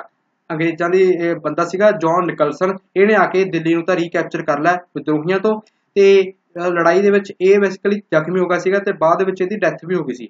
ਬਹਾਦਰ ਸ਼ਾਹ ਜਿਹੜਾ ਜ਼ਾਫਰ ਸੀਗਾ, ਜਿਹੜਾ ਐਮਪਰ ਸੀਗਾ, ਉਹਨੂੰ ਫੜ ਲਿਆ ਅੰਗਰੇਜ਼ਾਂ ਨੇ ਤੇ ਉਹਨੂੰ ਹੀ ਜ਼ਿੰਮੇਵਾਰ ਮੰਨਿਆ ਸੀਗਾ। ਤੁਹਾਨੂੰ ਮੈਂ ਦੱਸਤਾ, ਉਹਨੇ ਨਾ ਤਾਂ ਹਾਮੀ ਜੀ ਭਰੀ ਸੀ, ਨਾ ਨਾ ਹੀ ਕੀਤੀ ਸੀ ਚੱਜ ਨਾਲ ਤੇ ਅੰਗਰੇਜ਼ਾਂ ਨੇ ਫਿਰ ਉਸੇ ਨੂੰ ਜ਼ਿੰਮੇਵਾਰ ਠਹਿਰਾਇਆ ਸੀਗਾ ਰਿਵੋਲਟ ਦਾ ਤੇ ਉਹਨੂੰ ਤਾਂ ਕਹਿੰਦੇ ਆਇਆ ਜਾ ਤੈਨੂੰ ਤੈਨੂੰ ਤਾਂ ਅਸੀਂ ਦੇਖੀਏ। ਉਹਨੂੰ ਡਿਵੋਟ ਕਰਤਾ, ਅੰਗਰੇਜ਼ ਕਹਿੰਦੇ ਟਲਿਆ ਨਹੀਂ ਬੁੜਾ ਤੂੰ, ਤੇਰੇ ਵੀ ਪੱਟ 'ਚ ਗੋਲੀ ਕੱਢੂ ਕੱਢਣੀ ਪਊਗੀ, ਫੇਰ ਹੀ ਟਿਕੇਗਾ ਤੂੰ। ਸੋ ਬਹਾਦਰ ਸ਼ਾਹ ਜ਼ਾਫਰ ਸੀਗਾ ਇਹਨੂੰ ਡਿਪੋਰਟ ਕਰਤਾ, ਰੰਗੂਨ ਭੇਜਤਾ ਤੇ ਉੱਥੇ 1862 ਚ ਬਹਾਦਰ ਸ਼ਾਹ ਜ਼ਾਫਰ ਜੀ ਦੀ ਹੋ ਗਈ ਡੈਥ ਇਹਦੇ ਦੋ ਮੁੰਡੇ ਸੀਗੇ, ਮਿਰਜ਼ਾ ਮੁਗਲ ਤੇ ਮਿਰਜ਼ਾ ਖੇਜ਼ਰ ਸੁਲਤਾਨ। ਇਹਨਾਂ ਨੂੰ ਤੇ ਇੱਕ ਦਾ ਪੋਤਾ ਸੀਗਾ, ਬਹਾਦਰ ਸ਼ਾਹ ਜ਼ਾਫਰ ਦਾ ਉਹਦਾ ਨਾਮ ਸੀਗਾ ਮਿਰਜ਼ਾ ਅਬੂ ਬਖਤ ਇਹਨਾਂ ਤਿੰਨਾਂ ਨੂੰ ਲੋਕਾਂ ਦੇ ਮੂਹਰੇ ਗੋਲੀ ਮਾਰੀ ਗੋਲੀ ਮਾਰੀ ਗਈ ਲੈਫਟੀਨੈਂਟ ਹਟਸਨ ਦੁਆਰਾ ਤਾਂ ਕਿ ਇਹ ਜਿਹੜੇ ਵਿਦਰੋਹੀ ਨੇ, ਇਹਨਾਂ ਨੂੰ ਇੱਕ ਮੈਸੇਜ ਪਹੁੰਚ ਸਕੇ ਕਿ ਅਸੀਂ ਇਹਨਾਂ ਲੋਕਾਂ ਦੇ ਨਾਲ ਜਿਹੜੇ ਵਿਦਰੋਹ ਕਰਦੇ ਨੇ, ਇਹਨਾਂ ਦੇ ਨਾਲ ਅਸੀਂ ਇਹ ਸਲੀਕਾ ਕਰਦੇ ਹਾਂ ਸੋ ਇਹਦੇ ਪੋਤੇ ਤੇ ਇਹਦੇ ਮੁੰਡਿਆਂ ਨੂੰ ਇਦਾਂ ਗੋਲੀ ਮਾਰੀ ਗਈ ਬਹਾਦਰ ਸ਼ਾਹ ਜ਼ਾਫਰ ਤੇ। ਇਸ ਤੋਂ ਬਾਅਦ ਤੁਹਾਨੂੰ ਪਤਾ ਹੈ, ਮੁਗਲ ਰੂਲ ਸੀਗਾ ਜਿਹੜਾ ਉਹ ਐਂਡ ਹੋ ਚੁੱਕਿਆ ਸੀ। ਉਹ ਆਪਾਂ 20 ਮੁਗਲ ਵਾਲੇ ਚੈਪਟਰ ਦੇ ਵਿੱਚ ਪੜ ਚੁੱਕੇ ਫਿਰ ਆ ਗਿਆ ਜੀ ਕਾਨਪੁਰ। ਜਾਂ ਕਾਨਪੁਰ ਮਾਡਰਨ ਡੇ ਇਹਨੂੰ ਕਾਨਪੁਰ ਕਹਿਣ ਦਾ ਯੂਪੀ ਦਾ ਹਿੱਸਾ ਹੈ। ਇੱਥੇ ਰਿਵੋਲਟ ਦੇਖਣ ਨੂੰ ਮਿਲਿਆ। ਇਹਦਾ ਕੀ ਇਤਿਹਾਸ ਹੈ? ਤਾਂ ਦੇਖੋ, ਆਪਾਂ ਨੂੰ ਥੋੜਾ ਜਿਹਾ ਪਿੱਛੇ ਜਾਣਾ ਪਊ ਪੇਸ਼ਵੇ ਵਾਲੇ ਚੈਪਟਰ ਦੇ ਵਿੱਚ। ਤੁਹਾਨੂੰ ਸਾਰਿਆਂ ਨੂੰ ਪਤਾ ਹੈ, ਮਰਾਠਿਆਂ ਤੋਂ ਬਾਅਦ ਪੇਸ਼ਵੇਜ਼ ਆਏ ਸੀਗੇ। ਇਹਨਾਂ ਦੇ ਪਹਿਲਾਂ ਪ੍ਰਾਈਮ ਮਿਨਿਸਟਰ ਹੁੰਦੇ ਸੀ। ਬਾਅਦ ਵਿੱਚ ਇਹ ਮੇਨ ਪਾਵਰ ਦੇ ਵਿੱਚ ਆ ਗਏ ਸੀ। ਕਿਹੜੇ ਕਿਹੜੇ? ਸ਼ੁਰੂਆਤ ਕਿੱਥੋਂ ਹੋਈ ਸੀ? ਇਹਨਾਂ ਦੀ? ਬਾਲਾਜੀ ਵਿਸ਼ਵਨਾਥਨ, ਫਿਰ ਬਾਜੀ ਰਾਓ 1 ਰਣਵੀਰ ਸਿੰਘ ਹੋਰੀ, ਫਿਰ ਬਾਲਾ ਜੀ ਬਾਜੀ ਰਾਓ ਇਹਨਾਂ ਦੇ ਟਾਈਮ ਤਾਂ ਤੁਹਾਡੀ ਥਰਡ ਬੈਟਲ ਪਾਣੀਪਤ, ਉਹ ਦੇਖਣ ਨੂੰ ਮਿਲੀ ਹੈ। ਸਾਰਾ ਚਾਰਟ ਆਪਾਂ ਦੇਖਿਆ। ਬਟ ਇਸ ਚਾਰਟ ਦੇ ਵਿੱਚ ਆਪਾਂ ਉਦੋਂ ਪੇਸ਼ਵਾਂ ਦੇ ਚੈਪਟਰ ਦੇ ਵਿੱਚੋਂ ਇੱਕ ਬੰਦੇ ਬਾਰੇ ਡਿਸਕਸ ਨਹੀਂ ਕੀਤਾ ਸੀ। ਆਪਾਂ ਸਾਰਿਆਂ ਬਾਰੇ ਡਿਸਕਸ ਕਰ ਲਿਆ ਜਿਨ੍ਹਾਂ ਚੋਂ ਮਾਧਵ ਰਾਓ ਸਮਾਈ ਮਾਧਵ ਰਾਓ, ਨਾਰਾਇਣ ਰਾਓ, ਰਘੁਨਾਥ ਰਾਓ, ਬਾਜੀਰਾਓ 2 ਤੱਕ ਆਪਾਂ ਡਿਸਕਸ ਕਰ ਲਿਆ ਸੀਗਾ। ਇਹਦੇ ਵੇਲੇ ਤੀਸਰੀ ਐਂਗਲੋ ਮਰਾਠਾ ਵਾਰ ਲੜੀ ਗਈ ਸੀ, ਬਾਜੀਰਾਓ 2 ਵੇਲੇ। ਤੇ ਇਹਦੇ ਨਾਲ ਸਬਸਿਡਰੀ ਅਲਾਈਅੰਸ ਵੀ ਕਰ ਲਿਆ ਸੀਗਾ ਅੰਗਰੇਜ਼ਾਂ ਨੇ ਹਾਸਟਿੰਗ 2 ਸਾਹਿਬ ਉਦੋਂ ਹੁੰਦੇ ਸੀ। ਬਟ ਇਹਨਾਂ ਚ ਇੱਕ ਬੰਦੇ ਬਾਰੇ ਆਪਾਂ ਉਦੋਂ ਪੜਿਆ ਨਹੀਂ ਸੀਗਾ, ਉਹਦਾ ਨਾਮ ਸੀਗਾ ਨਾਨਾ ਸਾਹਿਬ। ਬਾਜੀਰਾਓ 2 ਦਾ ਮੁੰਡਾ ਸੀਗਾ। ਇਹਦੇ ਬਾਰੇ ਡਿਸਕਸ ਨਹੀਂ ਕੀਤਾ ਸੀ, ਇਹਦੇ ਬਾਰੇ ਆਪਾਂ ਅੱਜ ਡਿਸਕਸ ਕਰਨਾ ਕਿਉਂਕਿ ਉਦੋਂ ਇਹਦਾ ਕੋਈ ਰੋਲ ਹੀ ਨਹੀਂ ਸੀਗਾ ਨਾਨਾ ਸਾਹਿਬ ਦਾ। ਨਾਨਾ ਸਾਹਿਬ ਦਾ ਰੋਲ ਤਾਂ ਅੱਜ ਆਊਗਾ, ਬਾਜੀਰਾਓ 2 ਦਾ ਜਿਹੜਾ ਮੁੰਡਾ ਸੀਗਾ ਇਹਦੇ ਬਾਰੇ। ਤਾਂ ਦੇਖੋ, ਬਾਜੀਰਾਓ 2 ਜਿਹੜਾ ਕਿ ਪੇਸ਼ਵਾ ਸੀਗਾ, ਉਹਦਾ ਇਹ ਇੱਕ ਅਡਾਪਟਡ ਸਨ ਸੀਗਾ। ਉਹਦਾ ਖੁਦ ਦਾ ਮੁੰਡਾ ਨਹੀਂ, ਉਹਦਾ ਅਡਾਪਟ ਕੀਤਾ ਮੁੰਡਾ ਸੀ। ਤੇ ਤੁਹਾਨੂੰ ਪਤਾ ਹੈ ਡਾਕਟਰਾਈਨ ਆਫ ਲਾਈਫ ਦੇ ਤਹਿਤ ਜੇ ਕਿਸੇ ਰਾਜ ਦਾ ਕੋਈ ਆਪਦਾ ਖੁਦ ਦਾ ਵਾਰਿਸ ਨਹੀਂ ਹੈਗਾ, ਤਾਂ ਉਹਦਾ ਜਿਹੜਾ ਰਾਜਬਾਰ ਹੈ, ਉਹ ਅਸੀਂ ਖੋਲਾਂਗੇ। ਹੋਇਆ ਕਿ? ਇਦਾਂ ਹੀ ਹੋਇਆ। ਨਾਨਾ ਸਾਹਿਬ ਤੋਂ ਇਹਨੂੰ ਭਜਾਤਾ ਪੂਨਾ ਚੋਂ ਤੇ ਇਹਨੂੰ ਕਾਨਪੁਰ ਵਿਖੇ ਇੱਕ ਜਗ੍ਹਾ ਦਿੱਤੀ ਗਈ ਰਹਿਣ ਨੂੰ, ਕਾਨਪੁਰ ਵਿਖੇ। ਸੋ ਡਾਕਟਰ ਆਫ ਲਾਈਫ ਦੇ ਤਹਿਤ ਇਹਨੂੰ ਭਜਾਤਾ ਨਾਨਾ ਸਾਹਿਬ ਨੂੰ। ਇਹ ਇਸ ਚੀਜ਼ ਕਰਕੇ ਅੰਗਰੇਜ਼ਾਂ ਤੋਂ ਬਹੁਤ ਭੜਕਿਆ ਹੋਇਆ ਸੀਗਾ ਨਾਨਾ ਸਾਹਿਬ। ਕਹਿੰਦਾ, ਕੋਈ ਨਹੀਂ ਪੁੱਤ ਟਾਈਮ ਆਉਂਦੇ ਬਦਲਾ ਤੁਹਾਡੇ ਤੋਂ ਲਊਂਗਾ। ਹੁਣ ਹੋਇਆ ਕੀ? ਇਧਰੋਂ ਰਿਵੋਲਟ ਵੀ ਸ਼ੁਰੂ ਹੋ ਗਿਆ ਸੀ 1857 ਵਾਲਾ। ਤੇ ਇੱਧਰ ਕਾਨਪੁਰ ਵਿਖੇ ਨਾਨਾ ਸਾਹਿਬ ਬੈਠੇ ਸੀਗੇ। ਤੇ ਇਹ ਨਾਨਾ ਸਾਹਿਬ ਨੂੰ ਜਿਹੜੀ ਮੇਰਟ ਜਿਹੜੀ ਤੁਸੀਂ ਕਹਿ ਲਓ, ਕਾਨਪੁਰ ਵਿਖੇ ਛੋਟੀ ਜਿਹੀ ਟੁਕੜੀ ਹੁੰਦੀ ਸੀ ਅੰਗਰੇਜ਼ਾਂ ਦੀ, ਉਹ ਇਹਨਾਂ ਕੋਲ ਆ ਗਈ।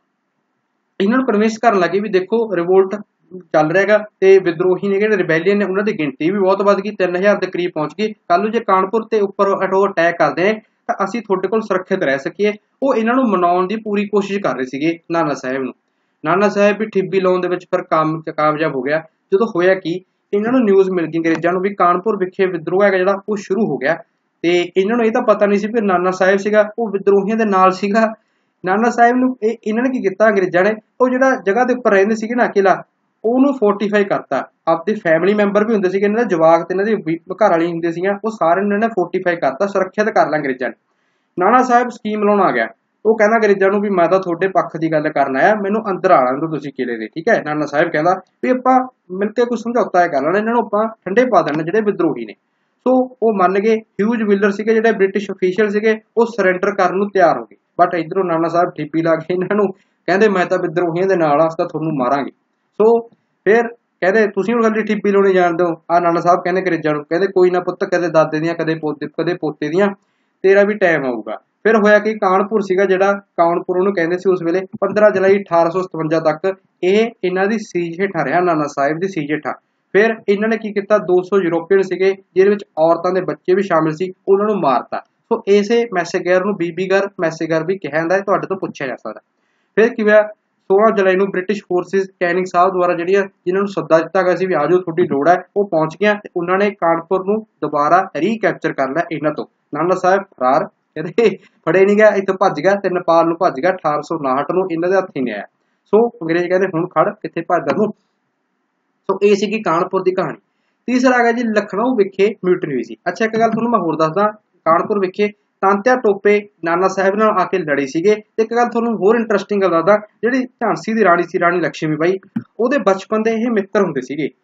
ਕੌਣ? ਨਾਨਾ ਸਾਹਿਬ, ਪੇਸ਼ਵਾ ਸੀਗੇ ਇਹ ਤੇ ਦੂਸਰਾ ਤੰਤੈ ਟੋਪੇ। ਇਹ ਖੇਡਦੇ ਹੁੰਦੇ ਸੀਗੇ ਰਾਣੀ ਲక్ష్ਮੀ ਭਾਈ ਨਾਲ। ਤੇ ਇਹਨਾਂ, ਇਹ ਉਹਦਾ ਜਿਹੜਾ ਨਾਮ ਸੀਗਾ ਰਾਣੀ ਲక్ష్ਮੀ ਭਾਈ ਥੋੜੀ ਹੁੰਦਾ ਸੀ, ਉਹਦਾ ਨਾਮ ਤਾਂ ਹੁੰਦਾ ਸੀਗਾ ਮਣੀ ਕਰਨਿਕਾ ਤੇ ਇਹਨਾਂ ਨੇ ਉਹਨੂੰ ਨਿਕਨੇਮ ਦਿੱਤਾ ਸੀਗਾ ਰਾਣੀ ਨੂੰ। ਉਹਨੂੰ ਮਨੂ ਮਨੂ ਕਹਿੰਦੇ ਹੁੰਦੇ ਸੀਗੇ ਇਹ ਦੋਏ। ਬਚਪਨ ਦੇ ਮਿੱਤਰ ਸੀਗੇ ਇਹ, ਨਾਨਾ ਸਾਹਿਬ ਤੇ ਤੰਤੈ ਟੋਪੇ। ਬੜੀ ਇੰਟਰਸਟਿੰਗ ਗੱਲ ਹੈ। ਅੱਗੇ ਆਪਾਂ ਨੂੰ ਥੋੜੀ ਜਿਹੀ ਹੋਰ ਕਲੀਅਰ ਹੋਣ ਨੂੰ ਮਿਲੂ। ਅੱਛਾ, ਹੁਣ ਆਪਾਂ ਆਉਣੇ ਲਖਨਊ ਵਿਖੇ। ਲਖਨਊ ਵਿਖੇ ਜਿਹੜਾ ਇਹ ਰਿਵੋਲਟ ਹੋਇਆ ਸੀ, ਉਹਦੇ ਪਿੱਛੇ ਕੀ ਕਹਾਣੀ ਸੀ? ਤਾਂ ਦੇਖੋ ਜਿਹੜਾ ਰਾਜਾ ਸੀਗਾ ਵਾਜਿਦ ਅਲੀ ਸ਼ਾਹ ਅਬਦ ਦਾ। ਉਹਨੂੰ ਤਾਂ ਹਟਾਤਾ ਗੱਦੀ ਤੋਂ। ਅੰਗਰੇਜ਼ਾਂ ਨੇ, ਡਲਹੌਜੀ ਹੋਰਾਂ ਨੇ, ਉਹਦੀ ਜਿਹੜੀ ਰਾਣੀ ਸੀਗੀ, ਬੇਗਮ ਹਜ਼ਰਤ ਮਹਿਲ, ਬਹੁਤ ਦੁਖੀ ਸੀਗੀ। ਉਹਨੇ ਕੀ ਕੀਤਾ ਫਿਰ, ਜਿਹੜਾ ਉਹਨੂੰ ਮੌਕਾ ਮਿਲ ਗਿਆ ਵੀ ਇਧਰੋਂ ਵਿਦਰੋਹ ਸ਼ੁਰੂ ਹੋ ਗਿਆ, ਇਹਨਾਂ ਦੇ ਹੱਕ 'ਚ ਖੜ ਜਾਓ ਤੇ ਲਖਨਊ ਕਬਜ਼ੇ 'ਚ ਕਰ ਲਓ। ਰਾਣੀ ਨੇ ਲਖਨਊ ਸੀਜ ਵੀ ਕਰ ਲਿਆ ਤੇ ਆਪਦਾ ਜਿਹੜਾ ਮੁੰਡਾ ਸੀਗਾ, ਬਿਰਜਿਸ ਕਦਰਾ, ਇਹਨੂੰ ਆਪਦਾ ਦਾ ਅਗਲਾ ਰਾਜਾ ਵੀ ਡਿਕਲੇਅਰ ਕਰਤਾ, ਬੇਗਮ ਹਜ਼ਰਤ ਮਹਿਲ ਨੇ। ਬਟ ਬਾਅਦ ਜੋ ਵਿੱਚ ਜਿਹੜੇ ਅੰਗਰੇਜ਼ ਸੀਗੇ, ਉਹਨਾਂ ਨੇ ਜਿਹੜੇ ਰੈਬਲ ਸੀਗੇ, ਉਹਨਾਂ ਨੂੰ ਸ਼ਾਂਤ ਕਰਤਾ ਤੇ ਇੱਥੇ ਲਖਨਊ ਨੂੰ ਦੁਬਾਰਾ ਰੀਕੈਪਚਰ ਕਰ ਲਿਆ ਗਿਆ, ਅੰਗਰੇਜ਼ਾਂ ਦੁਆਰਾ। ਸੋ ਜਿਹੜੀ ਰਾਣੀ ਸੀਗੀ, ਇਹ ਫਿਰ ਨੇਪਾਲ ਭੱਜ ਗਈ ਸੀਗੀ ਰਾਣੀ ਤੇ ਇੱਥੇ ਇਹਨੂੰ ਅਸਾਈਲਮ ਦਿੱਤਾ ਗਿਆ ਤੇ 1879 ਦੇ ਵਿੱਚ ਰਾਣੀ ਦੀ ਹੋ ਗਈ ਡੈਥ ਬੇਗਮ ਹਜ਼ਰਤ ਮਹਿਲ ਦੀ ਗਵਾਲੀਅਰ ਦੀ ਗੱਲ ਕਰਦੇ ਹਾਂ। ਗਵਾਲੀਅਰ ਜੋ ਕਿ ਮੱਧ ਪ੍ਰਦੇਸ਼ ਦਾ ਹਿੱਸਾ ਤੁਹਾਨੂੰ ਪਿੱਛੇ ਮੈਪ 'ਚ ਮੈਂ ਦਿਖਾਈ ਚੁੱਕਿਆ। ਇੱਥੇ ਤਾਂਟਿਆ ਟੋਪੇ ਸਾਹਿਬ ਲੜੇ ਸੀਗੇ। ਇਹਨਾਂ ਨੇ ਰੈਬਲਸ ਨੂੰ ਸ਼ਾਂਤ ਕੀਤਾ। ਨਾਨਾ ਸਾਹਿਬ ਨਾਲ ਪਹਿਲੇ ਕਾਨਪੁਰ ਵਿਖੇ ਯੋਗਦਾਨ ਪਾ ਕੇ ਆਏ ਸੀ ਲੜਾਈ ਦੇ ਵਿੱਚ। ਬਾਅਦ 'ਚ ਗਵਾਲੀਅਰ ਵਿਖੇ ਆ ਗਏ। ਤੇ ਇੱਥੇ ਰਾਣੀ ਲక్ష్ਮੀ ਬਾਈ ਨਾਲ ਲੜ ਰਹੇ ਸੀਗੇ। ਹਲੇ ਗਵਾਲੀਅਰ ਵਿਖੇ ਰਾਣੀ ਲక్ష్ਮੀ ਬਾਈ ਦਾ ਕੀ ਰੋਲ ਹੈਗਾ, ਉਹ ਤੁਹਾਨੂੰ ਹਲੇ ਅੱਗੇ ਸਮਝ ਬਟ ਹਲੇ ਇੱਥੇ ਇਹ ਸਮਝੋ, ਗਵਾਲੀਅਰ ਵਿਖੇ ਤੰਤਿਆ ਟੋਪੇ ਸਾਹਿਬ ਲੜ ਰਹੇ ਸੀਗੇ। ਸੋ ਹੋਇਆ ਕਿ ਗਵਾਲੀਅਰ ਵਿਖੇ ਹਾਰ ਗਏ, ਅੰਗਰੇਜ਼ਾਂ ਤੋਂ ਰਾਣੀ ਝਾਂਸੀ ਵੀ ਤੇ ਇਹ ਤੰਤਿਆ ਟੋਪੇ ਵੀ, ਇਹ ਜੰਗਲਾਂ 'ਚ ਫਰਾਰ ਹੋ ਗਏ ਸੀਗੇ ਤੰਤਿਆ ਟੋਪੇ ਜੀ। ਸੋ ਫਿਰ ਤੰਤਿਆ ਟੋਪੇ ਨੂੰ ਕੀ ਕੀਤਾ? ਇਹ ਲੜਾਈ ਹਾਰਨ ਤੋਂ ਬਾਅਦ ਇੱਕ ਮਾਨ ਸਿੰਘ ਨਾਮ ਦਾ ਬੰਦਾ ਸੀਗਾ। ਮਾਨ ਸਿੰਘ ਰਾਜਾ ਸੀਗਾ, ਨਰਵਾਰ ਦਾ, ਮੱਧ ਪ੍ਰਦੇਸ਼ ਦੀ ਇੱਕ ਜਗ੍ਹਾ ਦਾ ਰਾਜਾ ਸੀਗਾ। ਉਹਨੇ ਇਹਨੂੰ ਸ਼ਰਨ ਦਿੱਤੀ ਤਾਂਤਿਆ ਟੋਪੇ ਨੂੰ। ਬਟ ਬਾਅਦ ਚ ਅੰਗਰੇਜ਼ਾਂ ਨੇ ਕੀ ਕੀਤਾ? ਮਾਨ ਸਿੰਘ ਨੂੰ ਪੱਟ ਲਿਆ ਤੇ ਇਹਨੂੰ ਕਿਹਾ ਵੀ ਠੀਕ ਹੈ, ਗਵਾਲੀਅਰ ਜੋ ਕਿ ਹੁਣ ਝਾਂਸੀ ਦੀ ਰਾਣੀ ਦੇ ਕਬਜ਼ੇ 'ਚ ਹੈਗਾ, ਉਹ ਬੇਸਿਕਲੀ ਤੇ ਆ, ਉਹ ਰਾਜੇ ਨਾਲ ਕੁਝ ਬੰਦਾ, ਬੰਦੀ ਤਾਂ ਹੈ ਨਹੀਂ ਸੀ। ਅਸੀਂ ਕੋਈ ਠੱਕਾ ਪੰਜਾ ਕਰਕੇ ਤੈਨੂੰ ਕੁਝ ਵਧੀਆ ਫਾਇਦਾ ਹੀ ਦੇਵਾਂਗੇ। ਤੂੰ ਸਾਨੂੰ ਤਾਂਤਿਆ ਟੋਪਿਆ ਜਿਹੜਾ, ਇਹ ਸਾਨੂੰ ਸੌਂਪ ਦੇ। ਉਹਨੇ ਗੱਦਾਰੀ ਕਰ ਲਈ ਤਾਂਤੇ ਤੋਪੇ ਨੂੰ ਧੋਖਾ ਦਿੱਤਾ ਤੇ ਇਹਨੂੰ ਅੰਗਰੇਜ਼ਾਂ ਦੇ ਹੱਥ ਸੌਂਪਤਾ ਤੇ ਫਿਰ ਤਾਂਤੇ ਤੋਪੇ ਨੂੰ ਕੈਪਚਰ ਕਰ ਦਿੱਤਾ ਗਿਆ ਤੇ ਅੰਗਰੇਜ਼ਾਂ ਦੁਆਰਾ ਮਾਰਤਾ ਗਿਆ 1859 ਦੇ ਵਿੱਚ। ਆ ਨੇ ਜੀ ਤਾਂਤਿਆ ਟੋਪੇ ਸਾਹਿਬ। ਸੋ ਫਿਰ ਅੱਗੇ ਗੱਲ ਕਰਦੇ ਸਭ ਤੋਂ ਮੇਨ ਜਿਹੜੀ ਮਿਊਟਨੀ ਸੀਗੀ ਝਾਂਸੀ ਦੀ, ਉਹਦੇ ਬਾਰੇ ਆਪਾਂ ਗੱਲ ਕਰਦੇ ਹਾਂ। ਕੀ ਕਹਾਣੀ ਰਹੀ ਹੈ?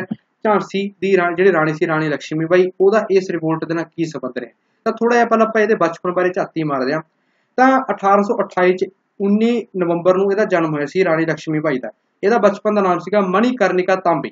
ਮੋਰੋਪੰਤ ਤਾਂਬੇ ਤੇ ਭਾਗੀਰਥੀ ਸਾਪਰੇ ਇਹਨਾਂ ਦੀ ਇਹ ਧੀ ਸੀਗੀ। ਵਾਰਾਣਸੀ ਯੂਪੀ ਵਿਖੇ ਇਹਨਾਂ ਦਾ ਜਨਮ ਹੋਇਆ ਸੀ। ਇਹਨਾਂ ਦਾ ਰਿਸ਼ਤਾ ਹੋਇਆ ਜੀ ਝਾਂਸੀ ਦਾ ਰਾਜਾ ਸੀਗਾ, ਰਾਜਾ ਗੰਗਾਧਰ ਨਾਵਲੇਕਰ। ਇਹ ਤਾਂ ਰਾਜਪੂਤ ਸੀਗੇ। ਇਹ ਰਾਣੀ ਲక్ష్ਮੀ ਬਾਈ ਯਾਨੀ ਕਿ ਮਣੀ ਮਣੀਕਰਨਿਕਾ ਇਹ ਪੰਡਤਾਂ ਦੀ ਕੁੜੀ ਸੀ। ਕਹਿ ਕੇ ਰਿਸ਼ਤਾ ਲਿਆ ਸੀਗਾ ਇਹਨਾਂ ਨੇ। ਰਾਜਾ ਗੰਗਾਧਰ ਨਾਵਲੇਕਰ ਜੀ ਨੇ 1842 ਦੇ ਵਿੱਚ ਇਹਨਾਂ ਦਾ ਵਿਆਹ ਹੋ ਗਿਆ। ਵਿਆਹ ਹੋ ਗਿਆ, ਕੁਝ ਸਮੇਂ ਬਾਅਦ ਇਹਨਾਂ ਦੇ ਘਰ ਮੁੰਡਾ ਵੀ ਪੈਦਾ ਹੋ ਗਿਆ, ਠੀਕ ਹੈ, ਔਲਾਦ ਨੇ ਜਨਮ ਦਿੱਤਾ ਤੇ ਉਹ ਜਿਹੜਾ ਬੱਚਾ ਸੀਗਾ, ਉਹਦਾ ਨਾਮ ਸੀਗਾ ਦਮੋਦਰ ਰਾਓ। 4 ਕੁ ਮਹੀਨਿਆਂ ਦੇ ਵਿੱਚ ਉਹਦੀ ਹੋ ਗਈ ਡੈਥ ਹੁਣ ਹੋਇਆ ਕਿ, ਉਹਦੀ ਡੈਥ ਤੋਂ ਬਾਅਦ ਜਿਹੜਾ ਰਾਜਾ ਸੀਗਾ, ਉਹਨੇ ਆਪਦੇ ਕਜ਼ਨ ਦਾ ਮੁੰਡਾ ਆਨੰਦ ਰਾਓ ਉਹਨੂੰ ਅਡਾਪਟ ਕਰ ਲਿਆ ਤੇ ਦਮੋਦਰ ਰਾਓ ਉਹਦਾ ਨਾਮ ਰੱਖਤਾ ਆਪਦੇ ਮੁੰਡੇ ਦੀ ਯਾਦ ਦੇ ਵਿੱਚ। ਹੁਣ ਹੋਇਆ ਕਿ, ਲਾਰਡ ਲੌਜੀ ਸਾਹਿਬ ਇਸ ਵੇਲੇ ਭਾਰਤ 'ਚ ਹੁੰਦੇ ਸੀ, ਉਹਨਾਂ ਦੀ ਡਾਕਟਰਨ ਆਫ ਲੈਬਸ ਪਾਲਿਸੀ ਸੀ, ਤੇ ਉਹਨਾਂ ਨੇ ਇਹ ਕਹਿਤਾ ਵੀ ਭਾਈ ਰਾਜਾ ਜਿਹੜਾ ਗੰਗਾਧਰ ਸੀਗਾ ਉਹਦਾ ਆਪਦਾ ਮੁੰਡਾ ਮਰ ਗਿਆ, ਉਹ ਤੋਂ ਬਾਅਦ ਆਪਦਾ ਖੁਦ ਦਾ ਵਾਰਸ, ਉਹਦਾ ਕੋਈ ਹੈ ਨਹੀਂ ਤੇ ਅਡਾਪਟਡ ਸਨ ਸੀਗਾ ਜਿਹੜਾ ਆਨੰਦ ਰਾਓ, ਉਹਨੂੰ ਅਸੀਂ ਰਾਜਾ ਮੰਨਦੇ ਨਹੀਂ ਤੇ ਡਾਕਟਰਨ ਆਫ ਲੈਬਸ ਦੇ ਤਹਿਤ ਝਾਂਸੀ ਹੈ ਜਿਹੜੀ ਇਹਨੂੰ ਅਸੀਂ ਅਨੈਕਸ ਕਰਦੇ ਇਧਰੋਂ ਹੋਇਆ ਕਿ, ਜਿਹੜਾ ਰਾਜਾ ਦਾ ਗੰਗਾਧਰ ਨਾਵਲੇਕਰ ਸੀ ਨਾ, ਇਹਦਾ ਜਿਹੜਾ ਭਾਈ ਸੀਗਾ, ਉਹ ਗੱਦਾਰ ਸੀ, ਅੰਗਰੇਜ਼ਾਂ ਦੇ ਨਾਲ ਮਿਲ ਗਿਆ ਤੇ ਉਹਨੇ ਰਾਜੇ ਨੂੰ ਸਲੋ ਪੋਇਜ਼ਨ ਦੇਣਾ ਸ਼ੁਰੂ ਕਰਤਾ। ਸਲੋ ਪੋਇਜ਼ਨ ਕਰਕੇ ਜਿਹੜਾ ਰਾਜਾ ਗੰਗਾਧਰ ਨਾਵਲੇਕਰ ਸੀਗਾ, ਉਹਦੀ ਵੀ ਕੁਝ ਕੁ ਸਮੇਂ ਬਾਅਦ ਡੈਥ ਹੋ ਗਈ ਤੇ ਉਹਦੀ ਡੈਥ ਤੋਂ ਬਾਅਦ ਜਿਹੜੀ ਉਹਦੀ ਰਾਣੀ ਸੀਗੀ, ਰਾਣੀ ਲక్ష్ਮੀ ਭਾਈ ਜਿਹਨੂੰ ਨਾਮ ਇਸ ਰਾਜੇ ਨੇ ਦਿੱਤਾ ਸੀ ਤੇ ਘਰ ਵਾਲੇ ਨੇ ਦਿੱਤਾ ਸੀ, ਮਣੀਕਰਨਿਕਾ ਤੋਂ ਲక్ష్ਮੀ ਨਾਮ ਗੰਗਾਧਰ ਨਾਵਲੇਕਰ ਨੇ ਰੱਖਿਆ ਸੀਗਾ। ਸੋ ਰਾਣੀ ਲక్ష్ਮੀ ਭਾਈ ਸੀ ਜਿਹੜੀ, ਉਹਨੇ ਫਿਰ ਉਹ ਅੜ ਗਈ, ਆਪਦੇ ਡਿਸੀਜਨ ਤੇ ਕਹਿੰਦੀ, ਮੈਂ ਆਪਦੀ ਝਾਂਸੀ ਕਿਸੇ ਨੂੰ ਨਹੀਂ ਦਿੰਦੀ ਹੈਗੀ, ਕਿਸੇ ਅੰਗਰੇਜ਼ ਨੂੰ ਤਾਂ ਜ਼ਮੀਨ ਨਹੀਂ ਦਿੰਦੀ ਠੀਕ ਹੈ? ਸੋ ਰਾਣੀ ਜਿਹੜੀ ਝਾਂਸੀ ਸੀ, ਉਹਨੇ ਡਾਕਟਰ ਆਫ ਲੈਬਸ ਯਾਨੀ ਕਿ ਲਾਰਡ ਹੌਜੇ ਦਾ ਡਿਸੀਜਨ ਸੀਗਾ, ਉਹਨੂੰ ਐਕਸੈਪਟ ਕਰਨ ਤੋਂ ਜਵਾਬ ਦਿੱਤਾ ਤੇ ਉਹ ਕਹਿੰਦਾ ਵੀ ਅਸੀਂ ਲੜਦੇ ਮਰ ਜਾਾਂਗੇ ਬਟ ਅਸੀਂ ਆਪਦੀ ਝਾਂਸੀ ਤੁਹਾਨੂੰ ਨਹੀਂ ਦਿੰਦੇ। ਫਿਰ ਬ੍ਰਿਟਿਸ਼ ਟਰੂਪਸ ਬੁਲਾਏ ਗਏ ਸਰ ਹਿਊਜ ਰੋਸ ਦੀ ਕਮਾਂਡ ਹੇਠਾਂ ਉਹਨਾਂ ਨੇ ਝਾਂਸੀ ਦੀ ਜਿਹੜੀ ਲੜਾਈ ਸੀਗੀ, ਇਹਦੀ ਲੜਾਈ ਪਾਈ ਸ਼ੁਰੂ ਹੋ ਗਈ। ਲੜਾਈ ਸ਼ੁਰੂ ਹੋ ਗਈ, ਪਹਿਲੀ ਵਾਰ ਟੱਕਰ ਹੋਈ ਸੀਗੀ, ਇਹਨਾਂ ਨੂੰ, ਅੰਗਰੇਜ਼ਾਂ ਨੂੰ ਹਾਰ ਦਾ ਸਾਹਮਣਾ ਕਰਨਾ ਪੈ ਗਿਆ ਸੀ। ਰਾਣੀ ਝਾਂਸੀ ਸੀ ਨਾ ਜਿਹੜੀ ਇਹ ਲక్ష్ਮੀ ਬਾਈ, ਇਹਨੇ ਕੀ ਕੀਤਾ, ਜਿਹੜਾ ਸਰ ਹਿਊਜ ਰੋਕ ਸੀਗਾ ਆ ਜਿਹੜਾ ਤੁਸੀਂ ਫੋਟੋ 'ਚ ਦੇਖ ਰਹੇ ਹੋ, ਇਹਨੂੰ ਫੜ ਵੀ ਲਿਆ ਸੀ। ਇਹਨੂੰ ਆਪਦੇ ਕੋ ਇਹ ਲੱਤ 'ਚ ਤੇ ਰੱਸਾ ਪਾ ਕੇ ਨਾ, ਆਪਦੇ ਘੋੜੇ ਨਾਲ ਬੰਨ ਕੇ ਲੈ ਗਈ ਸੀ ਰਾਣੀ ਲక్ష్ਮੀ ਬਾਈ। ਠੀਕ ਹੈ, ਇਹ ਉੱਥੋਂ ਮਸਾਂ ਬਚਿਆ, ਅੱਧੀ ਜਾਨ ਮਸਾਂ ਬਚਾਈ ਇਹਨੇ। ਫਿਰ ਬਾਅਦ ਦੇ ਵਿੱਚ ਕੀ ਹੋਇਆ? ਰਾਣੀ ਨੂੰ ਲੱਗੀ ਠੀਬੀ ਵਿਚਾਰੀ ਨੂੰ। ਰਾਣੀ ਨੂੰ ਤਾਂਤੇ ਤੋਪੇ ਦੇ ਟਰੂਪਸ ਨੇ ਆ ਕੇ ਜੁਆਇਨ ਕਰ ਲਿਆ। ਬਟ ਇੱਕ ਦਿਨ, ਇੱਕ ਰਾਤ ਕੀ ਹੋਇਆ? ਰਾਣੀ ਆਪਦੇ ਕਿਲੇ 'ਚ ਬੈਠੀ ਸੀਗੀ। ਅਚਾਨਕ ਅੰਗਰੇਜ਼ਾਂ ਨੇ ਰਾਤ ਨੂੰ, ਰਾਤ ਦੇ ਵੇਲੇ ਸਰਪ੍ਰਾਈਜ਼ ਅਟੈਕ ਕਰਤਾ ਇਹਨਾਂ ਰਾਣੀ ਦੇ ਮਹਿਲ ਦੇ ਉੱਪਰ। ਸੋ ਧੋਖਾ ਹੋ ਗਿਆ ਰਾਣੀ ਨਾਲ ਤੇ ਕਿਸੇ ਅੰਦਰਲੇ ਬੰਦੇ ਨੇ ਇਹਨਾਂ ਨੂੰ ਸੂਹ ਦਿੱਤੀ ਸੀਗੀ। ਉਹ ਰਾਜੇ ਦਾ ਭਾਈ ਸੀਗਾ, ਗੰਗਾਧਰ ਨਾਵਲੇਕਰ ਕਰਦਾ ਸੋ ਫਿਰ ਰਾਣੀ ਜਿਹੜੀ ਲక్ష్ਮੀ ਬਾਈ ਸੀਗੀ, ਉਹਨੂੰ ਮਜਬੂਰਨ ਇੱਥੋਂ ਭੱਜਣਾ ਪਿਆ। ਗਵਾਲੀਅਰ ਰਾਣੀ ਲక్ష్ਮੀ ਬਾਈ ਭੱਜ ਗਈ। ਸੋ ਫਿਰ ਗਵਾਲੀਅਰ ਦੇ ਜਿਹੜਾ ਰਾਜਾ ਸੀ, ਉਹਨੂੰ ਮਨਾਇਆ ਵੀ ਅਸੀਂ ਦੇਸ਼ ਦੀ ਆਜ਼ਾਦੀ ਲਈ ਲੜ ਰਹੇ ਸਾਡੇ ਦਾ ਯੋਗਦਾਨ ਰੋ ਲੜਨ ਵਾਸਤੇ ਕਿਲਾ ਵੀ ਚਾਹੀਦਾ ਸੀ। ਸੋ ਫਿਰ ਗਵਾਲੀਅਰ ਦਾ ਕਿਲਾ ਇਹਨਾਂ ਨੇ ਅਕੂਪਾਈ ਕਰ ਲਿਆ ਸੀਗਾ। ਸੋ ਫਿਰ ਲੜਾਈ ਹੋਈ ਅੰਗਰੇਜ਼ਾਂ ਦੇ ਨਾਲ ਤੇ ਫਾਈਨਲੀ ਤੁਸੀਂ ਕਹਿ ਲਓ ਜੂਨ 18 1858 ਨੂੰ ਰਾਣੀ ਲక్ష్ਮੀ ਬਾਈ ਠੀਕ ਹੈ ਲੜਦੀ ਲੜਦੀ ਸ਼ਹੀਦ ਹੋ ਗਈ ਗਵਾਲੀਅਰ ਵਿਖੇ। ਤੇ ਫਿਰ ਝਾਂਸੀ ਨੂੰ ਤੇ ਤੇ ਗਵਾਲੀਅਰ ਨੂੰ ਤਾਂ ਕੈਪਚਰ ਕਰ ਹੀ ਲਿੱਤਾ ਗਿਆ ਸੀਗਾ ਅੰਗਰੇਜ਼ਾਂ ਦੁਆਰਾ ਕੁਝ ਦਿਨਾਂ ਬਾਅਦ।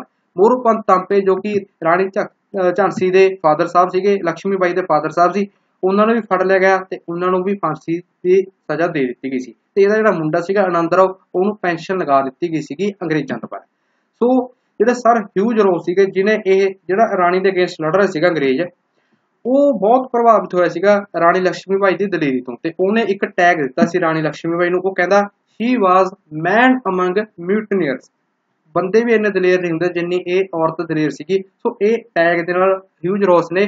ਰਾਣੀ ਲక్ష్ਮੀ ਬਾਈ ਨੂੰ ਤੁਸੀਂ ਕਹਿ ਲਓ ਉਹਦੀ ਸ਼ਹਾਦਤ ਨੂੰ ਪ੍ਰੇਰਿਆ ਸੀਗਾ।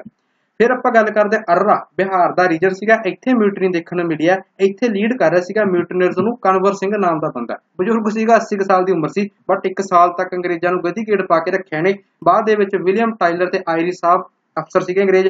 ਇਹਨਾਂ ਨੇ ਫਿਰ ਇਹਨਾਂ ਨੂੰ ਹਰਾਤਾ ਸੀਗਾ, ਅਰਰਾ ਵਿਖੇ ਤੇ ਅਰਰਾ ਨੂੰ ਵੀ ਦੁਬਾਰਾ ਰੀਕੈਪਚਰ ਕਰ ਲਿਆ ਗਿਆ ਸੀ। ਸੋ ਰਿਵੋਲਟ ਟੋਟਲੀ ਸਪਰੈਸ ਹੋ ਗਿਆ ਸੀਗਾ। ਤੁਸੀਂ ਕਹਿ ਲਓ 1858 69 ਤੱਕ ਆਉਂਦੇ ਆਉਂਦੇ ਫਿਰ ਰਿਵੋਲਟ ਹੁਣ ਫੇਲ ਹੋ ਗਿਆ। ਕਾਰਨ ਕੀ ਰਹੇ ਨੇ? ਰਿਪੋਰਟ ਤੇ ਫੇਲਿਅਰ ਦੇ ਉਹਦੇ ਬਾਰੇ ਵੀ ਆਪਾਂ ਪੜ੍ਹ ਲਈਏ। ਕਿਹੜੇ ਕਿਹੜੇ ਚੀਜ਼ਾਂ ਦੀ ਘਾਟ ਦੇਖਣ ਨੂੰ ਮਿਲੀ ਜਿਹਦੇ ਕਰਕੇ ਇਹ ਰਿਵੋਲਟ ਫੇਲਿਅਰ ਹੋ ਗਿਆ। ਸੋ ਉਹਨਾਂ ਕਾਰਨਾਂ ਬਾਰੇ ਪੜ੍ਹਨਾ ਬਹੁਤ ਜ਼ਰੂਰੀ ਹੈ। ਸਭ ਤੋਂ ਪਹਿਲਾਂ ਰਿਵੋਲਟ ਦੇ ਫੇਲ ਹੋਣ ਦਾ ਕਾਰਨ ਇਹ ਸੀਗਾ ਕਿਸੇ ਦਾ ਵੀ ਕੋਈ ਪ੍ਰੋਪਰ ਏਮ ਨਹੀਂ ਸੀਗਾ। ਕੋਈ ਇੱਕ ਫਿਕਸ ਏਮ ਨਹੀਂ ਸੀ। ਰਾਜੇ ਸੀਗੇ, ਉਹ ਆਪਦੇ ਪਾਰਟਿਕੂਲਰ ਕਾਰਨਾਂ ਕਰਕੇ ਅੰਗਰੇਜ਼ਾਂ ਦੇ ਖਿਲਾਫ ਲੜ ਰਹੇ ਸੀ। ਆਪਦੇ ਦੇ ਰਾਜਿਆਂ ਦੀ ਅਲੱਗ ਪ੍ਰੋਬਲਮ ਸੀ, ਝਾਂਸੀ ਦੀ ਰਾਣੀ ਦੀ ਉਹਦੀ ਅਲੱਗ ਪ੍ਰੋਬਲਮ ਸੀ ਡਾਕਟਰ ਆਫ ਲੈਪਸ ਵਾਲੀ। ਆਪਦੇ ਦੇ ਜਿਹੜੇ ਲੋਕ ਸੀਗੇ, ਉਹ ਰਾਜੇ ਨੂੰ ਹਟਾਉਣ ਪਿੱਛੇ ਲੜ ਰਹੇ ਸੀ। ਜਿਹੜੇ ਜ਼ਮੀਨਦਾਰ ਸੀਗੇ, ਕੁਝ ਕੁ, ਤੇ ਜਿਹੜੇ ਕਿਸਾਨ ਭਾਈ ਸੀਗੇ, ਉਹ ਮਨੀ ਲੈਂਡਰਸ ਤੋਂ ਦੁਖੀ ਸੀਗੇ। ਬਹੁਤ ਜ਼ਿਆਦਾ ਪ੍ਰੋਬਲਮ ਸੀਗੀਆਂ। ਸਾਰਿਆਂ ਦੇ ਆਪੋ ਆਪਣੇ ਕਾਰਨ ਸੀਗੇ, ਜਿਹਦੇ ਕਰਕੇ ਉਹ ਅੰਗਰੇਜ਼ਾਂ ਦੇ ਖਿਲਾਫ ਲੜ ਰਹੇ ਸੀ। ਕੋਈ ਇੱਕ ਪ੍ਰੋਪਰ ਮੋਟਿਵ ਨਹੀਂ ਸੀਗਾ ਵੀ ਅੰਗਰੇਜ਼ਾਂ ਵੀ ਅੰਗਰੇਜ਼ ਜਿਹੜੇ ਆਪਣੇ, ਉਹ ਸਾਰੇ ਆਪਣੇ ਕਾਮਨ ਐਨੀਮੀਜ਼ ਨੇ ਤੇ ਇਹਨਾਂ ਦੇ ਖਿਲਾਫ ਆਪਾਂ ਨੇ ਲੜਨਾ ਪਹਿਲਾ ਕਾਰਨ ਤਾਂ ਇਹ ਸੀਗਾ ਰਿਵੋਲਟ ਦੇ ਫੇਲ ਹੋਣ ਦਾ। ਸੋ ਅੱਗੇ ਗੱਲ ਕਰਦਾ ਦੂਸਰਾ ਟੈਰੀਟੋਰੀਅਲ ਸਪਰੈਡ ਇਹ ਕੀ ਕਹਿੰਦਾ ਦੇਖੋ, ਇਹ ਜਿਹੜੀ ਰਿਵੋਲਟ ਸੀਗਾ 1857 ਦਾ, ਇਹ ਕੋਈ ਆਲ ਇੰਡੀਆ ਮੂਵਮੈਂਟ ਨਹੀਂ ਸੀ। ਇਹ ਕੁਝ ਕੁ ਹਿੱਸਿਆਂ ਤੱਕ ਹੀ ਸੀਮਿਤ ਸੀਗੀ ਭਾਰਤ ਦੇ। ਜੇ ਸਾਰੇ ਭਾਰਤ 'ਚ ਇਹ ਰਿਵੋਲਟ ਇੱਕ ਮਾਤਰ ਲੜਿਆ ਜਾਂਦਾ, ਤਾਂ ਅੰਗਰੇਜ਼ ਮੱਲੋ ਮੱਲੀ ਭਾਰਤ 'ਚੋਂ ਬਾਹਰ ਜਾਣੇ ਸੀਗੇ ਨੋ ਡਾਊਟ ਬਟ ਕਿਸੇ ਇੱਕ ਪਾਰਟਿਕੂਲਰ ਜਗ੍ਹਾ ਤੱਕ ਹੀ ਸੀਮਿਤ ਸੀਗਾ, ਜਿਹਦੇ ਕਰਕੇ ਅੰਗਰੇਜ਼ਾਂ ਨੂੰ ਸਪੋਰਟ ਜ਼ਿਆਦਾ ਸੀਗੀ। ਉਹ ਇਸ ਰਿਵੋਲਟ ਨੂੰ ਸ਼ਾਂਤ ਕਰਨ ਦੇ ਵਿੱਚ ਛੇਤੀ ਕਾਬਿਲ ਸક્ષਮ ਹੋ ਗਏ ਸੀਗੇ। ਤੇ ਸਾਊਥ ਇੰਡੀਆ ਦੀ ਆਪਾਂ ਗੱਲ ਕਰੀਏ, ਕੁਝ ਕੁ ਏਰੀਆ ਨੂੰ ਛੱਡ ਕੇ ਮੋਸਟਲੀ ਸਾਊਥ ਏਰੀਆ ਸੀ ਸਾਊਥ ਇੰਡੀਆ ਸੀਗਾ। ਉਹ ਇਸ ਰਿਵੋਲਟ ਤੋਂ ਬਚਿਆ ਹੋਇਆ ਸੀਗਾ। ਵੈਸਟਰਨ ਤੇ ਈਸਟਰਨ ਇੰਡੀਆ ਦੇ ਵਿੱਚ ਵੀ ਕੋਈ ਖਾਸ ਐਕਟੀਵਿਟੀ ਦੇਖਣ ਨੂੰ ਨਹੀਂ ਮਿਲੀ। ਆਪੋਜੀਸ਼ਨ ਜਿਹੜੇ ਭਾਰਤੀ ਸਿਪਾਹੀਆਂ ਤੋਂ ਇਹ ਉਮੀਦ ਸੀਗੀ ਵੀ ਇਹ ਸਾਡੇ ਹੱਕ 'ਚ ਖੜਨਗੇ ਅੰਗਰੇਜ਼ਾਂ ਨੂੰ ਬਾਹਰ ਕੱਢਣ ਦੇ ਵਿੱਚ, ਤੁਸੀਂ ਕਹਿ ਲਓ ਅੱਧ ਤੋਂ ਜ਼ਿਆਦਾ ਜਿਹੜੇ ਭਾਰਤੀ ਸਿਪਾਹੀ ਸੀਗੇ, ਉਹਨਾਂ ਨੇ ਇਸ ਰਿਵੋਲਟ ਦੇ ਵਿੱਚ ਅੰਗਰੇਜ਼ਾਂ ਦਾ ਸਾਥ ਦਿੱਤਾ ਤੇ ਇਸ ਰਿਵੋਲਟ ਨੂੰ ਰੋਕਣ ਦੇ ਵਿੱਚ ਅੰਗਰੇਜ਼ਾਂ ਦੀ ਮਦਦ ਕੀਤੀ। ਫੋਰ ਐਗਜ਼ਾਮਪਲ ਦਿੱਲੀ ਵਿਖੇ ਜਿਹੜੇ ਦਿੱਲੀ ਨੂੰ ਦੁਬਾਰਾ ਰੀਕੈਪਚਰ ਕੀਤਾ ਅੰਗਰੇਜ਼ਾਂ ਦੁਆਰਾ 4900 ਸਿਪਾਹੀਆਂ ਦੀ ਮਦਦ ਦੇ ਨਾਲ, ਉਹਦੇ ਵਿੱਚ ਦੋ ਤਿਹਾਈ ਜਿਹੜੇ ਫੌਜ ਦੇ ਸਿਪਾਹੀ ਸੀਗੇ, ਉਹ ਤਾਂ ਭਾਰਤੀ ਸੀਗੇ। ਸੋ ਇਹ ਕਾਰਨ ਵੀ ਰਿਹਾ ਜੀ ਇਸ ਰਿਵੋਲਟ ਦੇ ਫੇਲਿਅਰ ਦਾ। ਫਿਰ ਆ ਗਿਆ ਜੀ ਲੀਡਰਸ਼ਿਪ ਦੀ ਘਾਟ। ਆਲਦੋ ਨਾਨਾ ਸਾਹਿਬ ਤਾਂਤਿਆ ਟੋਪੇ ਲక్ష్ਮੀ ਭਾਈ ਬਹੁਤ ਦਲੇਰੀ ਦੇ ਨਾਲ ਲੜੇ ਬਟ ਲੀਡਰਸ਼ਿਪ ਦੀ ਕਿਤੇ ਨਾ ਕਿਤੇ ਕਮੀ ਰਹਿ ਗਈ। ਵੇਰ ਹੈ ਜਿਹੜੇ ਬ੍ਰਿਟਿਸ਼ਰ ਸੀਗੇ ਲੀਡਰਸ਼ਿਪ ਤੇ ਉਹਨਾਂ ਦੀ ਤੁਸੀਂ ਕਹਿ ਲਓ ਕੋਆਰਡੀਨੇਸ਼ਨ ਬਹੁਤ ਹੀ ਜ਼ਿਆਦਾ ਤਕੜੀ ਸੀਗੀ, ਜਿਹਦੇ ਕਰਕੇ ਇਹ ਰਿਪੋਰਟ ਇਹਨਾਂ ਨੂੰ ਹਾਰਨਾ ਪੈ ਗਿਆ ਫਿਰ ਆ ਗਿਆ ਜੀ ਸਭ ਤੋਂ ਇੰਪੋਰਟੈਂਟ ਕਾਰਨ ਕਮਿਊਨੀਕੇਸ਼ਨ ਤੇ ਕੋਆਰਡੀਨੇਸ਼ਨ ਦਾ। ਹੁਣ ਤੁਹਾਨੂੰ ਪਤਾ ਅੰਗਰੇਜ਼ਾਂ ਕੋਲ ਤਕਨੀਕਾਂ ਬਹੁਤ ਤਕੜੀਆਂ ਸੀਗੀਆਂ, ਇਹਨਾਂ ਕੋਲ ਇਲੈਕਟ੍ਰੀਕਲ ਟੈਲੀਗ੍ਰਾਫ ਸੀਗਾ। ਜਿਹਦੀ ਮਦਦ ਨਾਲ ਇਹ ਪੁਆਇੰਟ ਟੂ ਪੁਆਇੰਟ ਮੈਸੇਜ ਛੇਤੀ ਤੋਂ ਛੇਤੀ ਪਹੁੰਚਾ ਦਿੰਦੇ ਸੀਗੇ।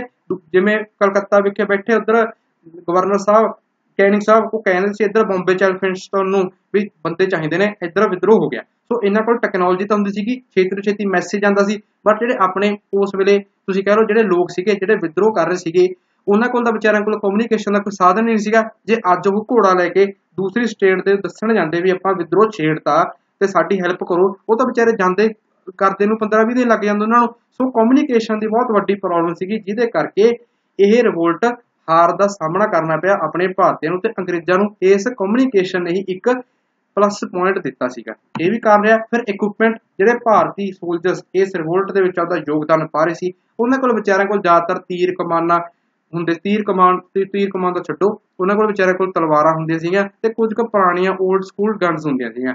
ਬਟ ਜਿਹੜੇ ਯੂਰੋਪੀਅਨ ਸੋਲਜਰ ਸੀਗੇ, ਉਹ ਇੱਕ ਤਾਂ ਭਾਰਤੀਆਂ ਦੇ ਮੁਕਾਬਲੇ ਵਧੀਆ ਟ੍ਰੇਨਡ ਸੀਗੇ, ਉਹਨਾਂ ਕੋਲ ਜਿਹੜੇ ਹਥਿਆਰ ਸੀਗੇ, ਉਹ ਵੀ ਲੇਟੈਸਟ ਵੈਪਨ ਸੀਗੇ, ਜੋ ਕਿ ਇਸ ਰਿਵੋਲਟ ਨੂੰ ਕਾਬੂ ਕਰਨ ਦੇ ਵਿੱਚ ਉਹਨਾਂ ਦੇ ਕੰਮ ਆਏ।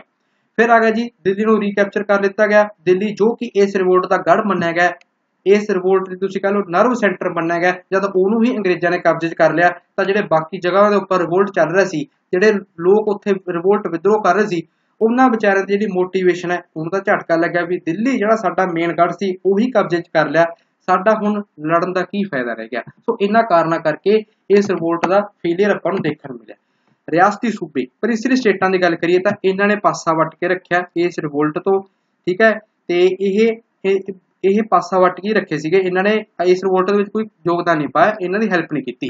ਹੁਣ ਆਪਾਂ ਇਹ ਗੱਲ ਕਰ ਲਈ ਅੰਗਰੇਜ਼ਾਂ ਦੀ ਕਿਹੜੇ-ਕਿਹੜੇ ਬੰਦਿਆਂ ਨੇ ਮਦਦ ਕੀਤੀ ਇਸ ਰਿਵੋਲਟ ਨੂੰ? ਦਬਾਉਣ ਦੇ ਵਿੱਚ। ਸਭ ਤੋਂ ਪਹਿਲਾਂ ਇੰਦੌਰ ਦੇ ਜਿਹੜੇ ਹੋਲਕਰ ਸੀਗੇ, ਉਹ ਅੰਗਰੇਜ਼ਾਂ ਦੇ ਪੱਖ 'ਚ ਰਹੇ। ਮਾਨ ਸਿੰਘ ਗਵਾਲੀਅਰ ਵਿਖੇ, ਠੀਕ ਹੈ, ਇਹਨੇ ਤਾਂਤੇ ਟੋਪੇ ਨੂੰ ਧੋਖਾ ਦਿੱਤਾ ਸੀਗਾ, ਤਾਂ ਕਰਕੇ ਉਹ ਹਾਰ ਗਈ। ਫਿਰ ਹైదరాబాద్ ਦਾ ਨਿਜ਼ਾਮ, ਕਸ਼ਮੀਰ ਦਾ ਗੁਲਾਬ ਸਿੰਘ ਡੋਗਰਾ, ਸਿੱਖ ਰੂਲਰ ਸੀਗੇ ਪਟਿਆਲਾ, ਨਾਭਾ ਤੇ ਜੀਨ ਦੇ ਜਿਹੜੇ ਇਹ ਰਾਜ ਸੀਗੇ, ਇਹ ਵੀ ਬ੍ਰਿਟਿਸ਼ ਅੰਗਰੇਜ਼ਾਂ ਦੇ ਪ੍ਰਤੀ ਇਹ ਵਫਾਦਾਰ ਰਹੇ ਸੀ ਅੱਛਾ, ਤੁਸੀਂ ਸੋਚ ਰਹੇ ਹੋਗੇ ਸਿੱਖਾਂ ਨੂੰ ਤਾਂ ਹੈਲਪ ਕਰਨੀ ਚਾਹੀਦੀ ਸੀਗੀ ਇਸ ਰਿਵੋਲਟ ਦੇ ਵਿੱਚ ਬਟ ਸਿੱਖਾਂ ਨੇ ਇਸ ਰਿਵੋਲਟ ਦੇ ਵਿੱਚ ਹੈਲਪ ਕਿਉਂ ਨਹੀਂ ਕੀਤੀ? ਆਪਣੀ ਇਸ ਰਿਵੋਲਟ ਦੇ ਵਿੱਚ ਅੰਗਰੇਜ਼ਾਂ ਨੂੰ ਹਰਾਉਣ ਦੇ ਵਿੱਚ ਤਾਂ ਦੇਖੋ, ਸਿੱਖਾਂ ਦਾ ਤਰਕ ਸਹੀ ਵੀ ਸੀ ਆਪਣੀ ਜਗ੍ਹਾ ਤੇ ਬਟ ਥੋੜਾ ਜਿਹਾ ਜੇ ਉਸ ਤੋਂ ਉੱਪਰ ਉੱਠ ਕੇ ਆਪਾਂ ਸੋਚਦੇ ਉਸ ਵੇਲੇ ਤਾਂ ਸ਼ਾਇਦ ਕੋਈ ਗੱਲ ਬਣ ਜਾਂਦੀ। ਸਿੱਖ ਇਹ ਚਾਹੁੰਦੇ ਸੀ, ਦੇਖੋ, ਸਿੱਖਾਂ ਨੂੰ ਤਾਂ ਇਹ ਰੋਸ ਸੀਗਾ ਜਿਹੜੇ ਮੁਗਲ ਸਾਡੇ ਉੱਪਰ ਅਤਿਆਚਾਰ ਕਰਦੇ ਰਹੇ ਨੇ ਆ ਫਾਰੂਕ ਸਿਆਰ ਹੋਈ ਬਾਦਰ ਸ਼ਾਹ ਜ਼ਾਫਰ ਦੇ ਅੱਗੇ ਦਾਦੇ ਪੜਦਾਦੇ, ਇਹ ਤਾਂ ਸਾਡੇ ਉੱਪਰ ਬਹੁਤ ਅਤਿਆਚਾਰ ਕਰਦੇ ਰਹੇ ਨੇ। ਅਸੀਂ ਇਹਨਾਂ ਦੀ ਮਦਦ ਕਿਉਂ ਕਰੀਏ? ਤਾਂ ਕਰਕੇ ਜਿਹੜੇ ਸਿੱਖ ਸੀਗੇ ਨਾ, ਉਹ ਇਹਨਾਂ ਮੁਗਲਾਂ ਦਾ ਸਾਥ ਨਹੀਂ ਦੇਣਾ ਚਾਹੁੰਦੇ ਸੀਗੇ। ਤੇ ਤਾਂ ਕਰਕੇ ਉਹ ਇਸ ਰਿਵੋਲਟ ਤੋਂ ਕੰਨੀ ਕੱਟ ਕੇ ਰਹੇ, ਕੰਨੀ ਵੱਟ ਕੇ ਰਹੇ ਸੀ। ਫਿਰ ਆਪਾਂ ਗੱਲ ਕਰਦੇ ਆ ਜ਼ਮੀਨਦਾਰ ਹੋ ਗਏ, ਜ਼ਿਆਦਾਤਰ ਜਿਹੜੇ ਵੱਡੇ ਜ਼ਮੀਨਦਾਰ ਸੀਗੇ ਲੈਂਡ ਲੋਡ ਹੋ ਗਏ ਮਨੀ ਲੈਂਡਰ ਵੱਡੇ ਵੱਡੇ ਟ੍ਰੇਡਰ ਸੀਗੇ, ਉਹ ਅੰਗਰੇਜ਼ ਈਸਟ ਇੰਡੀਆ ਕੰਪਨੀ ਦੇ ਪ੍ਰਤੀ ਵਫਾਦਾਰ ਰਹੇ ਸੀਗੇ। ਜਿਹੜੇ ਪੜ੍ਹੇ ਲਿਖੇ ਲੋਕ ਸੀਗੇ ਐਜੂਕੇਟਡ ਲੋਕ ਸੀਗੇ, ਉਹਨਾਂ ਨੇ ਵੀ ਪਾਸਾ ਵੱਟ ਕੇ ਰੱਖਿਆ ਇਸ ਰਿਵੋਲਟ ਤੋਂ ਕਾਹਤੋਂ ਕਿਉਂਕਿ ਐਜੂਕੇਟਡ ਲੋਕ ਸੀਗੇ ਜਿਹੜੇ ਰਾਮ ਮੋਹਨ ਰਾਏ ਵਰਗੇ। ਉਹ ਤਾਂ ਵਿਚਾਰੇ ਚਾਹੁੰਦੇ ਸੀ ਕਿ ਸੋਸਾਇਟੀ ਨੂੰ ਰਿਫਾਰਮ ਕੀਤਾ ਜਾ ਸਕੇ ਆ ਜਿਹੜਾ ਕਾਸਟ ਈਵਲਸ ਇਹਨਾਂ ਨੇ ਖਤਮ ਕੀਤੇ ਸੀ, ਅੰਗਰੇਜ਼ਾਂ ਨੇ, ਉਹ ਤਾਂ ਇਹਨਾਂ ਚੀਜ਼ਾਂ ਨੂੰ ਉਹ ਕਰਦੇ ਸੀਗੇ ਸਪੋਰਟ ਕਰਦੇ ਸੀ ਬਟ ਉਹ ਕਹਿੰਦੇ ਵੀ ਇਸ ਰਿਵੋਲਟ ਦੇ ਵਿੱਚ ਇਹ ਲੋਕ ਤਾਂ, ਇਹਨਾਂ ਲੋਕਾਂ ਦੇ ਕਾਰਨ ਹੀ ਇਹ ਨੇ ਵੀ ਸਾਡੀ ਪਰੰਪਰਾਵਾਂ ਨੂੰ ਇਹ ਠੇਸ ਪਹੁੰਚਾ ਰਹੇ ਨੇਗੇ, ਤਾਂ ਅਸੀਂ ਰਿਵੋਲਟ ਕਰ ਰਹੇ ਹਾਂ, ਸੋ ਤਾਂ ਕਰਕੇ ਜਿਹੜੇ ਐਜੂਕੇਟਡ ਇਲਾਈਟ ਲੋਕ ਸੀਗੇ, ਉਹ ਇਸ ਰਿਵੋਲਟ ਤੋਂ ਪਾਸਾ ਵੱਟ ਕੇ ਰੱਖਿਆ ਸੀ। ਫਿਰ ਰੇਲਵੇਜ਼ ਟੈਲੀਗ੍ਰਾਫ ਤੇ ਪੋਸਟਲ ਸਰਵਿਸ ਜੋ ਕਿ ਲਾਰਡ ਡਲਹੌਜੀ ਦੇ ਵੇਲੇ ਆਈਆਂ ਇਹਨਾਂ ਨੇ ਅੰਗਰੇਜ਼ਾਂ ਨੂੰ ਬਹੁਤ ਵੱਡਾ, ਤੁਸੀਂ ਕਹਿ ਲਓ ਗੇਨ ਦਿੱਤਾ ਸੀਗਾ ਇਸ ਰਿਵੋਲਟ ਨੂੰ ਦਬਾਉਣ ਦੇ ਲਈ। ਸੋ ਇਹ ਉਹ ਬੰਦੇ ਸੀਗੇ, ਇਹ ਉਹ ਕਾਰਨ ਸੀਗੇ ਜਿਨ੍ਹਾਂ ਨੇ ਅੰਗਰੇਜ਼ਾਂ ਨੂੰ ਹੈਲਪ ਕੀਤੀ ਸੀ ਇਸ ਰਿਵੋਲਟ ਨੂੰ ਦਬਾਉਣ ਦੀ। ਰਿਵੋਲਟ ਦਾ ਨੇਚਰ ਕਿਹੋ ਜਿਹਾ ਰਿਹਾ? ਸਭ ਤੋਂ ਪਹਿਲਾਂ ਕੋਈ ਵੀ ਕਮਿਊਨਲਿਜ਼ਮ ਦੀ ਭਾਵਨਾ ਨਹੀਂ ਸੀ। ਹਿੰਦੂ ਮੁਸਲਿਮ ਭਾਈਚਾਰੇ ਦੀ ਏਕਤਾ ਦੇਖਣ ਨੂੰ ਮਿਲੀ ਇਸ ਰਿਵੋਲਟ ਦੇ ਵਿੱਚ, ਉਹ ਆਪਾਂ ਪਿੱਛੇ ਪੜ ਚੁੱਕੇ ਹਾਂ।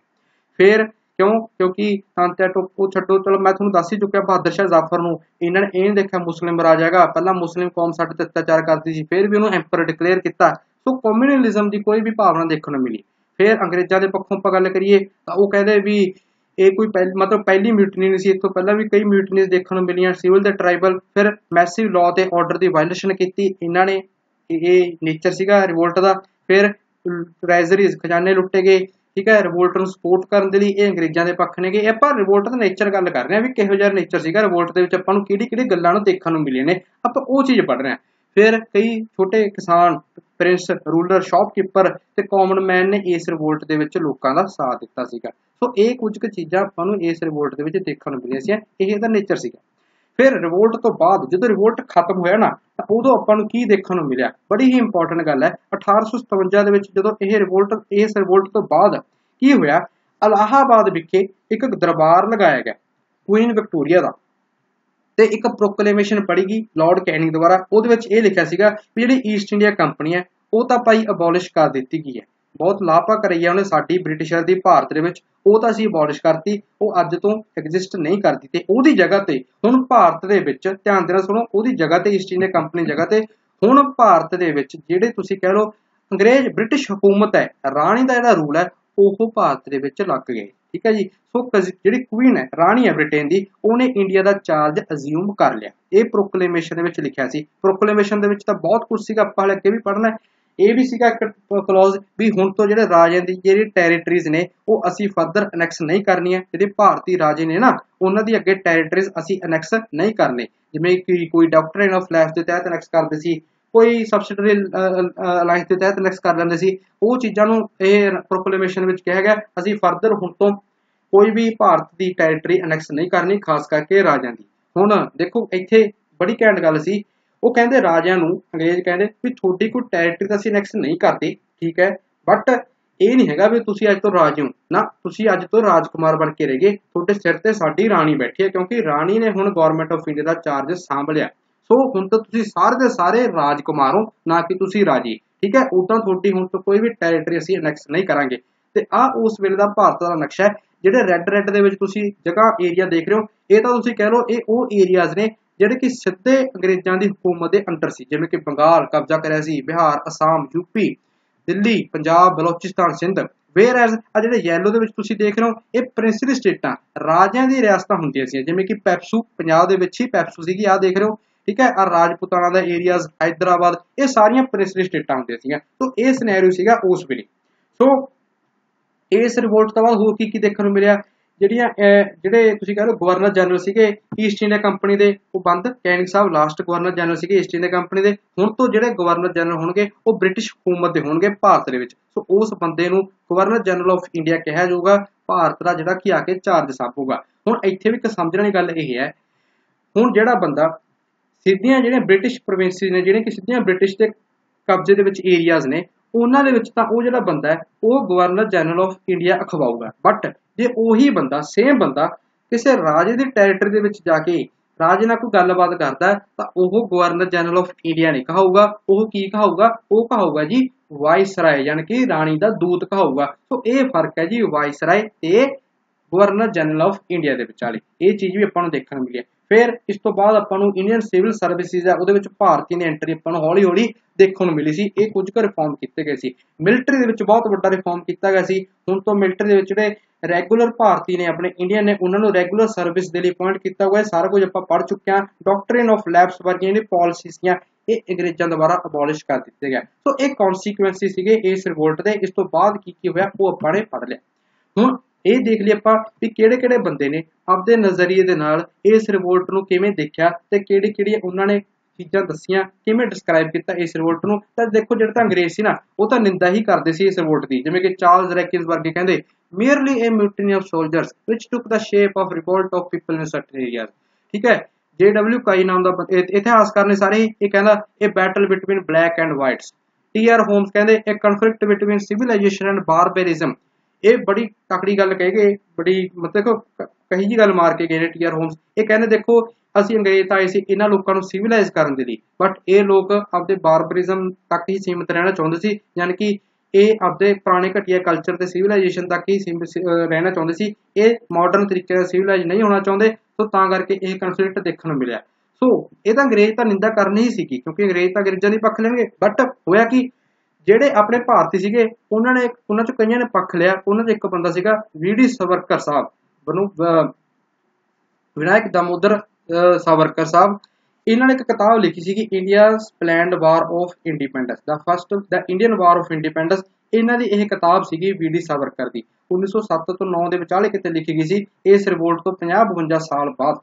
ਇਹਨਾਂ ਨੇ ਇਹ ਦੱਸਣ ਦੀ ਕੋਸ਼ਿਸ਼ ਕੀਤੀ ਸੀ ਭਾਰਤੀਆਂ ਨੂੰ ਵੀ ਇਹ ਕੋਈ ਛੋਟੀ-ਮੋਟੀ ਮਿਊਟਨੀ ਨਹੀਂ ਸੀ ਕਿ ਜਿਹੜੀ ਅੰਗਰੇਜ਼ ਕਹਿੰਦੇ ਫਿਰਦੇ ਨੇ ਨਾ, ਇਹ ਪਹਿਲੀ ਵਾਰ ਆਫ ਇੰਡੀਪੈਂਡੈਂਸ ਸੀ ਦੇਸ਼ ਦੀ ਆਜ਼ਾਦੀ ਦੀ ਤੇ ਇਹਨਾਂ ਦੀ ਇਹ ਕਿਤਾਬ ਨੇ ਪ੍ਰਮੋਟ ਬਹੁਤ ਕੀਤਾ ਸੀਗਾ, ਭਾਰਤੀਆਂ ਨੂੰ ਅੱਗੇ ਜਾ ਕੇ ਦੇਸ਼ ਦੀ ਆਜ਼ਾਦੀ ਦੇ ਵਿੱਚ ਆਪਦਾ ਹਿੱਸਾ ਪਾਉਣ ਦੇ ਲਈ। ਸੋ ਇਹ ਨੇ ਜੀ ਵਿਨੋ ਵਿਨਾਇਕ ਦਾਮੋਦਰ ਸਵਰਕਰ ਠੀਕ ਹੈ? ਇਹਨਾਂ ਨੂੰ ਉੱਪਰ ਵੀ ਕਈ ਰੋਪ ਲੱਗਦੇ ਰਹੇ ਨੇ, ਕੱਟੜ ਹਿੰਦੂ ਹੁੰਦੇ ਸੀਗੇ ਵੀਡੀ ਸਵਰਕਰ ਸਾਹਿਬ। ਇਹਨਾਂ ਨੂੰ ਵੀ ਦੇਸ਼ ਦੀ ਆਜ਼ਾਦੀ ਦੇ ਵਿੱਚ ਲੜਦੇ ਹੋਏ ਕਈ ਵਾਰ ਜੇਲ੍ਹ ਹੋਈ ਹੈ। ਅੰਗਰੇਜ਼ਾਂ ਤੋਂ ਮਾਫੀ ਬਹੁਤ ਮੰਗੇ ਨੇ ਜਿਹਦੇ ਤੋਂ ਬਾਕੀ ਫਰੀडम ਫਾਈਟਰਸ ਨੂੰ ਇਤਰਾਜ਼ ਹੁੰਦਾ ਸੀਗਾ।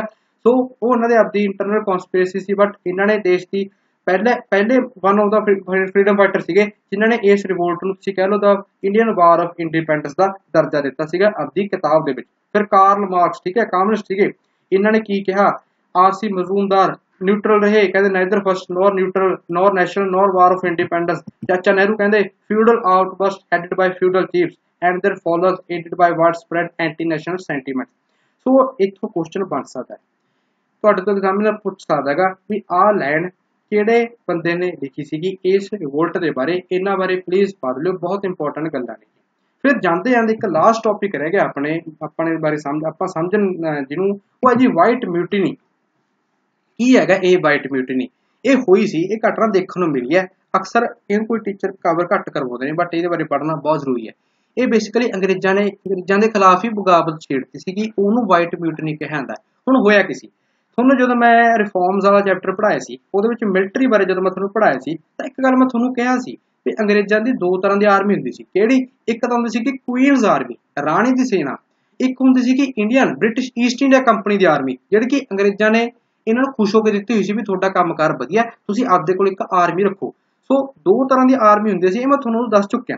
ਹੁਣ ਹੋਇਆ ਕੀ, ਇਹ ਜਦੋਂ ਰਿਵੋਲਟ ਹੋਇਆ 1858 ਦਾ ਖਤਮ, ਇਸ ਤੋਂ ਬਾਅਦ ਕੀ ਹੋਇਆ ਕੰਪਨੀ ਸੀਗੀ ਜਿਹੜੀ ਈਸਟ ਇੰਡੀਆ ਕੰਪਨੀ ਉਹ ਤਾਂ ਖਤਮ ਕਰਤੀ ਬਟ ਈਸਟ ਇੰਡੀਆ ਕੰਪਨੀ ਦੇ ਜਿਹੜੇ ਸਿਪਾਹੀ ਹੁੰਦੇ ਸੀਗੇ, ਉਹ ਤਾਂ ਹੁੰਦੇ ਸੀਗੇ। ਹੁਣ ਹੋਇਆ ਕੀ, ਜਿਹੜੇ ਈਸਟ ਇੰਡੀਆ ਕੰਪਨੀ ਦੇ ਜਿਹੜੇ ਇਹ ਸਿਪਾਹੀ ਹੁੰਦੇ ਸੀ ਨਾ, ਇਹਨਾਂ ਦੀ ਤਨਖਾਹਾਂ, ਤਨਖੂਹਾਂ ਜ਼ਿਆਦਾ ਹੁੰਦੀਆਂ ਸੀਗੀਆਂ। ਕੰਪਨੀ ਮੁਨਾਫੇ 'ਚ ਰਹਿੰਦੀ ਸੀਗੀ, ਤਕੜਾ ਕੰਮ ਸੀਗਾ ਪੱਤੇ ਪੁੱਤੇ ਇਹਨਾਂ ਨੂੰ ਜ਼ਿਆਦਾ ਮਿਲਦੇ ਸੀ।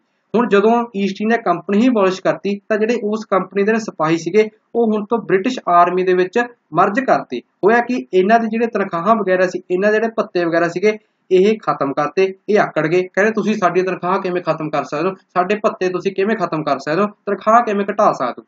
ਤੇ ਇਧਰੋਂ ਲਾਰਡ ਕੈਨਿੰਗ ਸਾਹਿਬ ਨੇ ਬਿਨਾਂ ਕੋਈ ਨੋਟਿਸ ਦਿੱਤੇ ਇਹ ਚੀਜ਼ਾਂ ਟਰਾਂਸਫਰ ਵੀ ਕਰਤਾ। ਇਹਨਾਂ ਨੂੰ, ਬੰਦਿਆਂ ਨੂੰ ਈਸਟ ਇੰਡੀਆ ਕੰਪਨੀ ਤੋਂ ਬ੍ਰਿਟਿਸ਼ ਆਰਮੀ ਦੇ ਵਿੱਚ ਟਰਾਂਸਫਰ ਵੀ ਕਰਤਾ। ਤਾਂ ਕਰਕੇ ਇਹਨਾਂ ਲੋਕਾਂ ਨੇ ਆਪਦੇ ਹੀ ਬੰਦਿਆਂ ਦੇ ਖਿਲਾਫ ਵਿਦਰੋਹ ਛੇੜਤਾ ਵੀ ਸਾਡੇ ਨਾਲ ਤੁਸੀਂ ਇਸ ਤਰੀਕੇ ਦਾ ਧੱਕਾ ਕੀਤਾ, ਇਹਨੂੰ ਹੀ ਵਾਈਟ ਮਿਊਟਨੀ ਦਾ ਦਰਜਾ ਦਿੱਤਾ ਗਿਆ। ਸੋ ਇਹ ਸੀਗਾ ਆਪਣਾ ਅੱਜ ਦਾ ਲੈਕਚਰ ਤੇ ਮੈਂ ਉਮੀਦ ਕਰਦਾ ਤੁਹਾਨੂੰ ਸਾਰਿਆਂ ਨੂੰ ਇਹ ਲੈਕਚਰ ਚੰਗਾ ਸਮਝ ਆ ਗਿਆ ਹੋਊਗਾ। ਤੇ ਬਸ ਕੱਲ ਤੋਂ ਇੱਕ ਨਵਾਂ ਟੌਪਿਕ ਸ਼ੁਰੂਆਤ ਕਰਾਂਗੇ। ਈਸਟ ਇੰਡੀਆ ਕੰਪਨੀ ਵੀ ਭੱਜ ਗਈ। ਭਾਰਤ ਦਾ ਇਤਿਹਾਸ 1857 ਤੱਕ ਕੀ ਰਿਹਾ? ਆਪਣੀ ਅੱਧੀ ਮਾਡਰਨ ਅੱਜ ਖਤਮ ਹੋ ਚੁੱਕੀ ਹੈ। ਕੱਲ ਤੋਂ ਮਾਡਰਨ ਦਾ ਆਪਾਂ ਨਵਾਂ ਫੇਜ਼ ਸ਼ੁਰੂ ਕਰਾਂਗੇ, ਜਿਹਦੇ ਵਿੱਚ ਆਪਾਂ ਫਿਰ ਕੱਲੇ ਕੱਲੇ ਵਾਇਸਰਾਏ ਦੇ ਵਿੱਚ ਦੇ ਟਾਈਮਲਾਈਨ ਦੇ ਵਿੱਚ ਕੀ ਕਿਹਾ ਉਹ ਸਾਰੇ ਕਾਸੇ ਨੂੰ ਡਿਸਕਸ ਕਰਾਂਗੇ। ਧੰਨਵਾਦ।